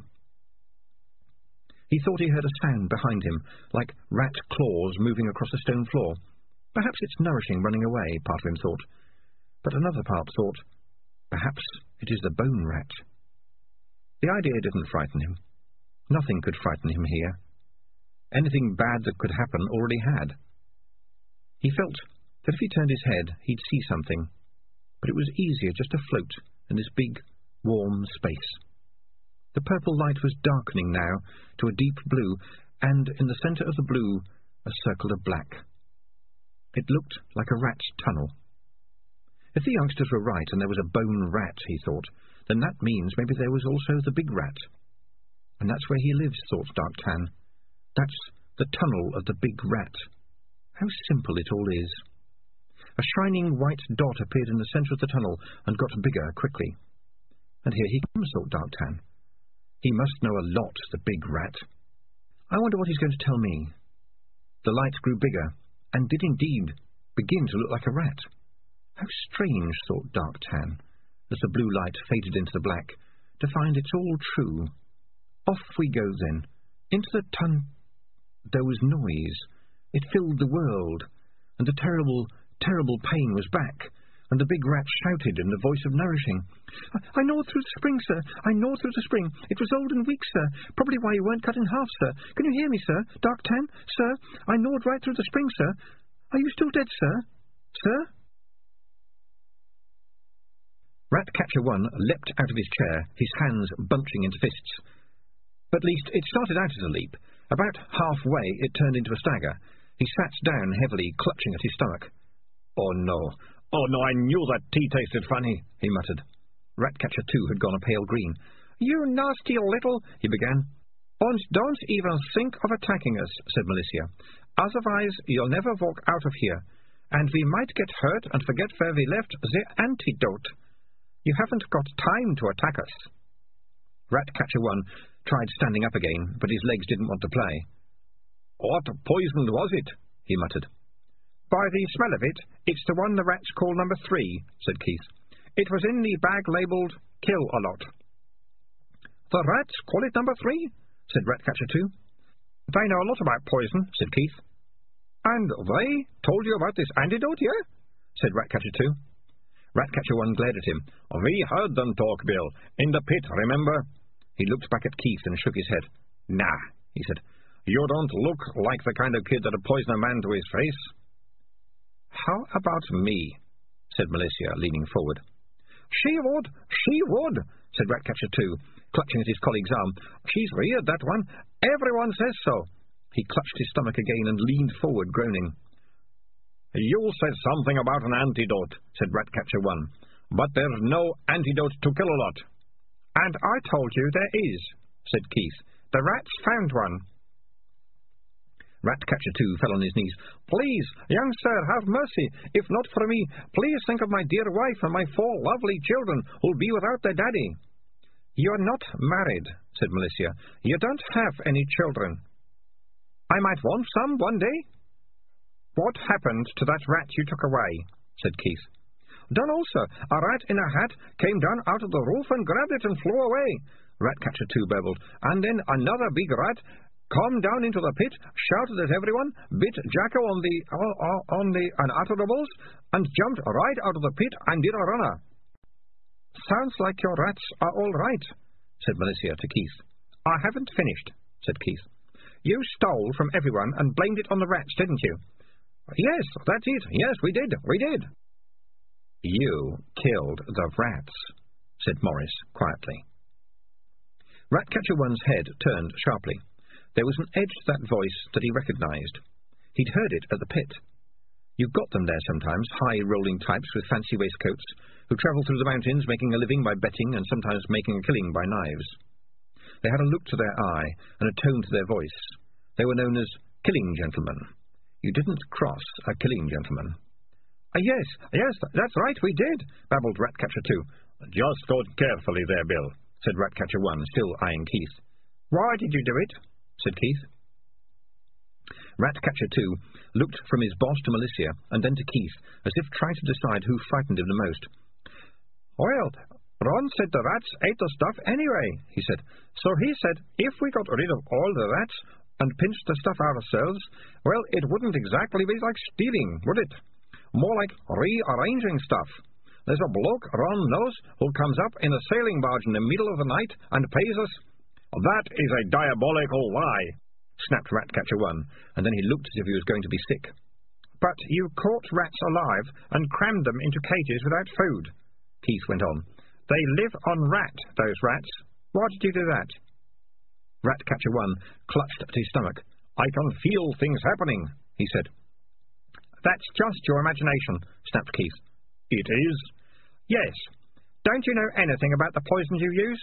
Your stomach won't start to melt for at least twenty minutes. Wow, said Malicia, seriously impressed. And after that, said Keith, if you blow your nose, your brain will... Well, let's just say you'll need a really big handkerchief. This is great, said Malicia, rummaging in her bag. I'm going to take notes. And then, if you... Well, just don't go to the lavatory, that's all. Don't ask why. Just don't. It'll all be over in an hour, except for the oozing. Malicia was scribbling fast. Will they go runny? she said. Very, said Keith. Well, this is inhuman, screeched Ratcatcher 2. No, it's very human, said Keith. It's extremely human. There isn't a beast in the world that'd do it to another living thing, but your poisons do it to rats every day. Now, tell me about the rats in the cages. Sweat was pouring down the deputy rat-catcher's face, as if he, too, were caught in a trap. See, rat-catchers have always caught rats alive for the rat pits, he moaned. It's a perk. Nothing wrong with it. Always done it. So we had to keep up a supply. So we bred them. Had to. No harm in feeding them dead rats from the rat pits. Everyone knows rats eat rats, if you leave out the green wobbly bit. And then... Oh, there's a then, said Keith calmly. Ron said if we bred rats from the rats that survived the pit, you know, the ones that dodged the dogs, well, we'd end up with bigger, better rats, see? That's scientific, that is, said Ratcatcher 1. What? What be the point of that? Said Malicia. Well, miss, we, Ron said, we thought, I thought, we thought that, well, it's not exactly cheating to put really tough rats in among the others, see, especially if the dog that's going in is a bit borderline. Where's the harm in that? Give us an edge, see, when it comes to betting. I thought, uh, he thought, you seem a bit confused about whose idea it was, said Keith. His, said the rat-catchers together. Mine, said a voice in Maurice's head. He almost fell off his perch. What does not kill us makes us strong, said the voice of Spider. The strongest breed. You mean, said Malicia, if they didn't have rat catchers here, they'd have fewer rats? She paused, head on one side. No, that's not right. Feel right. The sub told us those rats in those cages are mad, insane. I'd be too, Maurice thought, with this horrible voice in my head every hour of the day. I'm going to throw up, said Ratcatcher 1. I am, I'm going to. Don't, said Keith, watching Ratcatcher 2. You won't like it. Well, Mr. Deputy Ratcatcher? Ask them what's in the other cellar, said Maurice. He said it fast. He could feel the voice of Spider try to stop his mouth moving even as the sentence came out. What is in the other cellar, then? Said Keith. Oh, just more stuff, old cages, stuff like that, said Ratcatcher 2. What else? said Maurice. Only the... only the... Oh, that's where... The Ratcatcher's mouth opened and shut, his eyes bulged. Can't say, he said. Uh, there's nothing. Yes, that's it. There's nothing in there, just the old cages. Oh, and plague. Don't go in there, cause there's plague. That's why you shouldn't go in there, see? Cause of the plague. He's lying, said Malicia. No antidote for him. I had to do it, Ratcatcher 2 moaned. You've got to do one to join the guild. That's a guild secret, Ratcatcher 1 snapped at him. We don't give away guild secrets. He stopped and clutched his rumbling stomach. What was it you had to do? said Keith. Make a rat king, Ratcatcher 2 burst out. A rat king? Said Keith sharply. What's a rat king? I, I, I, the man stuttered. Stop it! I, I, I don't want to. Tears ran down his face. Oi, I made a rat, a rat king. And it's still alive? said Malicia. Keith turned to her in amazement. You know about these things? he said. Of course. There's lots of stories about them. Rat kings are deadly evil. They... Antidote! Antidote, please! moaned the rat catcher too. My stomach feels like there's rats running round in it. You made a rat king, said Malicia. Oh dear. Well, we left the antidote in that little cellar you locked us up in. I should hurry if I was you. Both of the men staggered to their feet. Ratcatcher one fell through the trapdoor. The other man landed on him, swearing, moaning, and, it had to be said, farting enormously. They made their way to the cellar. Dangerous Bean's candle was still alight. Beside it was a fat twist of paper. The door was slammed behind the men. There was the sound of a piece of wood being wedged under it. Oh, uh, we forgot to mention that there's only enough antidote for one person, said Keith's voice, muffled through the wood. But I'm sure you can sort it out, in a humane sort of way. Dark Tan tried to get his breath back, but he thought he'd never get it at all. Even if he breathed in for a year, there was a ring of pain all around his back and chest. It's amazing, said Nourishing. You were dead in the trap, and now you're alive. Nourishing, said Darktan, carefully. Yes, sir. I'm very grateful, said Darktan, still wheezing. But don't get silly. The spring was stretched and weak, and the teeth were rusted and blunt, that's all. But there's teeth marks all round you. No one's ever come out of a trap before, except the Mr. Squeakies, and they were made of rubber. Darktan licked his stomach. Nourishing had been right. He looked perforated. I was just lucky, he said. No rat has ever come alive out of a trap, Nourishing repeated. Did you see the big rat? The what? The big rat. Oh, that, said Darktan. He was going to add, No, I don't go in for that nonsense, but stopped. He could remember the light, and then the darkness ahead of him. It hadn't seemed bad. He'd almost felt sorry that Nourishing had got him out. And the trap. All the pain had been a long way off, and there had been no more hard decisions. He settled for saying, Is Hamnpork all right? Sort of. I mean, we can't see any wounds that won't heal. He's had worse. But, well, he was pretty old. Nearly three years. Was, said Darktan. Is pretty old, I mean, sir. Sardine sent me to find you, because we'll need you to help us get him back, but... She gave Darktan a doubtful look. It's all right. I'm sure it looks nastier than it is, said Darktan, wincing. Let's get up there, shall we? An old building full of handholds for a rat. No one noticed the two of them as they climbed up from manger to saddle harness to hay rack. Besides, no one was looking for them. Some of the other rats had taken the Jacko route to freedom, and the dogs were going mad searching for them and fighting with one another. So were the men. Darktan knew a little bit about beer, since he had gone about his business under pubs and breweries, and the rats had often wondered why humans sometimes like to switch their brains off.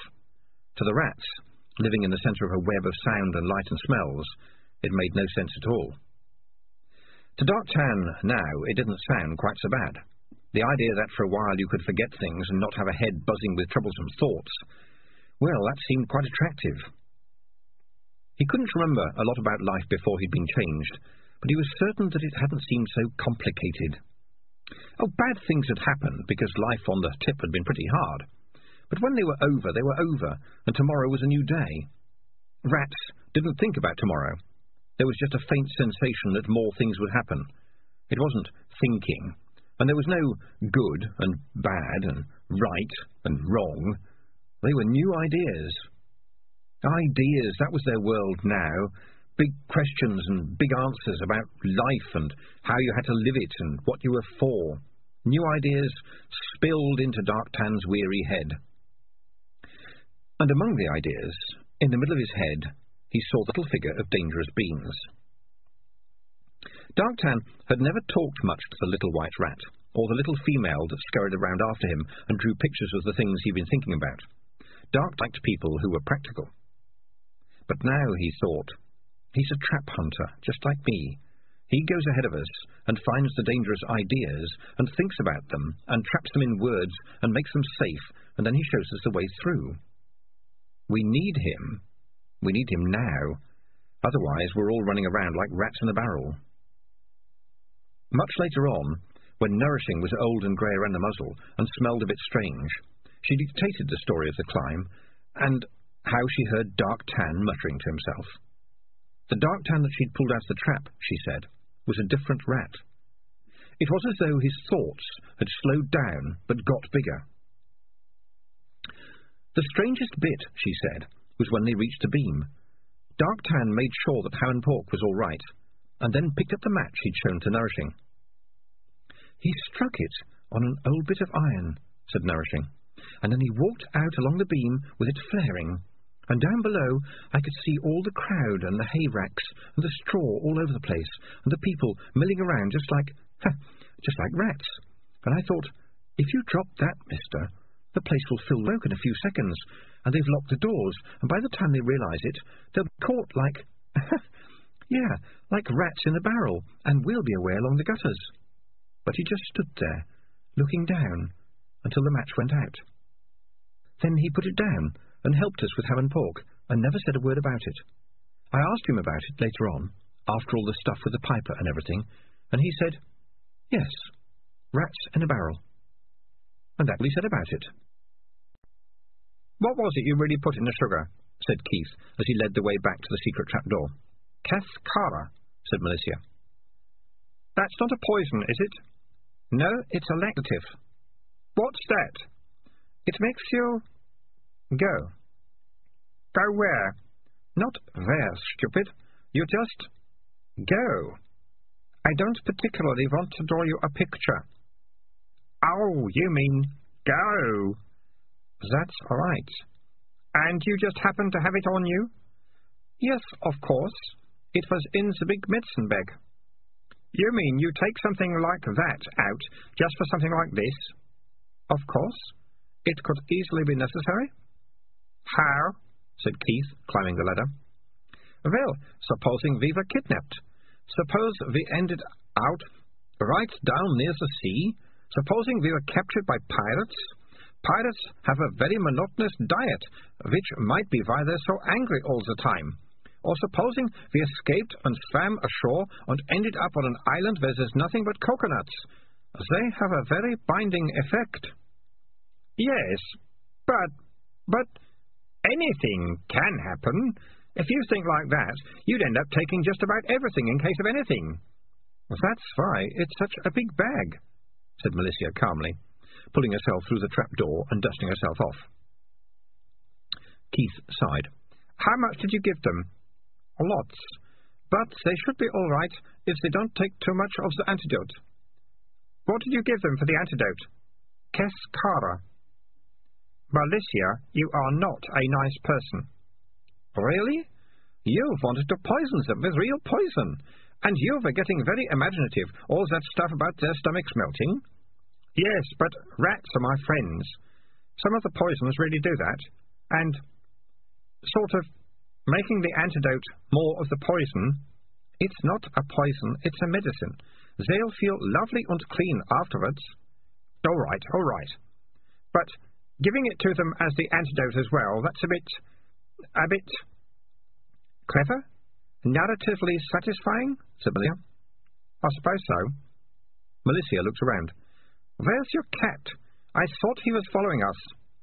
Sometimes he just wanders off, and he's not my cat. Yes, you're his boy. But a young man with a smart cat can go a long way, you know. How? There was Puss in Boots, obviously, said Malicia. And of course everyone knows about Dick Livingstone and his wonderful cat, don't they? I don't, said Keith. It's a very famous story. Sorry, I haven't been able to read for very long.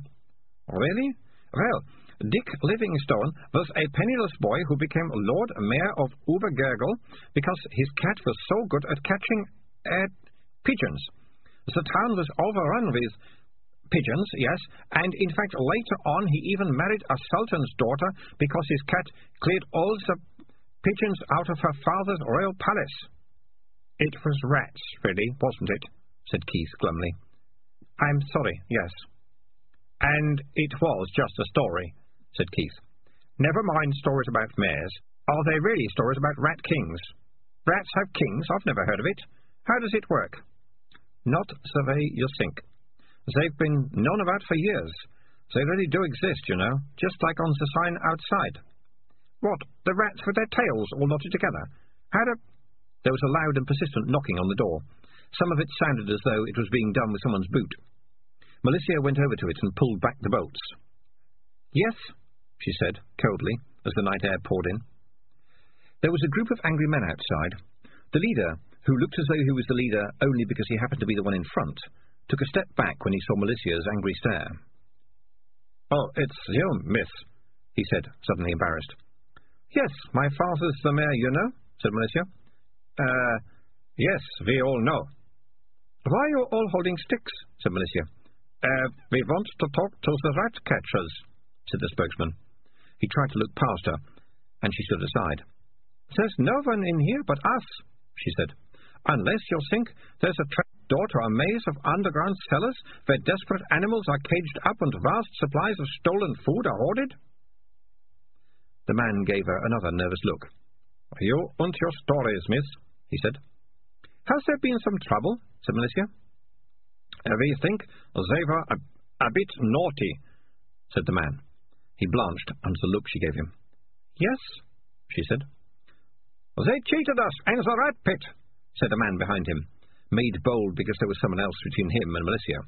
They must have trained those rats. One of them flew around on a string. And one of them bit my jackal on the on on the on the unmentionables, said someone further back. You can't tell me it wasn't trained to do that. I saw one with a hat on this morning, said Malicia. There's been a good deal too many strange rats today, said another man. My mum said she saw one dancing on the kitchen shelves, and when my granddad got up and reached for his false teeth, he said a rat bit him with them. Bit him with his own teeth.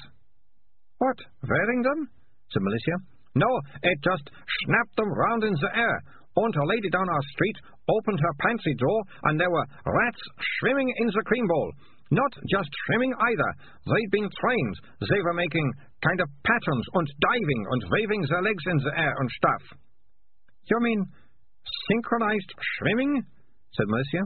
Who's telling stories now, eh? Are you sure you don't know where those men are? said the leader suspiciously. People said they headed this way. Malicia rolled her eyes. All right, yes, she said. They got here, and a talking cat helped us to feed them poison, and now they're locked in the cellar. The men looked at her. Yeah, right, said the leader, turning away. Well, if you do see them, tell them we're looking for them, okay? Malicia shut the door. It's terrible not being believed, she said. Keith bolted the door again. Tell me about Rat Kings, he said. Chapter 10 And as night fell, Mr. Bunnsy remembered. There's something terrible in the dark wood. From Mr. Bunnsy Has an Adventure. Why am I doing this? Maurice asked himself as he squirmed along a pipe. Cats are not built for this stuff. Because we are a kind person at heart, said his conscience. No, I'm not, thought Maurice. Actually, that's true, said his conscience. But we don't want to tell that to Dangerous Beans, do you? The little wobbly nose. He thinks we're a hero. Well, I'm not, thought Maurice. Then why are we scrabbling around underground to try and find him? Well, obviously, it's because he's the one with the big dream about finding the rat island. Without him, the rats won't cooperate and I won't get paid, said Maurice. We're a cat. What does a cat need money for? Because I have a retirement plan, thought Maurice. I'm four years old already. Once I've made a pile, it's me for a nice home with a big fire and a nice old lady giving me cream every day. I've got it all worked out, every detail. Why should she give us a home? We're smelly, we've got ragged ears, we've got something nasty and itchy on our leg, we look like someone kicked us in the face. Why should an old lady take us in instead of a fluffy little kitten? Ah, but black cats are lucky, thought Maurice. Really? Well, we don't want to be the first for the bad news, but we're not black. We're a sort of mucky tabby. There's such a thing as dyes, thought Maurice. A couple of packets of black dye, hold my breath for a minute, and it's hello, cream and fish for the rest of my life. Good plan, eh? And what about the luck? said the conscience. Ah, that's the clever bit. A black cat that brings in a gold coin every month or so, wouldn't you say that's a lucky cat to have? His conscience fell silent. Probably amazed at the cleverness of the plan, Maurice told himself. He had to admit that he was cleverer at plans than at underground navigation. He wasn't exactly lost, because cats never got lost. He merely didn't know where everything else was. There wasn't a lot of earth under the town, that was certain. Cellars and gratings and pipeways and ancient sewers and crypts and bits of forgotten buildings formed a sort of honeycomb. Even humans could get around down here, Maurice thought. The rat catchers certainly had. He could smell rats everywhere. He'd wondered about calling out to Dangerous Beans, but decided against it. Calling out might help him find out where the little rat was, but it'd also alert anyone else to where Maurice was. Those big rats had been, well, big and nasty looking. Now he was in a small square tunnel with lead pipes in it. There was even a hiss of escaping steam, and here and there warm water dipped into a gutter that ran along the bottom of the tunnel. Up ahead was a grating leading up to the street. Faint light came through it.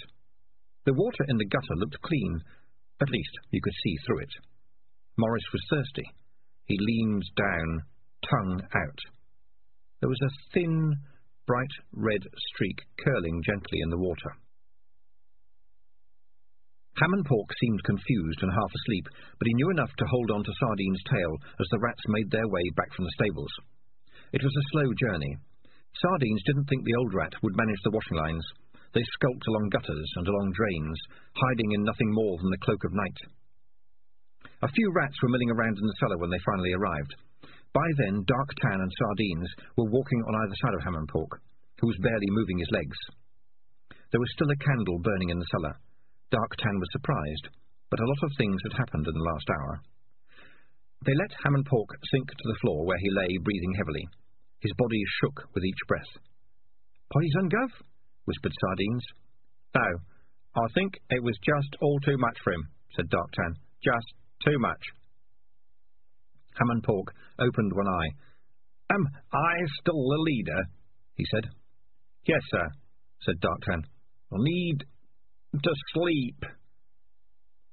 Darktan looked around the circle. Rats were creeping towards the group. He could see them whispering to one another. They kept staring at him. He tried to spot the pale shape of Dangerous Beans. Nourishing tells me You saw the tunnel of the big rat, said Hamnpork. Dark Tan glared at Nourishing, who looked embarrassed. I saw something, yes, he said. Then I shall dream my way there and never wake up, said Hamnpork. His head sagged again. This isn't the way a, an old rat should die, he mumbled. Not like this. Not in the light. Darktan nodded urgently at Sardines, who snuffed out the candle with his hat. The damp, thick, underground darkness closed in. Darktan, Hamnpork whispered, you need to know this. Sardines strained his ears to hear the old leader's last words to Darktan. Then a few seconds later he shivered. He could smell the change in the world. There was movement in the darkness. A match burst into life, and the candle flame grew again, bringing shadows back into the world. Hamnpork was lying very still. Do we have to eat him now? said someone. He's gone, said Darktan. Somehow, the idea of eating Hamnpork didn't feel right. Bury him, he said, and mark the place so we know he's there. There was a sense of relief in the group. However much anyone might have respected Hamnpork, he was still a little bit on the whiffy side, even for a rat. But a rat at the front of the crowd looked uncertain.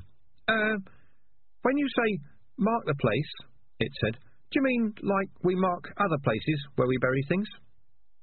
He means by widdling on it, said the rat beside him. Darktan looked at Sardines, who shrugged. Darktan had a sinking feeling inside. When you were the leader, everyone waited to see what you said, and there was still no sign of the white rat. He was on his own.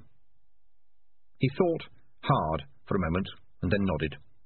Yes, he said at last. He'd like that. It's very ratty. But do this, too. Draw it in the dirt above him. He scraped a sign on the ground. It was a simple drawing of a rat, but with outlines of other rats just visible behind it, getting smaller into the distance. And a little drawing of a rat in the big rat's head, where its brain would be. He was a rat from a long line of rats, and he thought about rats, said Sardines. Good one, boss. Will he come back like Darktan did? said someone else. If he does, he'll get really mad if we've eaten him, said a voice. There was some nervous laughter. Listen, I didn't, Darktan began, but Sardines nudged him. Word in your ear, Gov, he said, raising his charred hat politely. Yeah, yeah. Darktan was getting nervous. He'd never had so many rats watching him so closely. He followed Sardines away from the group, which was too nervous to follow them. You know how I used to hang around in the theatre and that? said Sardines quietly. And you pick up stuff in the theatre. And the thing is, look, what I'm saying is, you're the leader, right? So you got to act like you know what you're doing, okay? If the leader doesn't know what he's doing, no one else does either. I only know what I'm doing when I'm dismantling traps, said Darktan. All right. Think of the future as a great big trap, said Sardines, with no cheese. That is not a lot of help. And you should let them think what they like about you and that scar you've got, said Sardines. That's my advice, Gov.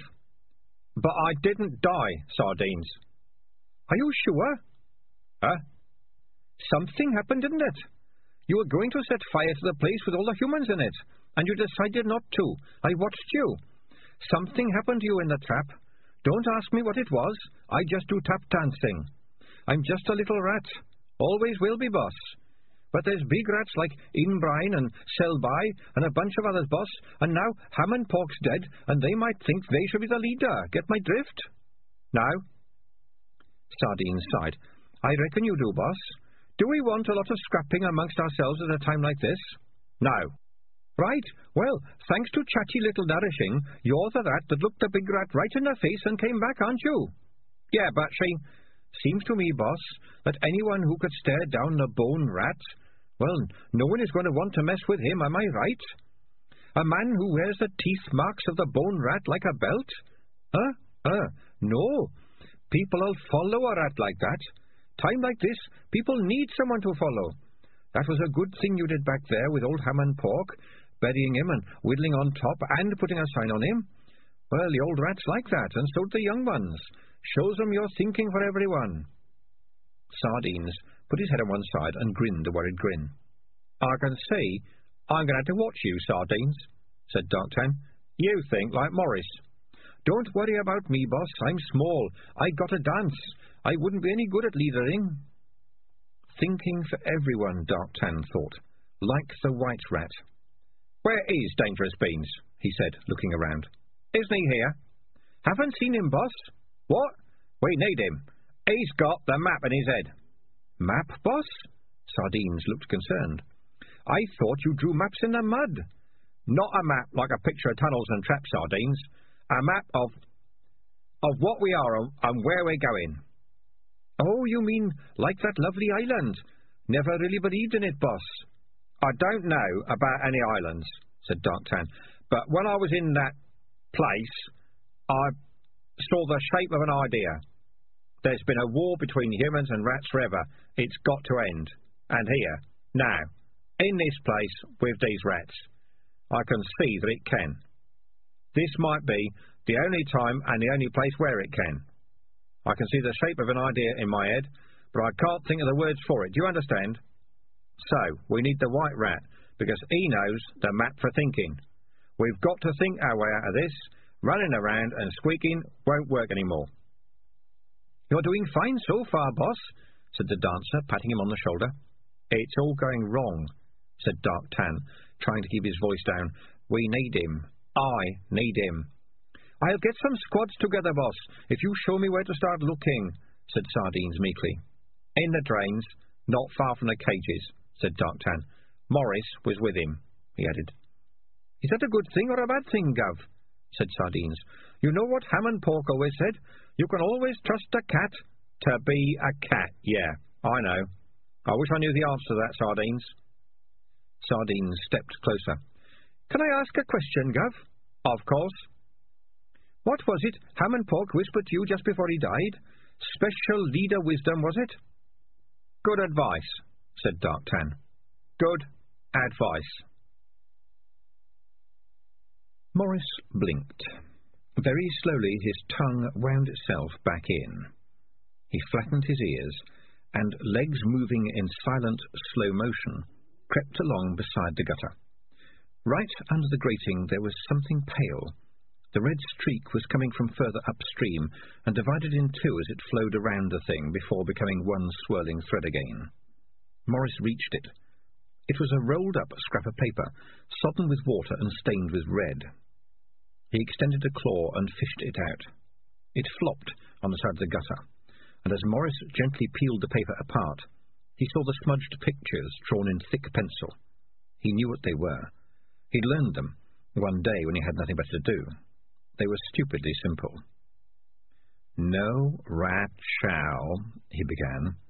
Then there was a damp mess down to the bit that read, We are not like other rats. Oh, no, he said. They wouldn't drop this, would they? Not the rules. Peaches carried it around as though it was a hugely precious thing. Will I find them first? said an alien voice in Maurice's head. Or perhaps I have... Maurice ran, skidding on the slimy stone as the tunnel turned a corner. What strange things they are, cat! Rats that think they are not rats. Shall I be like you? Shall I act like a cat?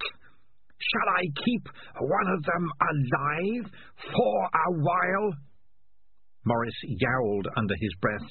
Other smaller tunnels branched off on either side, but the thin red streak led straight on, and there, under another grating, the shape lay in the water, the red leaking gently from it. Maurice sagged. He'd been expecting... what? But this... this was... this was worse in a way. Worse than anything. Soaked in water, leaking the red ink from Ratty Rupert the Rat's red waistcoat, was Mr. Bunnsy Has an Adventure. Maurice hooked it out on claw tip, and the cheap paper pages fell out, one by one, and drifted away in the water. They dropped it. Had they been running? Or had they thrown it away? What was it Dangerous Beans had said? We're nothing but rats. And he'd said it in such a sad, hollow voice. Where are they now, Cat? Can you find them? Which way now? It can see what I see, he thought. It can't read my mind, but it can see what I see and hear what I hear, and it's good at working out what I must be thinking. It sees what I see. Once again he shut his eyes. In the dark, cat, how will you fight my rats? The ones behind you. Maurice spun around, eyes wide. There were rats there, dozens of them, some of them nearly half the size of Maurice. They watched him, all with the same blank expression. Well done, well done, cat! You see the squeaky creatures, and yet you don't leap. How did a cat learn not to be a cat? The rats, as one rat, moved forward. They rustled as they moved. Maurice took a step backwards. Imagine it, cat, said the voice of Spider. Imagine a million clever rats. Rats that don't run, rats that fight, rats that share. One mind, one vision, mine. Where are you? said Maurice aloud. You will see me soon. Keep going, pussycat. You have to keep going. One word from me, one mere flicker of a thought, and the rats you see will take you down. Oh, you might kill one or two, but there are always more rats. Always more rats. Maurice turned and edged forward. The rats followed. He spun around. They stopped. He turned again, took a couple of steps and looked behind him. The rats followed as if they were on string. There was a familiar smell in the air here of old, stale water. He was somewhere near the flooded cellar, but how close? The stuff stunk worse than tinned cat food. It could be in any direction. He could probably outrun the rats over a short distance. Bloodthirsty rats right behind you can give you wings. Are you planning to run to help the white rat? said his conscience. Or are you thinking of making a dash for the daylight? Maurice had to admit that the daylight had never seemed a better idea. There was no point in lying to himself. After all, rats didn't live very long in any case, even if they had wobbly noses. They are close, cat. Shall we play a game? Cats like playing. Did you play with additives before you bit his head off? Maurice stopped dead. A rat actually bumped into his back legs. You are going to die, he said softly. They are getting closer to me, Maurice. So close now. Shall I tell you that the stupid-looking kid and the silly-sounding girl are going to die? Do you know that rats can eat a human alive? Malicia bolted the shed door. Rat kings are deeply mysterious, she said. A rat king is a group of rats with their tails tied together. How? Well, the stories say it just happens. How does it happen? I read somewhere that their tails become stuck together when they're in the nest because of all the muck and then get twisted up as uh, rats generally have six or seven babies, and they have quite short tails, and the parents keep the nests quite clean, said Keith. Have the people who tell these stories ever seen rats? I don't know. Maybe the rats just get crowded together and their tails get twisted up. There's a preserved rat king in a big jar of alcohol in the town museum. A dead one. Or very, very drunk. What do you think? Said Malicia. It's ten rats, like a sort of star, with a big knot of tail in the middle. Lots of others have been found too. One had thirty-two rats. There's folklore about them. But that rat catcher said he made one, said Keith firmly. He said he did it to get into the guild. Do you know what a masterpiece is? Of course, it's anything really good. I mean, a real masterpiece, said Keith. I grew up in a big city with guilds everywhere.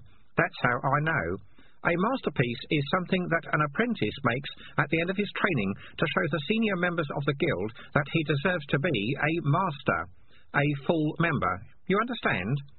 It might be a great symphony, or a beautiful piece of carving, or a batch of magnificent loaves. His masterpiece. Very interesting. So? So, what sort of masterpiece would you have to make to become a master rat catcher? To show that you could really control rats. Remember the sign over the door? Malicia frowned the frown of someone faced with an inconvenient fact.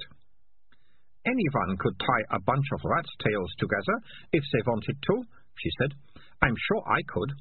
While they're still alive, You'd have to trap them first, and then you've got slippery bits of string that are moving all the time, and the other end keeps on biting you. Eight of them, twenty of them, thirty-two, thirty-two angry rats. Malicia looked around at the untidy shed, trying out the idea. It works, she said. Yes, it makes almost as good a story.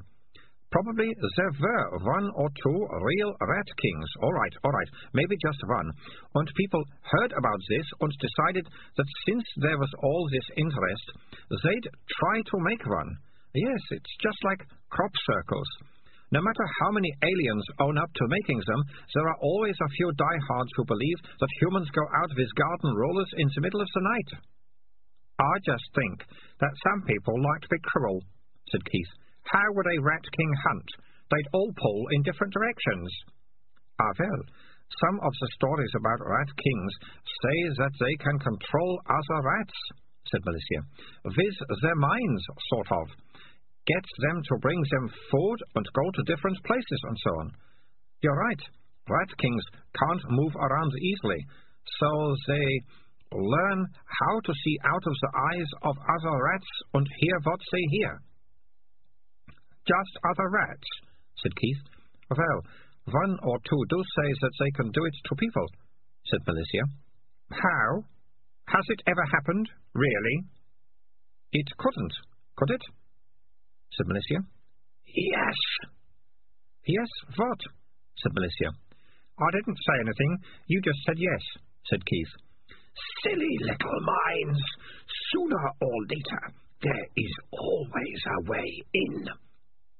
The cat is much better at resisting.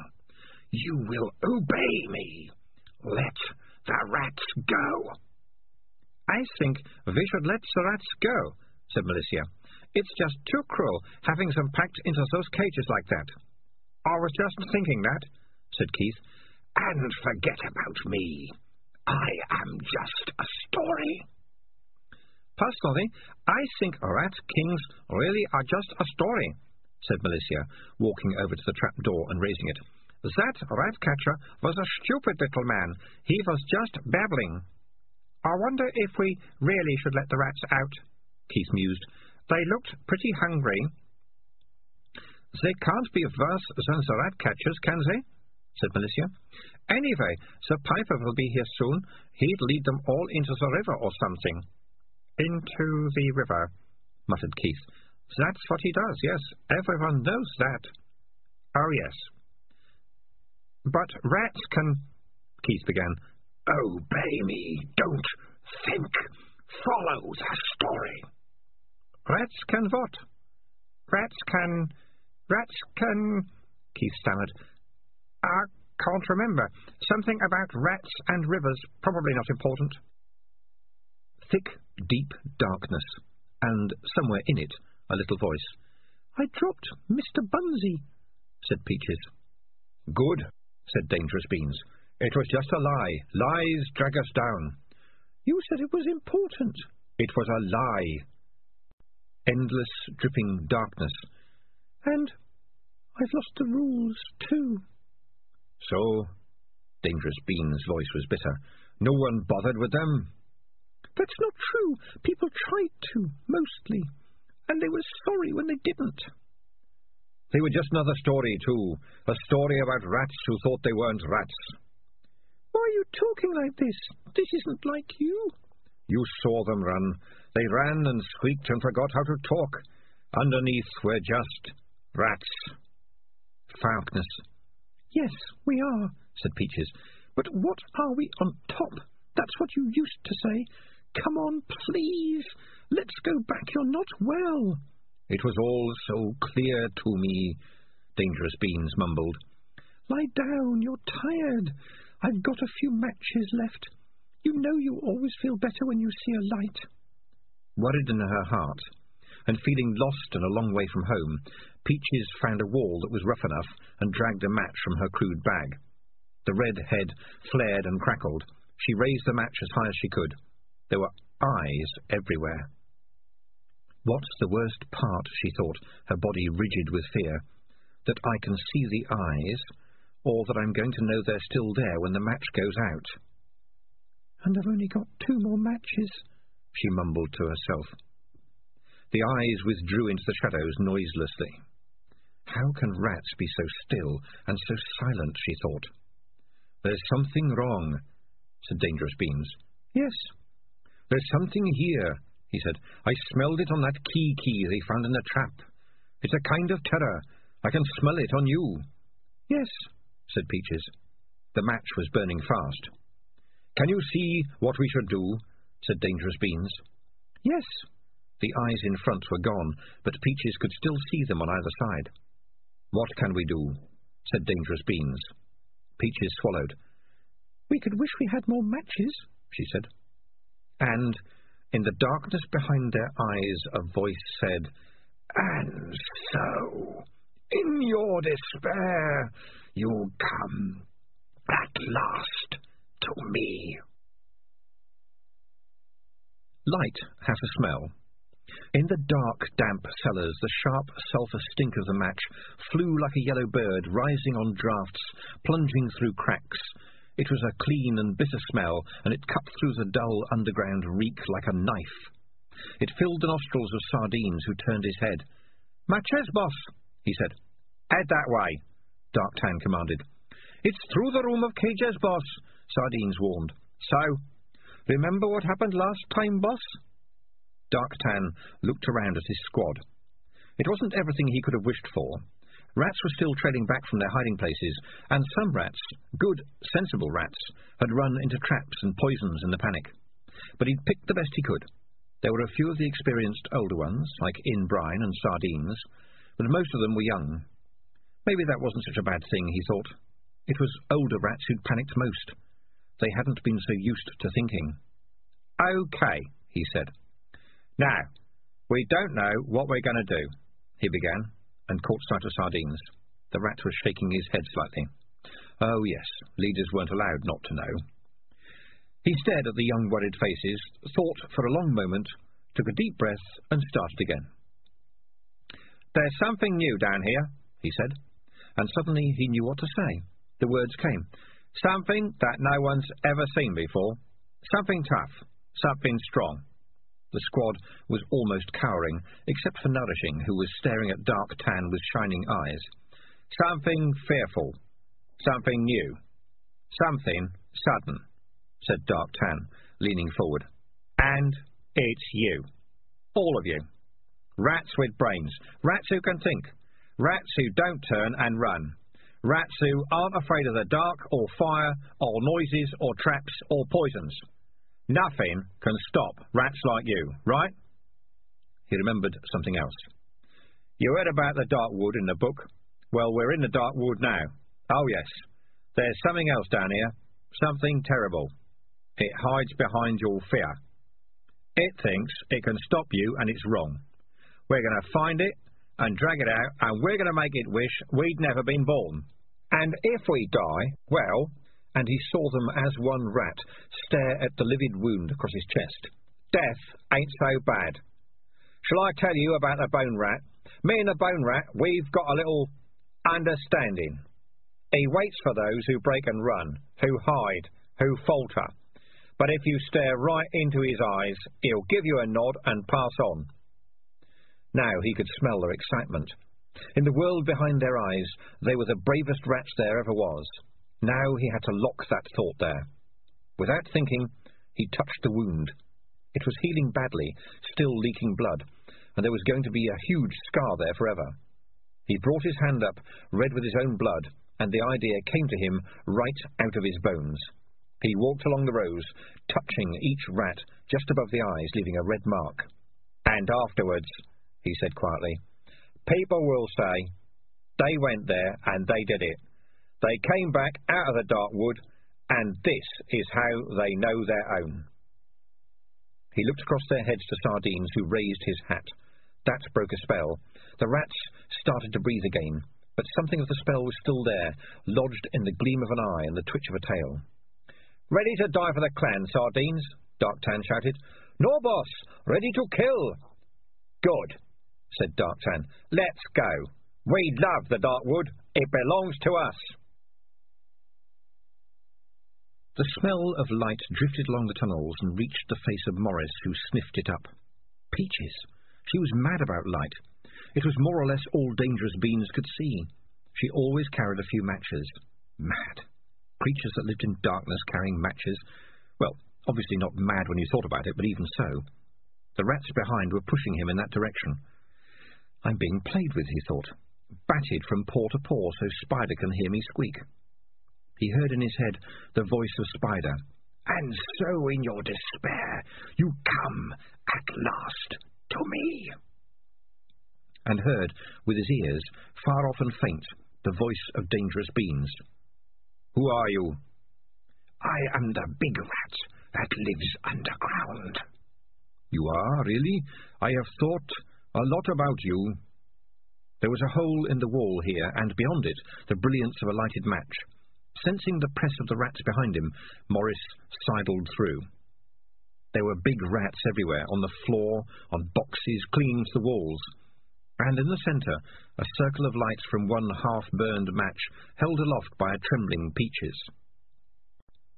Dangerous Beans was standing a little in front of her, staring up at a stack of boxes and sacks. Peaches spun around. As she did so, the flame of the match blew wide and flared. The nearest rat jerked away as it did so, bending like a wave. Maurice, she said. The cat will not move, said the voice of Spider. Maurice tried to, and his paws wouldn't obey him. Be still, cat, or shall I command your lungs to stop? See, little rat, even a cat obeys me. Yes, command, obey, yes. I see you have a power, said Dangerous Beans, tiny in the circle of light. Clever rat. I have heard you talk to the others. You understand the truth. You know that by facing the dark we become strong. You know about the darkness in front of us and the darkness behind the eyes. You know that we cooperate or die.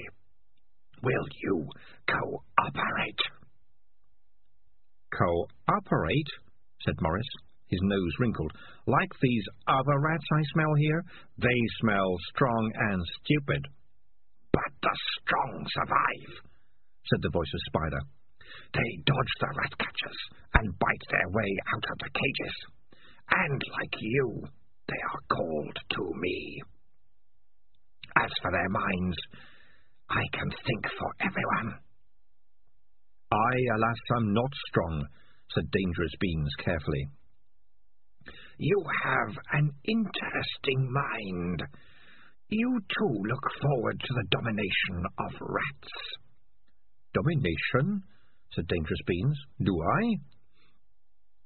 You will have worked out that there is a race in this world which steals and kills and spreads disease and despoils what it cannot use, said the voice of Spider. Yes, said Dangerous Beans. That's easy.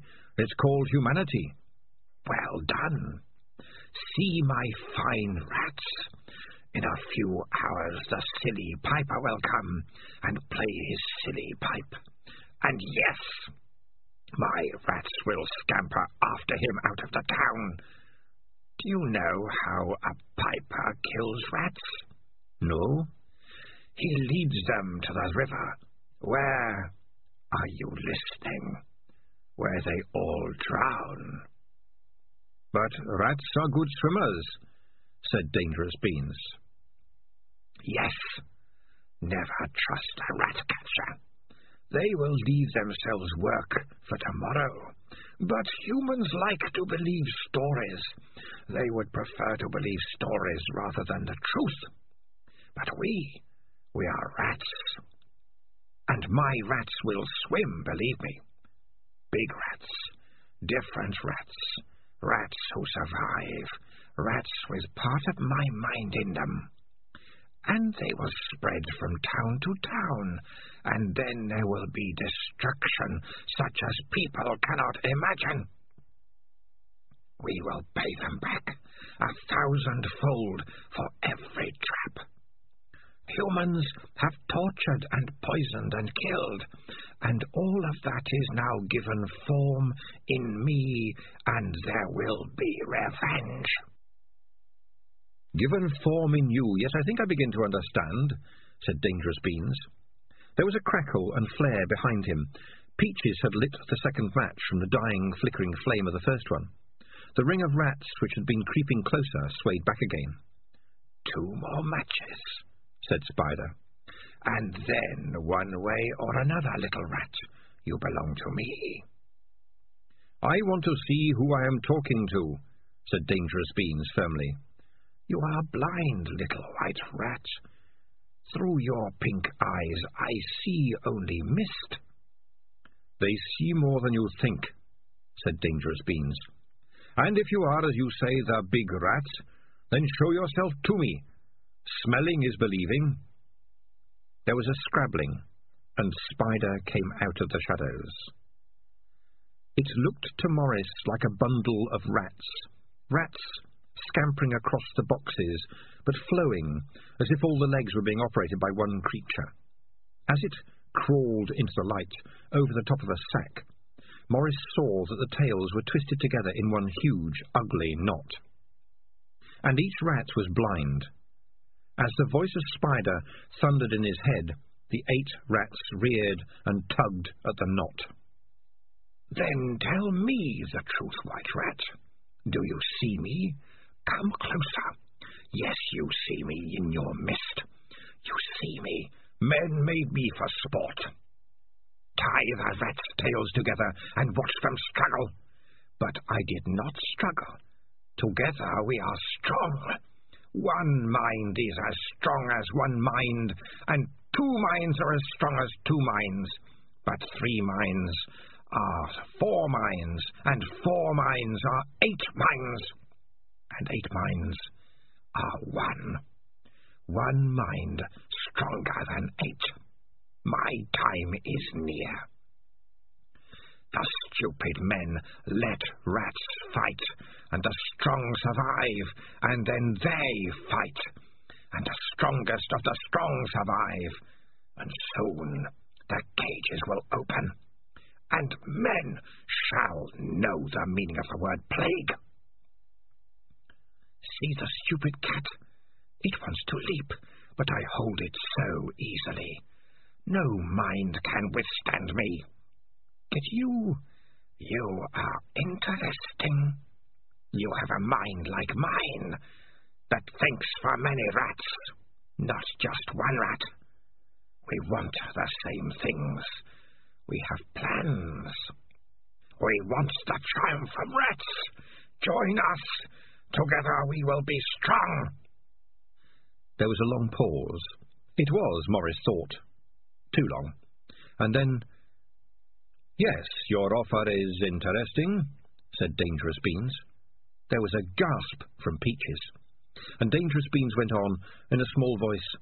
The world is big and dangerous indeed, and we are weak, and I am tired.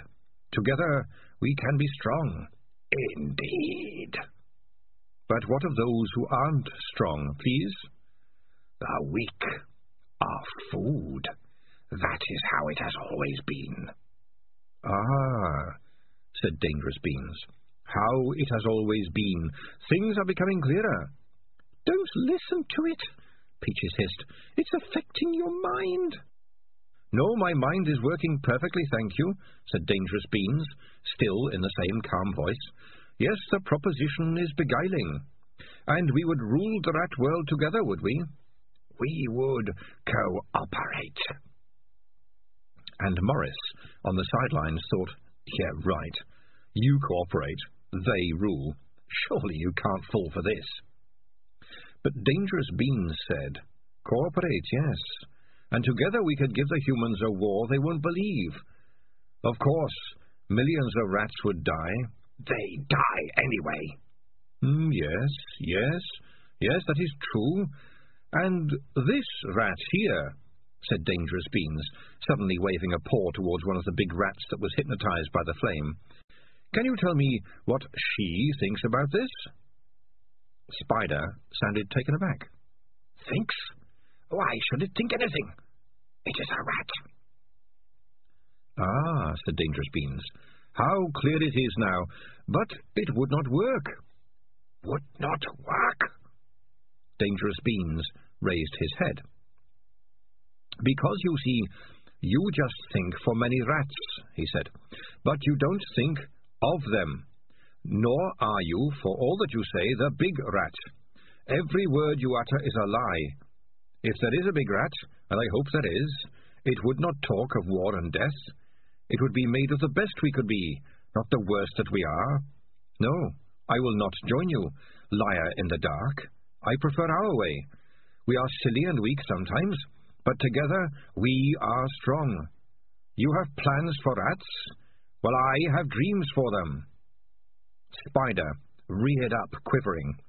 The voice raged in Maurice's mind. Oh, so you think you are a good rat. But a good rat is one that steals most. You think a good rat is a rat in a waistcoat? A little human with fur? Oh, yes, I know about the stupid, stupid book. Traitor! Traitor to rats! Will you feel my pain? Maurice did. It was like a blast of red-hot air, leaving his head full of steam. He recognized the sensation. It was how he used to feel before he was changed. It was how he used to feel before he was Maurice. He'd just been a cat, a bright cat, but nothing more than a cat. You defy me! Spider screamed at the bowed form of Dangerous Beans. When I am everything that truly is rat! I am filth and darkness. I am the noise and the flaw, the rustling in the walls. I am the thing that undermines and despoils.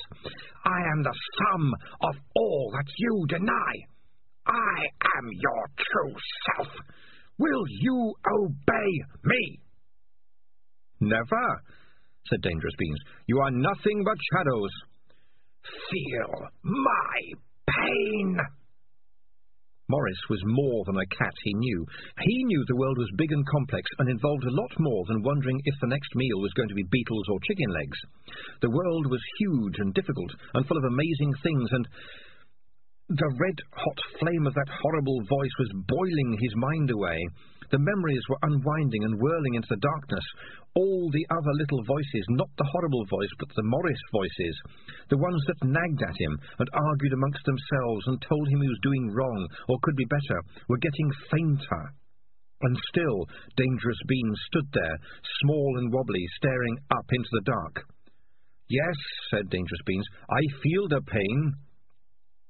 You are nothing but a rat, a little rat, and I am the very soul of ratdom. Admit it, little blind rat, little blind pet rat. Dangerous Beans swayed, and Maurice heard him say, I am not so blind that I can't see darkness.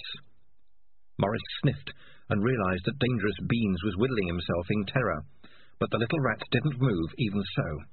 Oh, yes, whispered the voice of Spider. And you can control the dark, yes? You told a little rat that. You can learn to control the dark. I am a rat, whispered Dangerous Beans, but I am not vermin. Vermin! Once we were just another squeaking thing in the forest, and then humans built barns and pantries full of food. Of course, we took what we could, and so they called us vermin, and they have trapped us and covered us in poison, and somehow out of that wretchedness you have come. But you are no answer. You are just another bad thing humans made. You offer rats nothing except more pain. You just have a power that lets you enter people's minds when they are tired or stupid or upset, and you are in mine now. Yes. Oh, yes.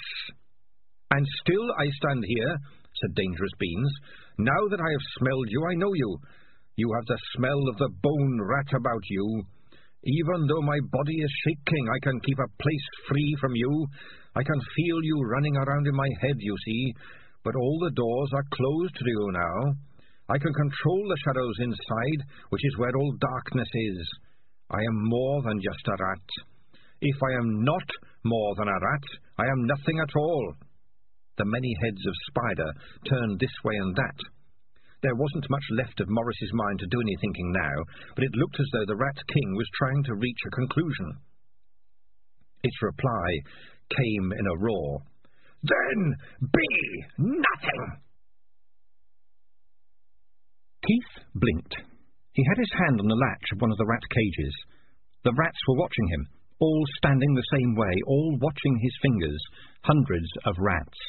They looked hungry. Did you hear something? said Malicia. Keith lowered his hand very carefully and took a couple of steps back. Why are we letting these out? he said. It was like I'd been dreaming. I don't know you're a rat boy but we agreed to let them out. I... it was... I had a feeling that rat kings can talk to people, can't they? said Keith. Has it been talking to us? But this is real life, said Malicia. I thought it was an adventure, said Keith. Damn, I forgot, said Malicia. What are they doing? It was almost as if the rats were melting. They were no longer upright, attentive statues. Something like panic was spreading through them again. Then other rats poured out of the walls, running madly across the floor. They were much bigger than the caged ones. One of them bit Keith on the ankle, and he kicked it away. Try to stamp on them, but don't lose your balance, whatever you do, he said. These are not friendly. Tread on them? said Malicia. Yuck! You mean you haven't got anything in your bag to fight rats? This is a rat catcher's lair. You've got plenty of stuff for pirates and bandits and robbers. Yes, but there's never been a book about having an adventure in a rat catcher's hut, Malicia shouted. Ow! One's on my neck! One's on my neck!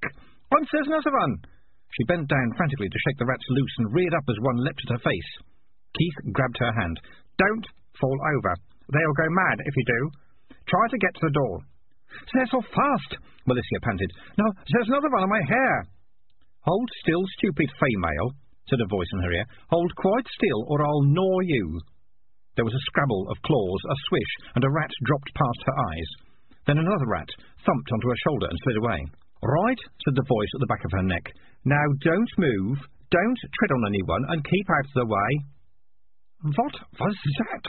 she hissed, as she felt something slide down her skirt. I think it was the one they call Big Savings, said Keith.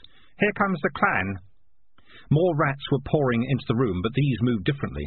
They stayed together and spread out into a line that moved forward slowly. When an enemy rat attacked it, the line would close up over it quickly, like a fist, and when it opened again, the rat was dead. Only when the surviving rats smelled the terror of their fellows and tried to escape from the room did the attacking line break, becoming pairs of rats that, with terrible purpose, hunted down one scurrying enemy after another and brought them down with a bite. And then, seconds after it started, the war was over. The squeaking of a few lucky refugees faded in the walls. There was a ragged cheer from the clan rats, the cheer which says, I'm still alive, after all that. Dark Tan, said Keith, what happened to you? Darktan reared up and pointed a paw to the door at the other end of the cellar. If you want to help, open that door, he shouted. Move it. Then he darted into a drain with the rest of the squad pouring in after him. One of them tap danced as he went. Chapter 11 And there he found Mr. Bunnsy, tangled in the brambles, and his blue coat all torn. From Mr. Bunnsy has an adventure. The Rat King raged. The watching rats clutched at their heads. Peaches shrieked and stumbled back, the last flaring match flying out of her hand. But something of Maurice survived that roar, that storm of thought. Some tiny part hid behind some brain cell and cowered as the rest of Maurice was blown away. Thoughts peeled back and vanished in the gale. No more talking, no more wondering, no more seeing the world as something out there. Layers of his mind streamed past as the blast stripped away everything that he'd thought of as me, leaving only the brain of a cat. A clever cat, but still just a cat. Nothing but a cat all the way back to the forest and the cave, the tusk and the claw. Just a cat. And you can always trust a cat to be a cat. The cat blinked. It was bewildered and angry. Its ears went flat. Its eyes flashed green. It couldn't think. It didn't think. It was instinct that moved it now, something that operated right down at the level of its roaring blood. It was a cat, and there was a twitching, squeaky thing, and what cats do to twitching, squeaking things is this. They leap. The Rat King fought back. Teeth snapped at the cat. It was tangled in fighting rats, and it yowled as it rolled across the floor. More rats poured in, rats that could kill a dog, but now, just for a few seconds, this cat could have brought down a wolf. It didn't notice the crackling flame as the dropped match set fire to some straw. It ignored the other rats, breaking ranks and running. It paid no attention to the thickening smoke. What it wanted to do was kill things. Some dark river deep inside had been dammed up over the months. It had spent too much time helpless and fuming, while little squeaky people ran around in front of it. It had longed to leap and bite and kill. It had longed to be a proper cat. And now the cat was out of the bag, and so much ancestral fight and spite and viciousness was flowing through Maurice's veins that it sparked off his claws. And as the cat rolled and struggled and bit, a weak little voice right at the back of his tiny brain, cowering out of the way, the last tiny bit of him that was still Maurice and not a blood-crazed maniac, said, Now, bite here! Teeth and claws closed on a lump made of eight knotted tails and tore it apart. The tiny part of what had once been the me of Maurice heard a thought shoot past. No! And then it died away, and the room was full of rats. Just rats. Nothing more than rats. Fighting to get out of the way of a furious, spitting, snarling, bloodthirsty cat, catching up on catsness. It clawed and bit and ripped and pounced and turned to see a small white rat that had not moved throughout the whole fight. It brought its claws down. Dangerous Beans screamed, Maurice! The door rattled, and rattled again as Keith's boot hit the lock for the second time. On the third blow, the wood split and burst apart. There was a wall of fire at the other end of the cellar. The flames were dark and evil, as much thick smoke as fire. The clan were scrambling in through the grating and spreading out on either side, staring at the flames. Oh, no, come on, there's buckets next door, said Keith. But, Malicia began, we've got to do it quickly. This is a big people job. The flames hissed and popped. Everywhere, on fire or lying in the floor beyond the flames, were dead rats. Sometimes there were only bits of dead rats. What happened here? said Darktan. Looks like a war, Gov, said Sardine, sniffing the bodies. Can we get round it? Too hot, boss. Sorry, but we... Isn't that Peaches? She was sprawled close to the flames, mumbling to herself and covered in mud. Darktan crouched down. She opened her eyes blearily. Are you all right, Peaches? What's happened to Dangerous Beans? Sardines wordlessly tapped him on the shoulder and pointed. Coming through the fire, a shadow. It padded slowly between walls of flame. For a moment, the waving air made it look huge, like some monster emerging from a cave, and then it became just a cat. Smoke poured off its fur. What wasn't smoking was caked with mud. One eye was shut. The cat was leaving a trail of blood, and every few footsteps it sagged a little. It had a small bundle of white fur in its mouth. It reached Darktan and continued past without a glance. It was growling all the time under its breath. Is that Maurice? said Sardines. That's dangerous beans he's carrying, shouted Darktan. Stop that cat! But Maurice had stopped by himself, turned, lay down with his paws in front of him, and looked blearily at the rats. Then he gently dropped the bundle on the floor. He prodded it once or twice to see if it would move. He blinked slowly when it didn't move. He looked puzzled, in a kind of slow motion way. He opened his mouth to yawn and smoke came out. Then he put his head down and died. The world seemed to Maurice to be full of the ghost light you got before dawn, when it was just bright enough to see things but not bright enough to see colours. He sat up and washed himself.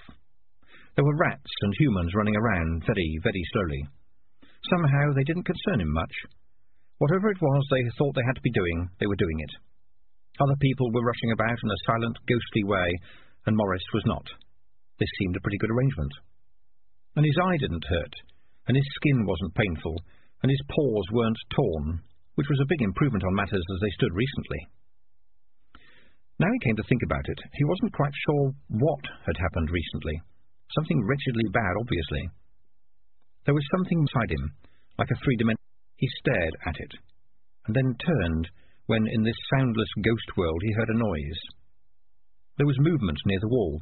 A small figure was striding across the floor towards a small lump that was dangerous beans. It was rat-sized, but it was much more solid than the rest of the rats, and unlike any rat he'd seen before, it wore a black robe. A rat in clothes, he thought. But this one did not belong in a Mr. Bunnsy book. Just poking out from the hood of the robe was the bony nose of a rat's skull, and it was carrying a tiny scythe over its shoulder.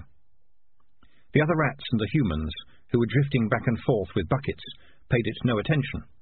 Some of them walked right through it. The rat and Maurice seemed to be in a separate world of their own. It's the bone rat, thought Morris. It's the grim squeaker. He's come for dangerous beans. After all I've been through, that is not happening. He sprang into the air and landed on the bone rat. The little scythe skidded across the floor. Okay, mister, let's hear you talk, Maurice began. Squeak! Uh, said Maurice, as the horrible awareness of what he'd done caught up with him. A hand grabbed him by the back of the neck and lifted him up, higher and higher, and then turned him around. Maurice stopped struggling immediately. He was being held by another figure, much taller, human size, but with the same style of black robe, a much bigger size, and a definite lack of skin around the face. Strictly speaking, there was a considerable lack of face about the face, too. It was just bone. Desist from attacking my associate, Maurice, said Death. Yes, sir, Mr. Death, sir. At once, sir, said Maurice quickly. No problem, sir. I haven't seen you lately, Maurice. No, sir, said Maurice, relaxing slightly. Been very careful, sir, looking both ways when I cross the street and everything, sir. And how many do you have left now? Six, sir, six, six out of nine. Very definitely, very definitely six lives, sir. Death looked surprised. But you were run over by a cart only last month, weren't you? That, sir, barely grazed me, sir. Got away with hardly a scratch, sir. Exactly. Oh, that makes five lives, Maurice, up until today's adventure. Fair enough, sir, fair enough. Maurice swallowed. Oh, well, might as well try. So, let's say I am left with three, right? Three?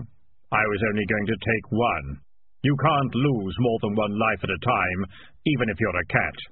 That leaves you four, Maurice.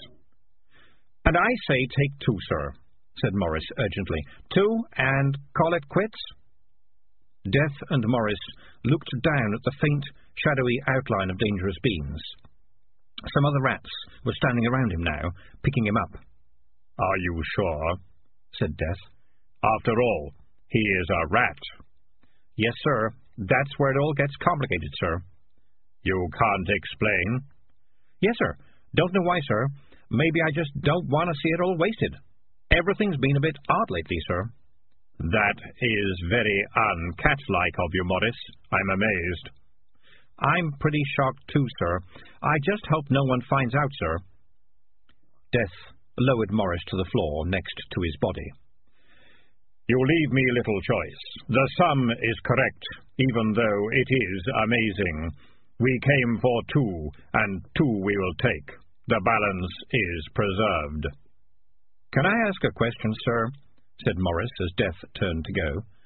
You may not get an answer. I suppose there isn't a big cat in the sky, is there? I'm surprised at you, Maurice. Of course there are no cat gods. That would be too much like work.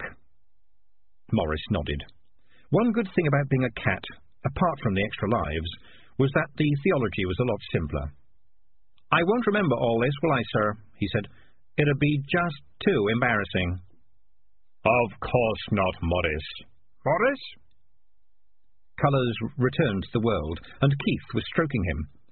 Every bit of Maurice stung or ached. How could fur ache? And his paws screamed at him, and one eye felt like a lump of ice, and his lungs were full of fire.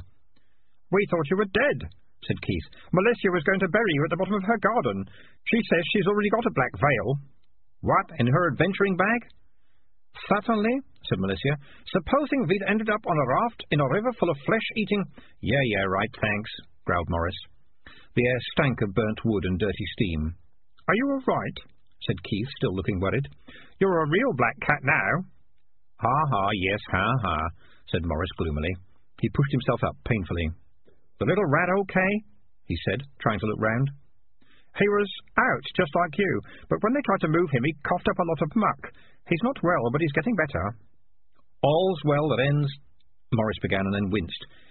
I can't turn my head very well, he said. You're covered in rat bites, that's why. What's my tail like? said Maurice. Oh, fine. It's uh, nearly all there. Oh, well. All's well that ends well, then. Adventure over, time for tea and buns, just like the girl says. No, said Keith. There's still the piper. Can't they just give him a dollar for his trouble and tell him to go away? Not the rat piper, said Keith. You don't say that sort of thing to the rat piper. Nasty piece of work, is he? I don't know. He sounds like it, but we've got a plan. Maurice growled.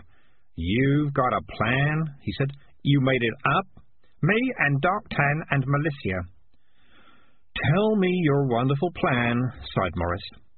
We are going to keep the keekees caged up, and no rats will come out to follow the piper. That way he'll look pretty silly, eh? said Malicia. That's it? That's your plan? You don't think it'll work? said Keith. Malicia says he'll be so embarrassed he'll leave. You don't know anything about people, do you? sighed Maurice. What? I'm a person, said Malicia. So? Cats know about people. We have to. No one else can open cupboards. Look, even the Rat King had a better plan than that. A good plan isn't one where someone wins. It's where nobody thinks they've lost. Understand? This is what you have to do. No, it wouldn't work. We need a lot of cotton wool. Malicia swung her bag around with a look of triumph. As a matter of fact, she said, I'd worked out that if I was ever taken prisoner in a giant underwater mechanical squid and needed to block up you're going to say you've got a lot of cotton wool, haven't you? said Maurice flatly. Yes. It was silly of me to worry, wasn't it? said Maurice. Dark Tan stuck his sword in the mud. The senior rats gathered round him, but seniority had changed. Among the older rats were younger ones, each one with a dirty red mark on his head, and they were pushing to the front. All of them were chattering. He could smell the relief that came when the bone rat had gone past and had not turned aside. Silence! he yelled. It struck like a gong. Every red eye turned to him. He felt tired, he couldn't breathe properly, and he was streaked with soot and blood. Some of the blood wasn't his. It's not over, he said. But we just... It's not over! Dark Tan looked around the circle. We didn't get all of those big rats, the real fighters, he panted. Inbrine, take twenty rats and go back and help guard the nests. Big savings and the old females are back there, and they'll tear any attacker in half, but I want to be certain. For a moment, Inbrine glared at Darktan. I don't see why you... he began. Do it! Inbrine crouched hurriedly, waved at the rats behind him, and scuttered away. Darktan looked at the others. As his gaze passed across them, some of them leaned back, as if it was a flame. We'll form into squads, he said. All of the clan that we can spare from guarding will form into squads. At least one trap disposal rat in each squad. Take fire with you. And some of the younger rats will be runners, so you can keep in touch. Don't go near the cages. Those poor creatures can wait. But you'll work through all these tunnels, all these tunnels, and these holes, and all these corners. And if you meet a strange rat and it cowers, then take it prisoner. Drag it to the cages. But if it tries to fight, and the big ones will try to fight, because that's all they know, then you will kill it. Burn it or bite it. Kill it dead. Do you hear me? There was a murmur of agreement. I said, do you hear me? This time there was a roar. Good and we'll go on and on until these tunnels are safe from end to end. Then we'll do it again, until these tunnels are ours. Because... Darktan grasped his sword, but leaned on it for a moment to catch his breath, and when he spoke next, it was almost in a whisper. Because we're in the heart of the Dark Wood now, and we've found the Dark Wood in our hearts. And, for tonight, we are something terrible. He took another breath and his next words were heard only by the rats closest to him. And we have nowhere else to go. It was dawn. Sergeant Doppelpunkt, who was one half of the city's official watch, and the largest half, awoke with a snort in the tiny office by the main gates. He got dressed, a little unsteadily, and washed his face in the stone sink, peering at himself in the scrap of mirror hanging on the wall. He stopped there was a faint but desperate squeaking sound, and then the little grill over the plug hole was pushed aside, and a rat plunged out. It was big and grey, and it ran up his arm before leaping onto the floor. Water dripping from his face, Sergeant Doppelpunkt watched as three smaller rats erupted from the pipe and chased after it. It turned to fight in the middle of the floor, but the small rats hit it together from three sides at once. There was a brief struggle, a screech, and then the big rat was dead. There was an old rat hole in the wall, Two of the rats grabbed the tail and dragged the body into the hole and out of sight. But the third rat stopped at the hole and turned, standing up on its hind legs. The sergeant felt it was staring at him. It didn't look like an animal watching a human to see if it was dangerous. The rat didn't look scared, merely curious. It had some kind of red blob on its head, the sergeant noticed. Then it saluted him. It was definitely a salute, even though it only took a second. Then all the rats had gone. The sergeant stared at the hole for some time, and then he heard the singing. It was drifting up from the sink's plug hole, and it echoed a lot, as if it was coming from a long way away. We fight dogs and we chase cats, ain't no trap can stop the rats. Got no plague and got no fleas, we drink poison, we steal cheese. Mess with us and you will see, we'll put poison in your tea. Here we fight and here we'll stay, we will never go away. The sound faded. Sergeant Doppelpunkt blinked and looked at the bottle of beer he'd drunk last night. He thought it would probably be a good idea not to mention this to anyone. It probably hadn't happened. The guardhouse door opened, and Corporal Knopf stepped in. Morning, Sergeant, he began. It's that. What's up with you? Nothing, Corporal, said Doppelpunkt quickly, wiping his face. I certainly haven't seen anything strange at all. Why are you standing around? Time to get those gates open, Corporal. The watchman stepped out and swung open the city gates, and the sunlight streamed through. It brought with it a long, long shadow. Oh dear, thought Sergeant Doppelpunkt, this is not going to be a nice day. The man on horseback rode past them without a glance, and on into the town square. The guards hurried after him, People aren't supposed to ignore people with weapons. Halt! What is your business here? demanded Corporal Knopf, but he had to run crabwise to keep up with the horse. The rider was dressed in white and black like a magpie. He didn't answer, but just smiled faintly to himself. All right, maybe you haven't any actual business, but it won't cost you anything just to say who you are, will it? said Corporal Knopf, who was not interested in any trouble. The rider looked down at him and then stared ahead again. Sergeant Doppelpunkt spotted a small covered wagon coming through the gates, drawn by a donkey which was accompanied by an old man. He was a sergeant, he told himself, which meant that he was paid more than the corporal, which meant that he thought more expensive thoughts. And this one was, they didn't have to check everyone that came through the gates, did they? Especially if they were busy. They had to pick people at random. And if you were going to pick people at random, it was a good idea to randomly pick a little old man looking small enough and old enough to be frightened of a rather grubby uniform with rusty chainmail. Halt! Hmm, not gonna, said the old man. Mind the donkey can give you a nasty bite when he's roused. Not that I care. Are you trying to show contempt of the law? Demanded Sergeant Doppelpunkt. Well, I'm not trying to conceal it, mister. You want to make something of it, you talk to my boss. That's him on the horse, the big horse. The black and white stranger had dismounted by the fountain in the centre of the square and was opening his saddlebags. Oh, and talk to him, shall I? said the sergeant. By the time he'd reached the stranger, walking as slowly as he dared, the man had propped a small mirror against the fountain and was having a shave. Corporal Knopf was watching him. He'd been given the horse to hold. Why haven't you arrested him? the sergeant whispered. What, for illegal shaving? Tell you what, Sergeant, you do it. Sergeant Doppelpunkt cleared his throat. A few early risers amongst the population were already watching him. Uh, no, listen, friend, I'm sure you didn't mean... he began. The man straightened up and gave the guards a look which made both men take a step backwards. He reached out and undid the thong holding the thick roll of leather behind the saddle. It unrolled. Corporal Knopf whistled. All down the length of leather, held in place by straps, were dozens of pipes. They glistened in the rising sun. Oh, you're the pipe, the sergeant began, but the other man turned back to the mirror and said, as if talking to his reflection, Where can a man get a breakfast around here? Oh, if it's breakfast you want, then Mrs. Shover adds the blue cabbage will... Sausages, said the piper, still shaving. Burned on one side. Three. Here. Ten minutes. Where is the mayor? If you go down that street and take the first lift... Fetch him. Here. You can't, the sergeant began, but Corporal Knopf grabbed his arm and pulled him away. He's a piper, he hissed. You don't mess with the piper. Don't you know about him? If he blows the right note on his pipes, your legs will fall off. What, like the plague?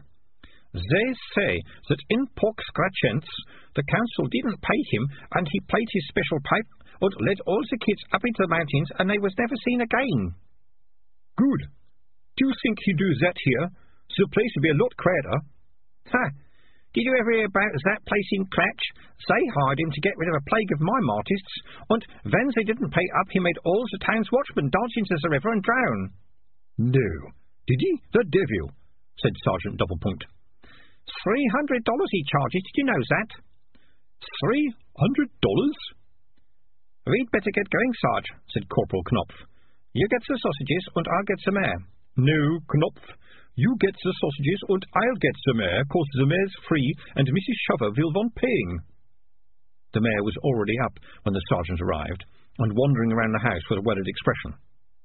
He looked more worried when the sergeant arrived. What's she done this time? he said. Sir? said the watchman. Sir, like that, meant, what are you talking about? Malicia hasn't been home all night, said the mayor. So, you think something might have happened to her, sir? No, I think she might have happened to someone, man. Remember last month when she tracked down the mysterious headless horseman? Well, you must admit he was a horseman, sir. That is true, but he was also a short man with a very high collar. And he was the chief tax gatherer from Minsk. I'm still getting official letters about it. Tax gatherers do not, as a rule, like young ladies dropping on them out of trees. And then, in September, there was that business about the...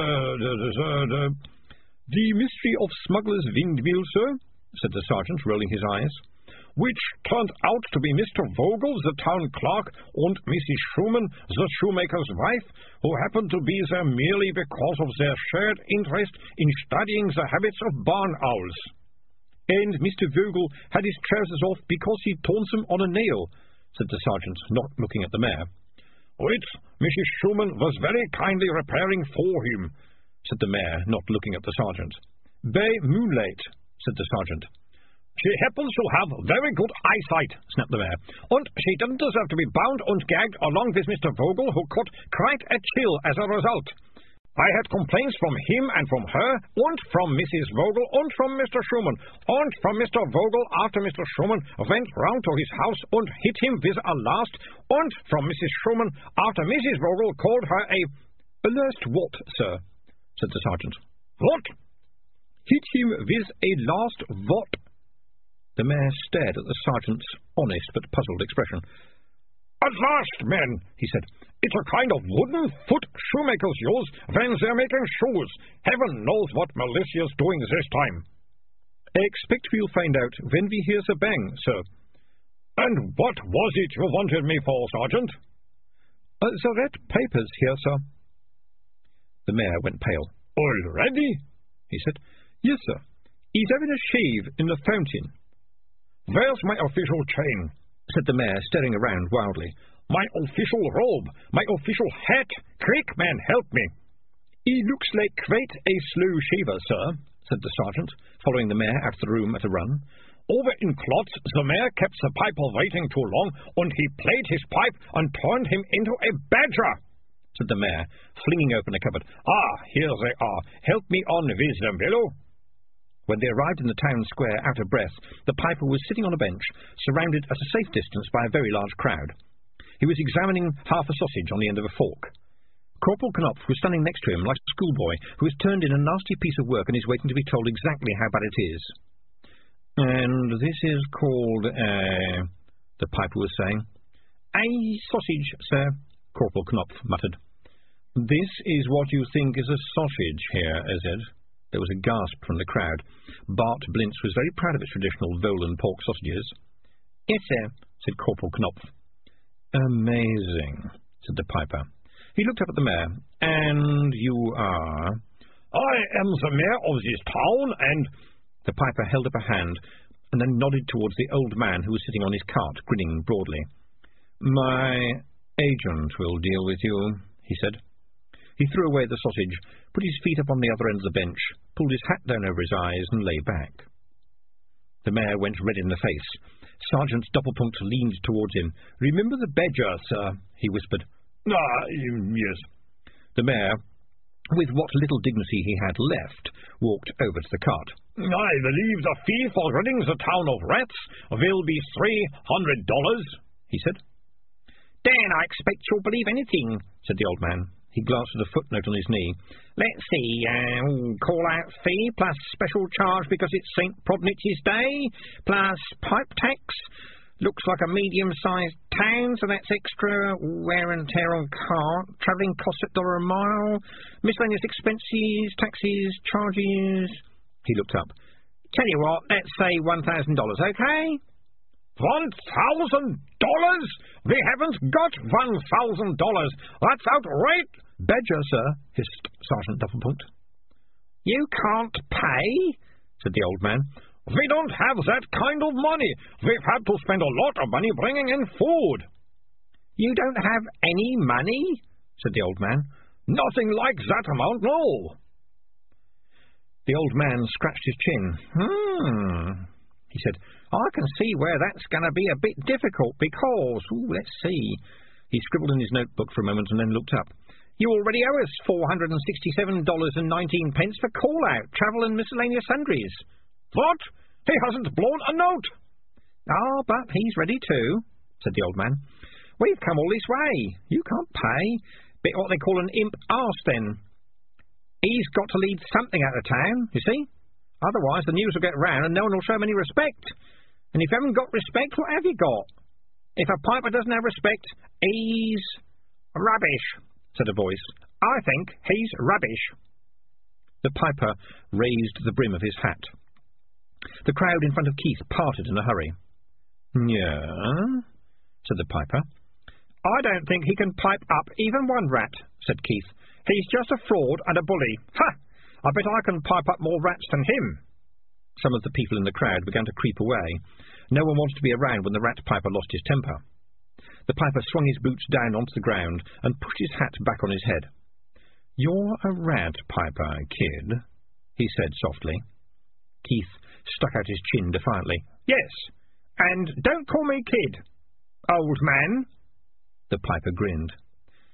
Ah, he said, I knew I was going to like this place. And you can make a rat dance, can you, kid?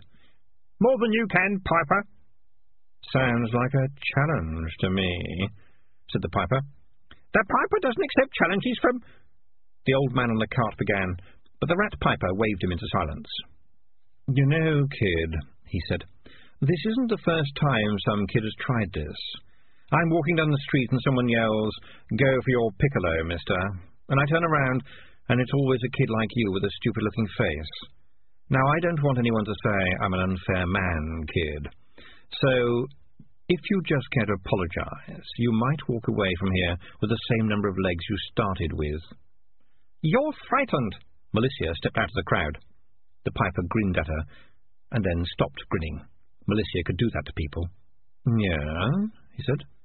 Yes, because everyone knows what happens at a time like this. Let me ask this stupid-looking kid, who I've never seen before. Are you an orphan? Yes, said Keith. Do you know nothing about your background at all? No? Aha, said Malicia. That proves it. We all know what happens when a mysterious orphan turns up and challenges someone big and powerful, don't we? It's like being the third and youngest son of a king. He can't help but win. She looked triumphantly at the crowd, but the crowd looked doubtful. They hadn't read as many stories as Malicia, and were rather more attached to the experience of real life, which is that when someone small and righteous takes on someone big and nasty, he is grilled bread product very quickly. However, someone at the back shouted, Give the stupid-looking kid a chance. At least he'll be cheaper. And someone else shouted, Yeah, that's right. And someone else shouted, I agree with the other two. And no one seemed to notice that all the voices came from near ground level and were associated with the progress around the crowd of a scruffy-looking cat with half its fur missing. Instead, there was a general murmuring, no real words, nothing that would get anyone into trouble if the piper turned nasty, but a muttering indicating, in a general sense, without wishing to cause umbrage, and seeing everyone's point of view, and taking one thing with another, and all things being equal, that people would like to see the boy given a chance, if it's all right with you, no offence meant. The piper shrugged. Fine, he said. It'll be something to talk about, and when I win, what will I get? The mayor coughed. Is a daughter's hand in marriage usual in these circumstances? he said. She has very good teeth and would make a good uh, wife for anyone with plenty of free wall space. Father, said Malicia. Uh, later on, uh, later on, obviously, he, he is unpleasant, but he is rich. No, I'll just take my payment, said the piper. One way or another. And I said we can't afford it, said the mayor. And I said, one way or the other, said the piper. And you, kid? Your rat pipe, said Keith. No, it's magic, kid. Then why are you scared to bet it? The piper narrowed his eyes. Scared? No. Okay, kid, the rat pipe, he said. And the town must let me solve its rat problem, said Keith. And how much will you charge? said the mayor. Thirty gold pieces, thirty gold pieces. Go on, say it, shouted a voice at the back of the crowd. No, it won't cost you a thing, said Keith. Idiot, shouted the voice in the crowd. People looked around, puzzled. Nothing at all, said the mayor. No, nothing. Uh, the hand in marriage thing is still an offer if you... Father? No, that only happens in stories, said Keith. And I shall also bring back a lot of the food that the rats stole. They ate it, said the mayor. What are you going to do, stick your fingers down their throats? I said that I'll solve your rat problem, said Keith. Agreed, Mr. Mayor? Well, if you're not charging... But first I shall need to borrow a pipe, Keith went on. You haven't got one, said the mayor. It got broken. Corporal Knopf nudged the mayor. I've got a trombone when I was in the army, he said. It won't take a mo to nip and get it. The rat piper burst out laughing. Doesn't that count? said the mayor, as Corporal Knopf hurried off. What? A trombone for charming rats? No, no, let him try. Can't blame a kid for trying. Good with a trombone, are you? I don't know, said Keith. What do you mean you don't know? I mean I never played one. I'd be a lot happier with a flute, trumpet, piccolo, trombone, or Lancre bagpipe, but I've seen people playing the trombone, and it doesn't look too difficult. It's only an overgrown trumpet, really. Huh, said the piper. This I'd like to see, but not here. The watchman came running back, rubbing a battered trombone with his sleeve and therefore making it just a bit more grimy. Keith took it, wiped the mouthpiece, put it to his mouth, pressed the keys a few times, and then blew one long note. Seems to work, he said. I expect I can learn as I go along. He gave the rat piper a brief smile. Do you want to go first? You won't charm one rat with that mess, kid, said the piper. But I'm glad I'm here to see you try. Keith gave him a smile again, took a breath, and played. There was a tune there. The instrument squeaked and wheezed because Corporal Knopf had occasionally used the thing as a hammer, but there was a tune quite fast, almost jaunty. You could tap your feet to it. Someone tapped their feet to it. Sardines emerged from a crack in a nearby wall, going, one, two, three, four, under his breath. The crowd watched him dance ferociously across the cobbles until he disappeared into a drain. Then they broke into applause. The piper looked at Keith. Did that one have a hat on? he said. I didn't notice, said Keith. Your go. The piper pulled a short length of pipe from inside his jacket. He took another length from his pocket and slotted it into place on the first piece. It went click in a military kind of way. Still watching Keith, and still grinning, the piper took a mouthpiece from his top pocket and screwed it into the rest of the pipe with another very final click. Then he put it to his mouth and played. From her lookout on the roof, Big Savings shouted down a drainpipe, Now! Then she pushed two lumps of cotton wool in her ears. At the bottom of the pipe, Inbrine shouted into a drain, No! And then he, too, snatched up his earplugs. Oh, oh, oh! echoed through the pipes. Now! shouted Darktan in the room of cages. He rammed some straw onto the end of the pipe. Everyone block their ears. They'd done their best with the cages. Malicia had brought blankets, and the rest had spent a feverish hour blocking up holes in mud. They'd done their best to feed the prisoners properly, too. Even though they were only keekees, it was heartbreaking to see them cower so desperately. Darktan turned to Nourishing. Got your ears blocked, he said. Pardon? Good. Darktan picked up two lumps of cotton wool. The silly-sounding girl better be right about this stuff, he said. I don't think many of us have got any strength left to dance. The piper blew again, and then stared at his pipe. Just one rat, said Keith helpfully. Anywhere you like. No rush. The piper glared at him and blew again. I can't hear anything, said the mayor. Humans can't, muttered the piper. Perhaps it's broken, said Keith helpfully. The piper tried again. There was murmuring from the crowd. You've done something, he hissed. Oh, yes, said Malicia loudly. What could he have done? Told the rats to stay underground with their ears blocked up? The murmuring turned into muffled laughter. The piper tried one more time. Keith felt the hairs stand up on the back of his neck. A rat emerged. It moved slowly across the cobbles, bouncing from side to side, until it reached the piper's feet, where it fell over and started making a whirring noise. People's mouths fell open. It was Mr. Clicky. The piper nudged it with his foot. The clockwork rat rolled over a few times, and then its spring, as a result of months of being punished in traps, gave up. There was a poing and a brief shower of cogwheels. The crowd burst out laughing. Hmm, said the piper. And this time the look he gave Keith was shaded with grudging admiration. Okay, kid, he said. Shall you and I have a little talk, piper to piper, over by the fountain? Provided people can see us, said Keith. You don't trust me, kid? Of course not. The piper grinned. Good. You've got the makings of a piper, I can see that. Over by the fountain, he sat down with his booted legs in front of him and held out the pipe. It was bronze, with a raised pattern of brass rats on it, and it glinted in the sunlight. Here, said the piper, take it. It's a good one. I've got plenty of others. Go on, take it. I'd like to hear you play it. Keith looked at it uncertainly, turning it over and over in his hands. It's all trickery, kid, said the piper, as the pipe shone like a sunbeam. See the little slider there? Move it down, and the pipe plays a special note humans can't hear. Rats can. Sends them nuts. They come rushing out of the ground, and you drive them into the river, just like a sheepdog. That's all there is to it, said Keith. You were expecting something more? Well, yes. They say you turn people into badgers and lead children into magic caves, and... The piper leaned forward conspiratorially. It always pays to advertise, kid. Sometimes these little towns can be pretty slow when it comes to parting with the cash. Cause the thing about turning people into badgers and all the rest of that stuff is this. It never happens round here. Most of the people in these mountains never go more than ten miles away in their lives. They'll believe just about anything could happen fifty miles away. Once the story gets around, it does your work for you. Half the things people say I've done, even I didn't make up. Tell me, said Keith, have you ever met someone called Maurice? Maurice? Maurice? I don't think so. Amazing, said Keith. He took the pipe and gave the piper a long, slow stare. And now, Piper, he said, I think you're going to lead the rats out of town. It's going to be the most impressive job you've ever done. Eh? What? You won, kid. You'll lead out the rats because that's how it should go, said Keith, polishing the pipe on his sleeve.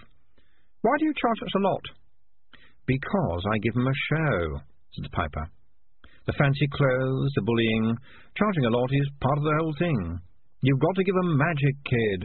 Let 'em think you're just a fancy rat catcher, and you'll be lucky to get a cheese lunch and a warm handshake. We'll do it together, and the rats will follow us. Really follow us into the river. Don't bother about the trick note. This will be even better. It'll be... It'll be a great story, said Keith. And you'll get your money. Three hundred dollars, wasn't it? But you'll settle for half because I'm helping you. What are you playing at, kid? I told you, you won. Everyone wins, trust me. They called you in. They should pay the piper. Besides, Keith smiled, I don't want people to think pipers shouldn't get paid, do I? And I thought you were just a stupid-looking kid, said the piper. What kind of a deal have you got with the rats? You wouldn't believe it, Piper. You wouldn't believe it. Inbrine scurried through the tunnels, scrabbled through the mud and straw that had been used to block the last one, and jumped into the cage room. The clan rats unblocked their ears when they saw him. He's doing it, said Darktan. Yes, sir, right now. Darktan looked up at the cages. The Keekees were more subdued, now that the Rat King was dead and they'd been fed. But by the smell of it, they were desperate to leave this place. And rats in a panic will follow other rats. Okay, he said. Runners, get ready. Open the cages. Make sure they're following you. Go, go, go. And that was almost the end of the story. How the crowd yelled when rats erupted from every hole and drain. How they cheered when both pipers danced out of the town with the rats racing along behind them. How they whistled when the rats plunged off the bridge into the river. They didn't notice that some rats stayed on the bridge, urging the others along with shouts of, Remember, strong regular strokes, and There's a nice beach just downstream, and Hit the water feet first, it won't hurt so much. Even if they had noticed, they probably wouldn't have said anything. Details like that don't fit in. And the big piper danced off over the hills and never, ever came back. There was general applause. It had been a good show, everyone agreed, even if it had been expensive. It was definitely something to tell the children. The stupid-looking kid, the one that had duelled with the piper, strolled back into the square. He got a round of applause too. It was turning out to be a good day all round. People wondered if they'd have to have extra children to make room for all the stories. But they realized they'd have enough to say for the grandchildren when the other rats arrived. They were suddenly there, pouring up out of the drains and gutters and cracks. They didn't squeak, and they weren't running. They sat there, watching everyone. Here, Piper, shouted the mayor. You missed some. No, we're not the rats you follow, Pipers, said a voice. We're the rats you have to deal with. The mayor looked down. A rat was standing by his boots, looking up at him. It appeared to be holding a sword. Father, said Malicia, suddenly behind him, it would be a good idea to listen to this rat. But it's a rat. He knows, father, and he knows how to get your money back, and a lot of the food, and where to find some of the people who've been stealing food from you. But he's a rat. Yes, father, but if you talk to him properly, he can help us. The mayor stared at the assembled ranks of the clan. They should talk rats, he said. It would be a very good idea, father. But they're rats. The mayor seemed to be trying to hold on to this thought, as if it was a lifebelt on a stormy sea, and he'd drown if he let go of it. Excuse me, excuse me, said a voice from beside him. He looked down this time at a dirty, half-scorched cat, which grinned at him. Did that cat just speak? said the mayor. Maurice looked around. Which one? he said. You! Did you just talk? Would you feel better if I said no? said Maurice. But cats can't talk. Well, I can't promise that I could give you a, you know, full-length after-dinner speech, and don't ask me to do a comic monologue, said Maurice, and I can't pronounce difficult words like marmalade and lumbago, but I'm pretty happy with basic repartee and simple, wholesome conversation. Speaking as a cat, I'd like to hear what the rat says. Uh, Mr. Mayor, said Keith, strolling up and twirling the new rat pipe in his fingers, don't you think it's time I sorted out your rat problem once and for all? Sort it out, but... All you have to do is talk to them. Get your town council together and talk to them. It's up to you, Mr. Mayor. You can yell and shout and call out the dogs, and people can run around and fight at the rats with a broom, and yes, they'll run away. But they won't run far, and they'll come back. When he was standing next to the bewildered man, he leaned towards him and whispered, And they live under your floorboards, sir. They know how to use fire. They know all about poison, oh yes. So, listen to this rat. Is it threatening us? said the mayor, looking down at Darktan. No, Mr. Mayor, said Darktan. I'm offering you, he glanced at Maurice, who nodded, a wonderful opportunity. You really can talk? You can think? said the mayor. Darktan looked up at him. It had been a long night. He didn't want to remember any of it, and now it was going to be a longer, harder day. He took a deep breath. Here's what I suggest, he said. You pretend that rats can think, and I'll promise to pretend that humans can think too. Chapter 12 Well done, Ratty Rupert, cried the animals of Furry Bottom. From Mr. Bunnsy Has an Adventure. The crowd clustered into the council hall. Most of it had to stay outside, craning over other people's heads to see what was going on. The town council was crammed around one end of their long table. A dozen or so of the senior rats were crouched at the other end. And in the middle was Maurice. He was suddenly there, leaping up from the floor. Hopwick, the clockmaker, glared at the other members of the council. Oh, We're talking to rats? he snapped, trying to make himself heard above the hubbub. We'll be a laughing stock if this gets out. The town that talked to its rats. Can't you just see it? Rats aren't dare to be spoken to, said Raufman the bootmaker, prodding the mayor with a finger. A mayor who knew this business would send for the rat catchers. According to my daughter, they are locked in a cellar, said the mayor. He stared at the finger. Locked in by your talking rats, said Raufman. Locked in by my daughter, said the mayor calmly. Take your finger away, Mr. Raufman. She's taken the watchman down there. She is making very serious allegations, Mr. Raufman. She says there's a lot of food stored under their shed. She says they've been stealing it and selling it to the river traders. The head rat catcher is your brother-in-law, isn't he, Mr. Raufman? I remember you were very keen to see him appointed, weren't you? There was a commotion outside. Sergeant Doppelpunkt pushed his way through, grinning broadly, and laid a big sausage on the table.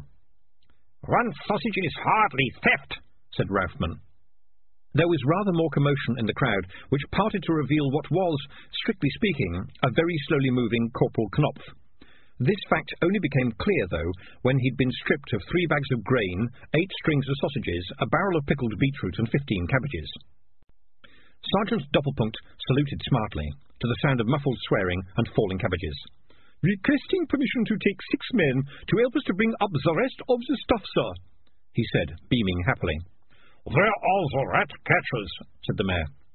In deep trouble, sir, said the sergeant. Uh, I asked them if they wanted to come out, but they said they'd like to stay in there a bit longer, thanks all the same, although they'd like a drink of water and some fresh trousers. Was that all they said? Sergeant Doppelpunkt pulled out his notebook. No, sir, they said quite a lot. They were crying, actually. They said they'd confess to everything in exchange for fresh trousers. Also, sir, there was this. Another watchman came in, carrying a heavy box, which he thumped down onto the polished table. Acting on information received from a rat, sir, we took a look under one of the floorboards in their shed. There must have been more than four hundred dollars in it, ill-gotten gain, sir. You got information from a rat? The sergeant pulled sardines out of his pocket. The rat was eating a biscuit, but he raised his hat politely. Isn't that a bit unhygienic? said the mayor. No, Gav, washed his hands, said Sardines. I was talking to the sergeant. He's a nice little chap, sir, very clean, said Sergeant Doppelpunkt. Reminds me of an Emster I used to have when I was a lad, sir. Well, thank you, Sergeant. Well done. Uh, please go on. His name was Horace, added the sergeant helpfully. Uh, thank you, Sergeant. And now... Does me good to see the little cheeks bulging with grub again, sir. Thank you, Sergeant.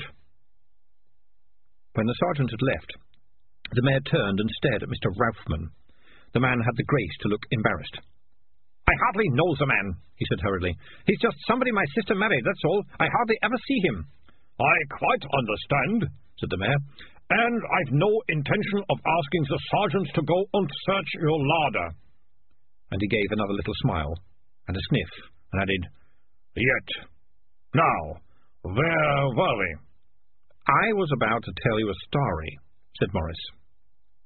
The town council stared at him. And your name is? said the mayor, who was feeling in quite a good mood now. Maurice, said Maurice. I'm a freelance negotiator style of thing. I can see it's difficult for you to talk to rats, but humans like talking to cats, right? Uh, like him, Dick Livingstone? said Hopwick, the clockmaker. Yeah, right, him, yeah, and... Maurice began. And uh, Puss in Boots, said Corporal Knopf. Yeah, right, just like in books, said Maurice, scowling. Anyway, cats can talk to rats, okay, and I'm going to tell you a story. But first, I'm going to tell you that my clients, the rats, will all leave this town if you want them to, and they won't come back ever. The humans stared at him. So did the rats. Will we? said Darktan. Will they? said the mayor. Yes, said Maurice. And now I'm going to tell you a story about the Lucky Town. I don't know its name yet. Let's suppose my clients leave here and move downriver, shall we? There are lots of towns on this river, I'll be bound. And somewhere there's a town that'll say, Why, we can do a deal with the rats. And that will be a very lucky town, because then there'll be rules, see? Uh, not exactly, no, said the mayor. Well, in this lucky town, right, a lady making, as it might be, a tray of cakes, well, all she'll need to do is shout down the nearest rat hole and say, Good morning, rats, there's one cake for you. I'll be much obliged if and you didn't touch the rest of them.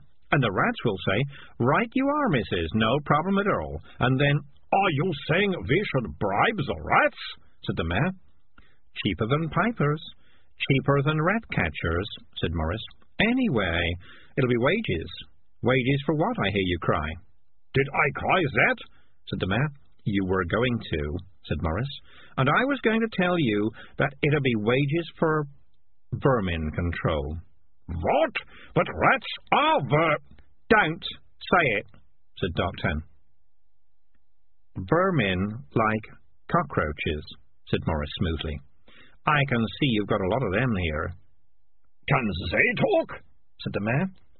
Now he had the slightly hunted expression of anyone who'd been talked at by Maurice for any length of time. It said, I'm going where I don't want to go, but I don't know how to get off. No, said Maurice, nor can the mice, nor can normal, nor can other rats. Well, vermin will be a thing of the past in that lucky town, because its new rats will be like a police force. Why, the clan'll guard your larders. Sorry, I mean the larders in that town. No rat catchers required. Think of the savings. But that'll only be the start. The wood carvers will be getting richer too in the lucky town. How? said Houtman, the woodcarver, sharply. Because the rats will be working for them, said Maurice. They have to gnaw all the time to wear their teeth down, so they might as well be making cuckoo clocks. And the clockmakers will be doing well too. Why? said Hopwick, the clockmaker. Tiny little paws, very good with little springs and things, said Maurice. And then... Uh, would they just do cuckoo clocks, or could they do other stuff? said Hauptmann. And then there's the whole tourism aspect, said Maurice. For example, the rat clock. You know that clock they got in Bionk, in the town square? Little figures come out every quarter of an hour and bang the bells. Cling, bong, bang, bing, clong, bong. Very popular. You can get postcards and everything. Big attraction. People come a long way just to stand there waiting for it. So what you're saying, said the clockmaker, is that if he, that is, if the lucky town had a special big clock under rats, people might come to see it. And stand around waiting for up to a quarter of an hour, said someone. A perfect time to buy tooth-crafted models of the clock, said the clockmaker, at very reasonable prices. People began to think about this. Uh, mugs with rats on, said a potter. Hand-gnawed souvenir wooden plates, said Hackman. Cuddly toy rats? Rats on a stick? Darktan took a deep breath. Maurice said quickly, A good idea made of toffee, naturally. He glanced towards Keith. And I expect the town would want to employ its very own rat piper, even, you know, for ceremonial purposes. Have your picture drawn with the official rat piper and his rat sort of thing? Any chance of a small theatre? said a little voice. Darktan spun round. Sardines, he said. Well, Gov, I thought if everyone was getting in on the act, Sardines protested. Maurice, we ought to talk about this, said Dangerous Beans, tugging at the cat's leg. Excuse me a moment, said Maurice, giving the mayor a quick grin. I need to consult with my clients. Of course, he added. I'm talking about the lucky town, which won't be this one because, of course, when my clients move out, some new rats will move in. There are always more rats. And they won't talk, and they won't have rules, and they'll widdle in the cream, and you'll have to find some new rat catchers, ones you can trust, and you won't have as much money because everyone will be going to the other town. Just a thought. He marched down the table and turned to the rats. I was doing so well, he said. You could be on 10%, you know. Your face is on Mug's everything. And this is what we fought for all night, spat Darktan. To be pets. Maurice, this isn't right, said Dangerous Beans. Surely it is better to appeal to the common bond between intelligent species than... I don't know about intelligent species. We're dealing with humans here, said Maurice. Do you know about wars? Very popular with humans. They fight other humans. Not hugely big on common bonding. Yes, but we are not... Now listen, said Maurice. Ten minutes ago, these people thought you were pests. Now, they think you're useful. Who knows what I can make them think if you give me half an hour? You want us to work for them, said Darktan. We've won our place here. You'll be working for yourself, said Maurice. Look, these people aren't philosophers. They're just everyday. They don't understand about the tunnels. This is a market town.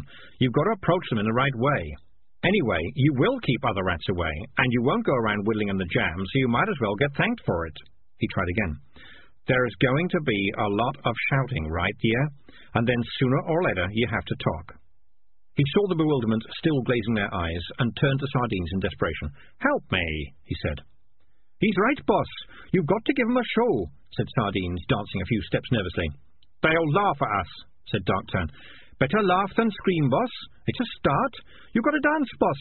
You can think and you can fight, but the world's always moving, and if you want to stay ahead, you've got to dance. He raised his hat and twirled his cane. On the other side of the room, a couple of humans saw him and chuckled. See? he said. I'd hoped there was an island somewhere, said Dangerous Beans. A place where rats could really be rats. And we've seen where that leads, said Darktan. And you know, I don't think there's any wonderful islands in the distance for people like us. Not for us, he sighed. If there's a wonderful island anywhere, it's here. But I'm not intending to dance. Figure of speech, boss. Figure of speech, said Sardines, hopping from one foot to the other. There was a thump from the other end of the table. The mayor, who had been arguing with some of the councillors, had hit it with his fist. We've got to be practical, he shouted. How much worse off can we be? They can talk. I'm not going to go all through this again, understand? We've got food, we've got a lot of money back, we survived the piper. These are lucky rats. The figures of Keith and Malicia loomed over them. It sounds as if my father's coming round to the idea, said Malicia. What about you? Discussions are continuing, said Maurice. Uh, I, I, I'm sorry. Uh, look, look. Maurice told me where to look, and I found this in the tunnel, said Malicia. She put something down on the table.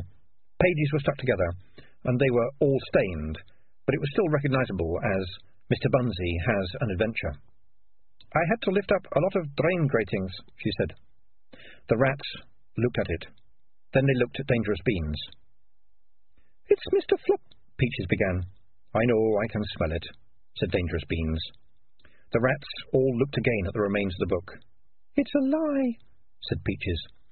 Maybe it's just a pretty story, said Sardines. Yes, said Dangerous Beans. Yes. He turned his misty pink eyes to Darktan, who had to stop himself from stepping back, and added, Perhaps it's a map. If it was a story and not real life, then humans and rats would have shaken hands and gone on into a bright new future. But since it was real life, there had to be a contract. A war that had been going on since people first lived in houses could not end with just a happy smile. And there had to be a committee. There was so much detail to be discussed. The town council were on it, and most of the senior rats, and Maurice marched up and down the table joining in. Dark Tan sat at one end. He wanted to sleep. His wound ached, his teeth ached, and he hadn't eaten for ages. For hours the argument flowed back and forwards over his drooping head. He didn't pay attention to who was doing the talking. Most of the time it seemed to be everyone. Next item. Compulsory bells on all cats. Agreed? Can we just get back to clause 30, Mr. Air Maurice? You're saying killing a rat would be murder? Yes, of course. But it's just... Talk to the paw, mister, because the whiskers don't want to know. The cat is right, said the mayor. You're out of order, Mr. Raufman. We've been through this. Then what about if a rat steals from me? Ahem. then that'll be theft, and the rat will have to go before the justices. Oh, young, said Raufman. Peaches, I'm a rat, sir. And, uh, and the watch officers will be able to get down the rat tunnels, will they? Yes, because there will be rat officers in the watch. There'll have to be, said Maurice. No problem. Really? And what does Sergeant Doppelpunkt think about that? Sergeant Doppelpunkt? Uh, dunno, sir. Could be all right, I suppose. I know I couldn't get down a rat hole. We've had to make the badges smaller, of course. I take it that rat watchman would only arrest rats, yes? The sergeant scratched his head. No, sir. The way I see it, they'd arrest anyone who needed arresting. What? Surely you wouldn't suggest a rat officer could be allowed to arrest a human? Oh, yes, sir, said the sergeant. What? Well, if your rat's a proper sworn-in watchman, I mean a rat, then you can't go around saying you're not allowed to arrest anyone bigger than you, can you? Could be useful, a rat watchman. I understand they have this trick where they run up your trouser leg. Gentlemen, we should move on. I suggest this one goes to the subcommittee. Which one, sir? We've already got seventeen. There was a snort from one of the councillors. This was Mr. Schlummer, who was ninety-five and had been peacefully asleep all morning. The snort meant that he was waking up. He stared at the other side of the table. His whiskers moved. Uh, there's a rat there, he said, pointing. Look, um, bold as brass, a rat in a hat. Yes, sir, this is a meeting to talk to the rats, sir, said the person beside him. He looked down and fumbled for his glasses. What's that? He said. He looked closer. Yeah, he said. And, you are that too? Yes, sir. Name of Nourishing, sir. We're here to talk to humans to stop all the trouble. Mr. Schlummer stared at the rat. Then he looked across the table at Sardines, who raised his hat. Then he looked at the mayor, who nodded. He looked at everyone again, his lips moving as he tried to sort this out. You're all talking, he said at last. Yes, sir, said Nourishing. So, who's doing the listening? he said. I expect that'll happen later on, said Maurice. Mr. Schlummer glared at him. Are you a cat? he demanded. Yes, sir, said Maurice. Mr. Schlummer digested this point too.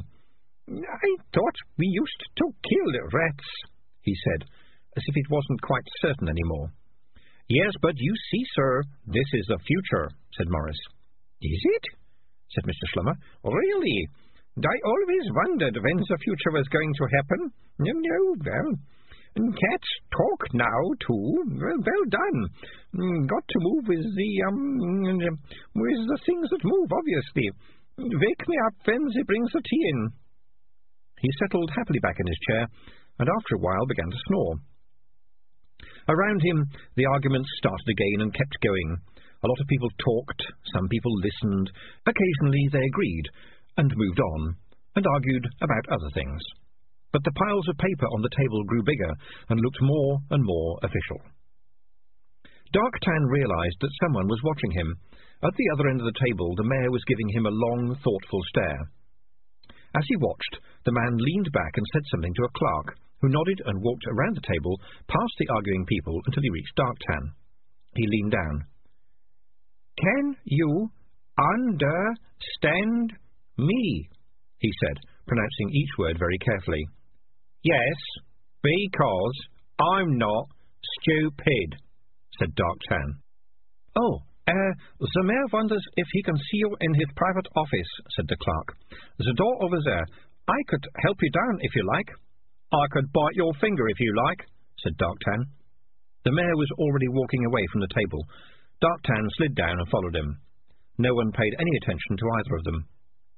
The mayor waited until Darktan's tail was out of the way and carefully shut the door.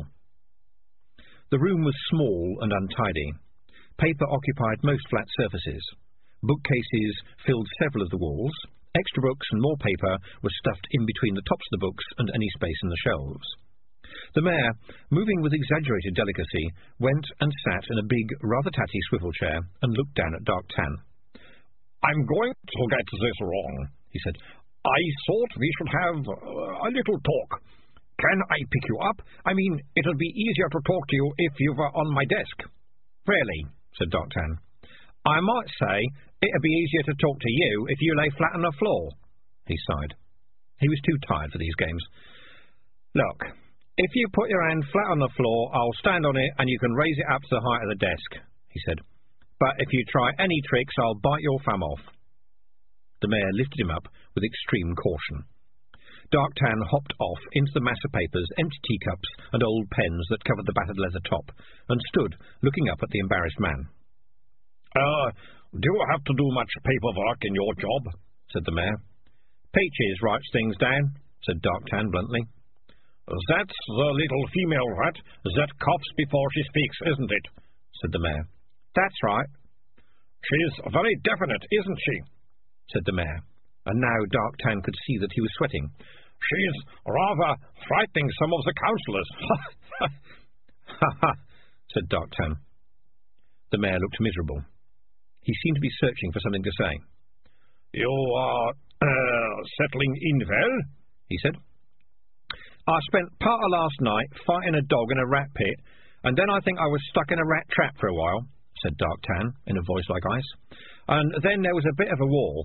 Apart from that, I can't complain. The mayor gave him a long, worried stare. For the first time he could remember, Darktan felt sorry for a human. The mayor seemed to be as tired as Darktan felt. Look, he said, I think it might work if that's what you want to ask me. The mayor brightened up. You do? he said. There's a lot of arguing. That's why I think it might work, said Darktan. Men and rats arguing. You're not poisoning our cheese, and we're not widdling in your jam. It's not going to be easy, but it's a start. But there's something I have to know, said the mayor. Yes? You could have poisoned our wells. You could have set fire to our houses. My daughter tells me you are very advanced. You don't owe us anything. Why didn't you? I asked myself that, too said Darktan. And I told myself, what good would it do? What would we have done afterwards? Gone to another town? Gone through all this again? Would killing you have made anything better for us? Sooner or later, we'd have to talk to humans. It might as well be you. I'm glad you like us, said the mayor. Darktan opened his mouth to say, like you? No, we just don't hate you enough. We're not friends. But there would be no more rat pits, no more traps, no more poisons. True, he was going to have to explain to the clan what a policeman was, and why rat policemen might chase rats who broke the new rules. They weren't going to like that. They weren't going to like that at all. Even a rat with the marks of the bone rat's teeth on him was going to have difficulty with that. But Maurice had said, they'll do this, you'll do that. No one will lose very much, and everyone will gain a lot. The town will prosper, everyone's children will grow up, and suddenly it'll all be normal. And everyone likes things to be normal. They don't like to see normal things changed. It must be worth a try, thought Darktan. Now, I want to ask you a question, he said. You've been the leader for how long? Ten years, said the mayor. Isn't it hard? Oh, yes, oh, yes. Everyone argues with me all the time, said the mayor. Although I must say I'm expecting a little less arguing if all this works out. But it's not an easy job. It's ridiculous to have to shout all the time just to get things done, said Darktan. That's right, said the mayor. And everyone expects you to decide things, said Darktan. True. The last leader gave me some advice just before he died, and you know what it was? Don't eat the green wobbly bit. Good advice, said the mayor. In his world, yes, said Darktan. but all he had to do was be big and tough and fight all the other rats that wanted to be leader. It's a bit like that with the council, said the mayor. What? said Darktan. You bite them in the neck? Not yet, said the mayor, but it's a tempting thought, I must say. It's just all a lot more complicated than I ever thought it would be, said Darktan, bewildered. To be a leader, you have to learn to shout. But after you've learned to shout, you have to learn not to. Right again, said the mayor. That's how it works. He put his hand down on the desk, palm up. May I? he said. I want to show you something. Darktan stepped aboard and kept his balance as the mayor carried him over to the window and set him down on the sill. See the river, said the mayor. See the houses, see the people in the streets. I have to make it work. Well, not the river, obviously, that works by itself. And every year it turns out that I haven't upset enough people for them to choose anyone else as mayor. So I have to do it again. It's a lot more complicated than I ever thought it would be. You too? But you're innocent. Ha! You think that makes it easier? I thought rats were wild and free. Ha! said Darktan. They both stared out the window. Down in the square they could see Keith and Malicia walking along deep in conversation. If you like, said the mayor after a while, you could have a little desk here in my office. I'll live underground, thank you all the same, said Darktan, pulling himself together. Little desks are a bit too Mr. Bunnsy. The mayor sighed. I suppose so. Uh... He looked as if he was about to share some guilty secret, and in a way he was. I did like those books when I was a boy, though. Of course, I knew it was all nonsense, but all the same, it was nice to think that... Yeah, yeah, said Darktan. But the rabbit was stupid. Who ever heard of a rabbit talking? Oh, yes, I never liked the rabbit, said the mayor. No one likes the rabbit, said Darktan. It was the minor characters everyone liked, said the mayor. Ratty Rupert and Phil the Pheasant and Ollie the Snake. Oh, come on, said Darktan. Ollie the Snake had a collar and tie. Well, well, how did it stay on? A snake is tube-shaped. Do you know, I never thought of it like that, said the mayor. Silly, really. He'd wriggle out of it, wouldn't he? And waistcoats on rats don't work. No? No, said Darktan. I tried it. Tool belts are fine, but not waistcoats. Dangerous Beans got quite upset about that, but I told him, you've got to be practical. It's just like I always tell my daughter, said the man. Stories are just stories. Life is complicated enough as it is. We have to plan for the real world. There's no room for the fantastic. Exactly, said the rat. And man and rat talked as the long light faded into the evening. A man was painting very carefully a little picture underneath the street sign that said River Street. It was a long way underneath, only just higher than the pavement, and he had to kneel down. He kept referring to a small piece of paper in his hand. The picture looked like three concentric circles, followed by a short wiggly line, followed by a group of small circles overlapping like a handful of pebbles. Keith laughed. What's funny? said Malicia. It's in the rat alphabet, said Keith. It says water plus fast plus stones. The streets have got cobbles on, right? So rats see them as stones. It means River Street. Both languages on the street signs. Clause 193, said Malicia. That's fast. They only agreed that two hours ago. I suppose that means there will be tiny signs in human language in the rat tunnels. I hope not, said Keith. Why not? Because rats mostly mark their tunnels by widdling on them. He was impressed at the way Malicia's expression didn't change a bit. I see we're all going to have to make some important mental adjustments, she said thoughtfully. It was odd about Maurice, though, after my father told him there were plenty of kindly old ladies in the town that would be happy to give him a home. You mean when he said that wouldn't be any fun getting it that way? said Keith. Yes. Do you know what he meant? Sort of. He meant he's Maurice, said Keith. I think he had the time of his life, strutting up and down the table, ordering everyone around. He even said me and the rats could keep the money we buried. He said a little voice in his head told him it was really ours. Malicia appeared to think about things for a while, and then she said, as if it wasn't very important, really, And, er, uh, you're staying, yes? Clause 9, resident rat piper, said Keith.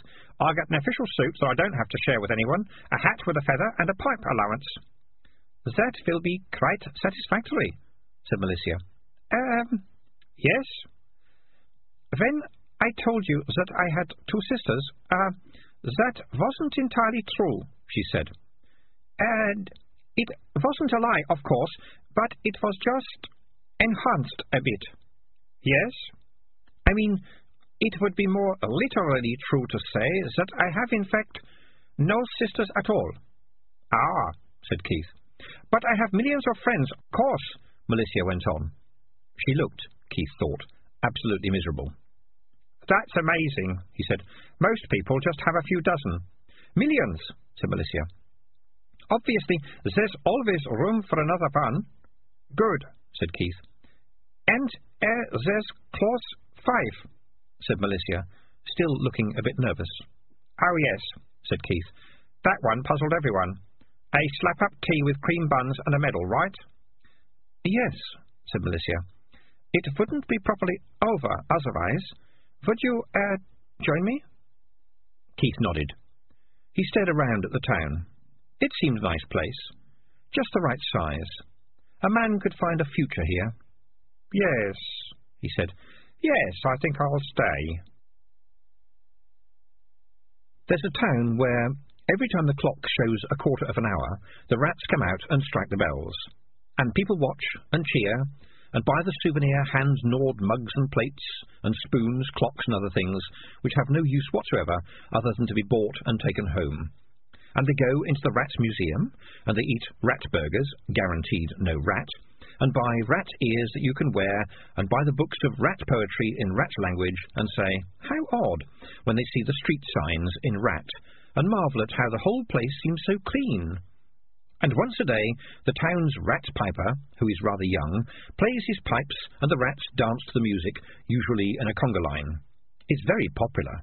On special days, a little tap dancing rat organises vast dancing spectaculars, with hundreds of rats in sequins, and water ballet in the fountains, and elaborate sets. And there are lectures about the rat tax, and how the whole system works, and how the rats have a town of their own under the human town, and get free use of the library, and sometimes even send their young rats to the school. And everyone says, how perfect, how well organised, how amazing. And then most of them go back to their own towns and set their traps and put down their poisons, because some minds you couldn't change with a hatchet. But a few see the world as a different place. It's not perfect, but it works.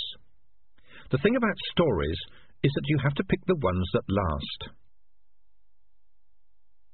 And far downstream, a handsome cat, with only a few bare patches still in his fur, jumped off a barge, sauntered along the dock, and entered a large and prosperous town.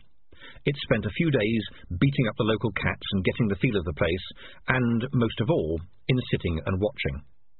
Finally, it saw what it wanted. It followed a young lad out of the city. He was carrying a stick over his back, of which was a knotted handkerchief of the kind used by people in story circumstances to carry all their worldly goods. The cat grinned to himself.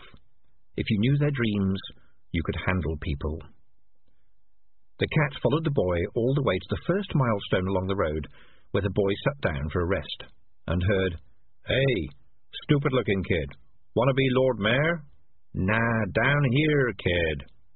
Because some stories end, but old stories go on, and you gotta dance to the music if you want to stay ahead.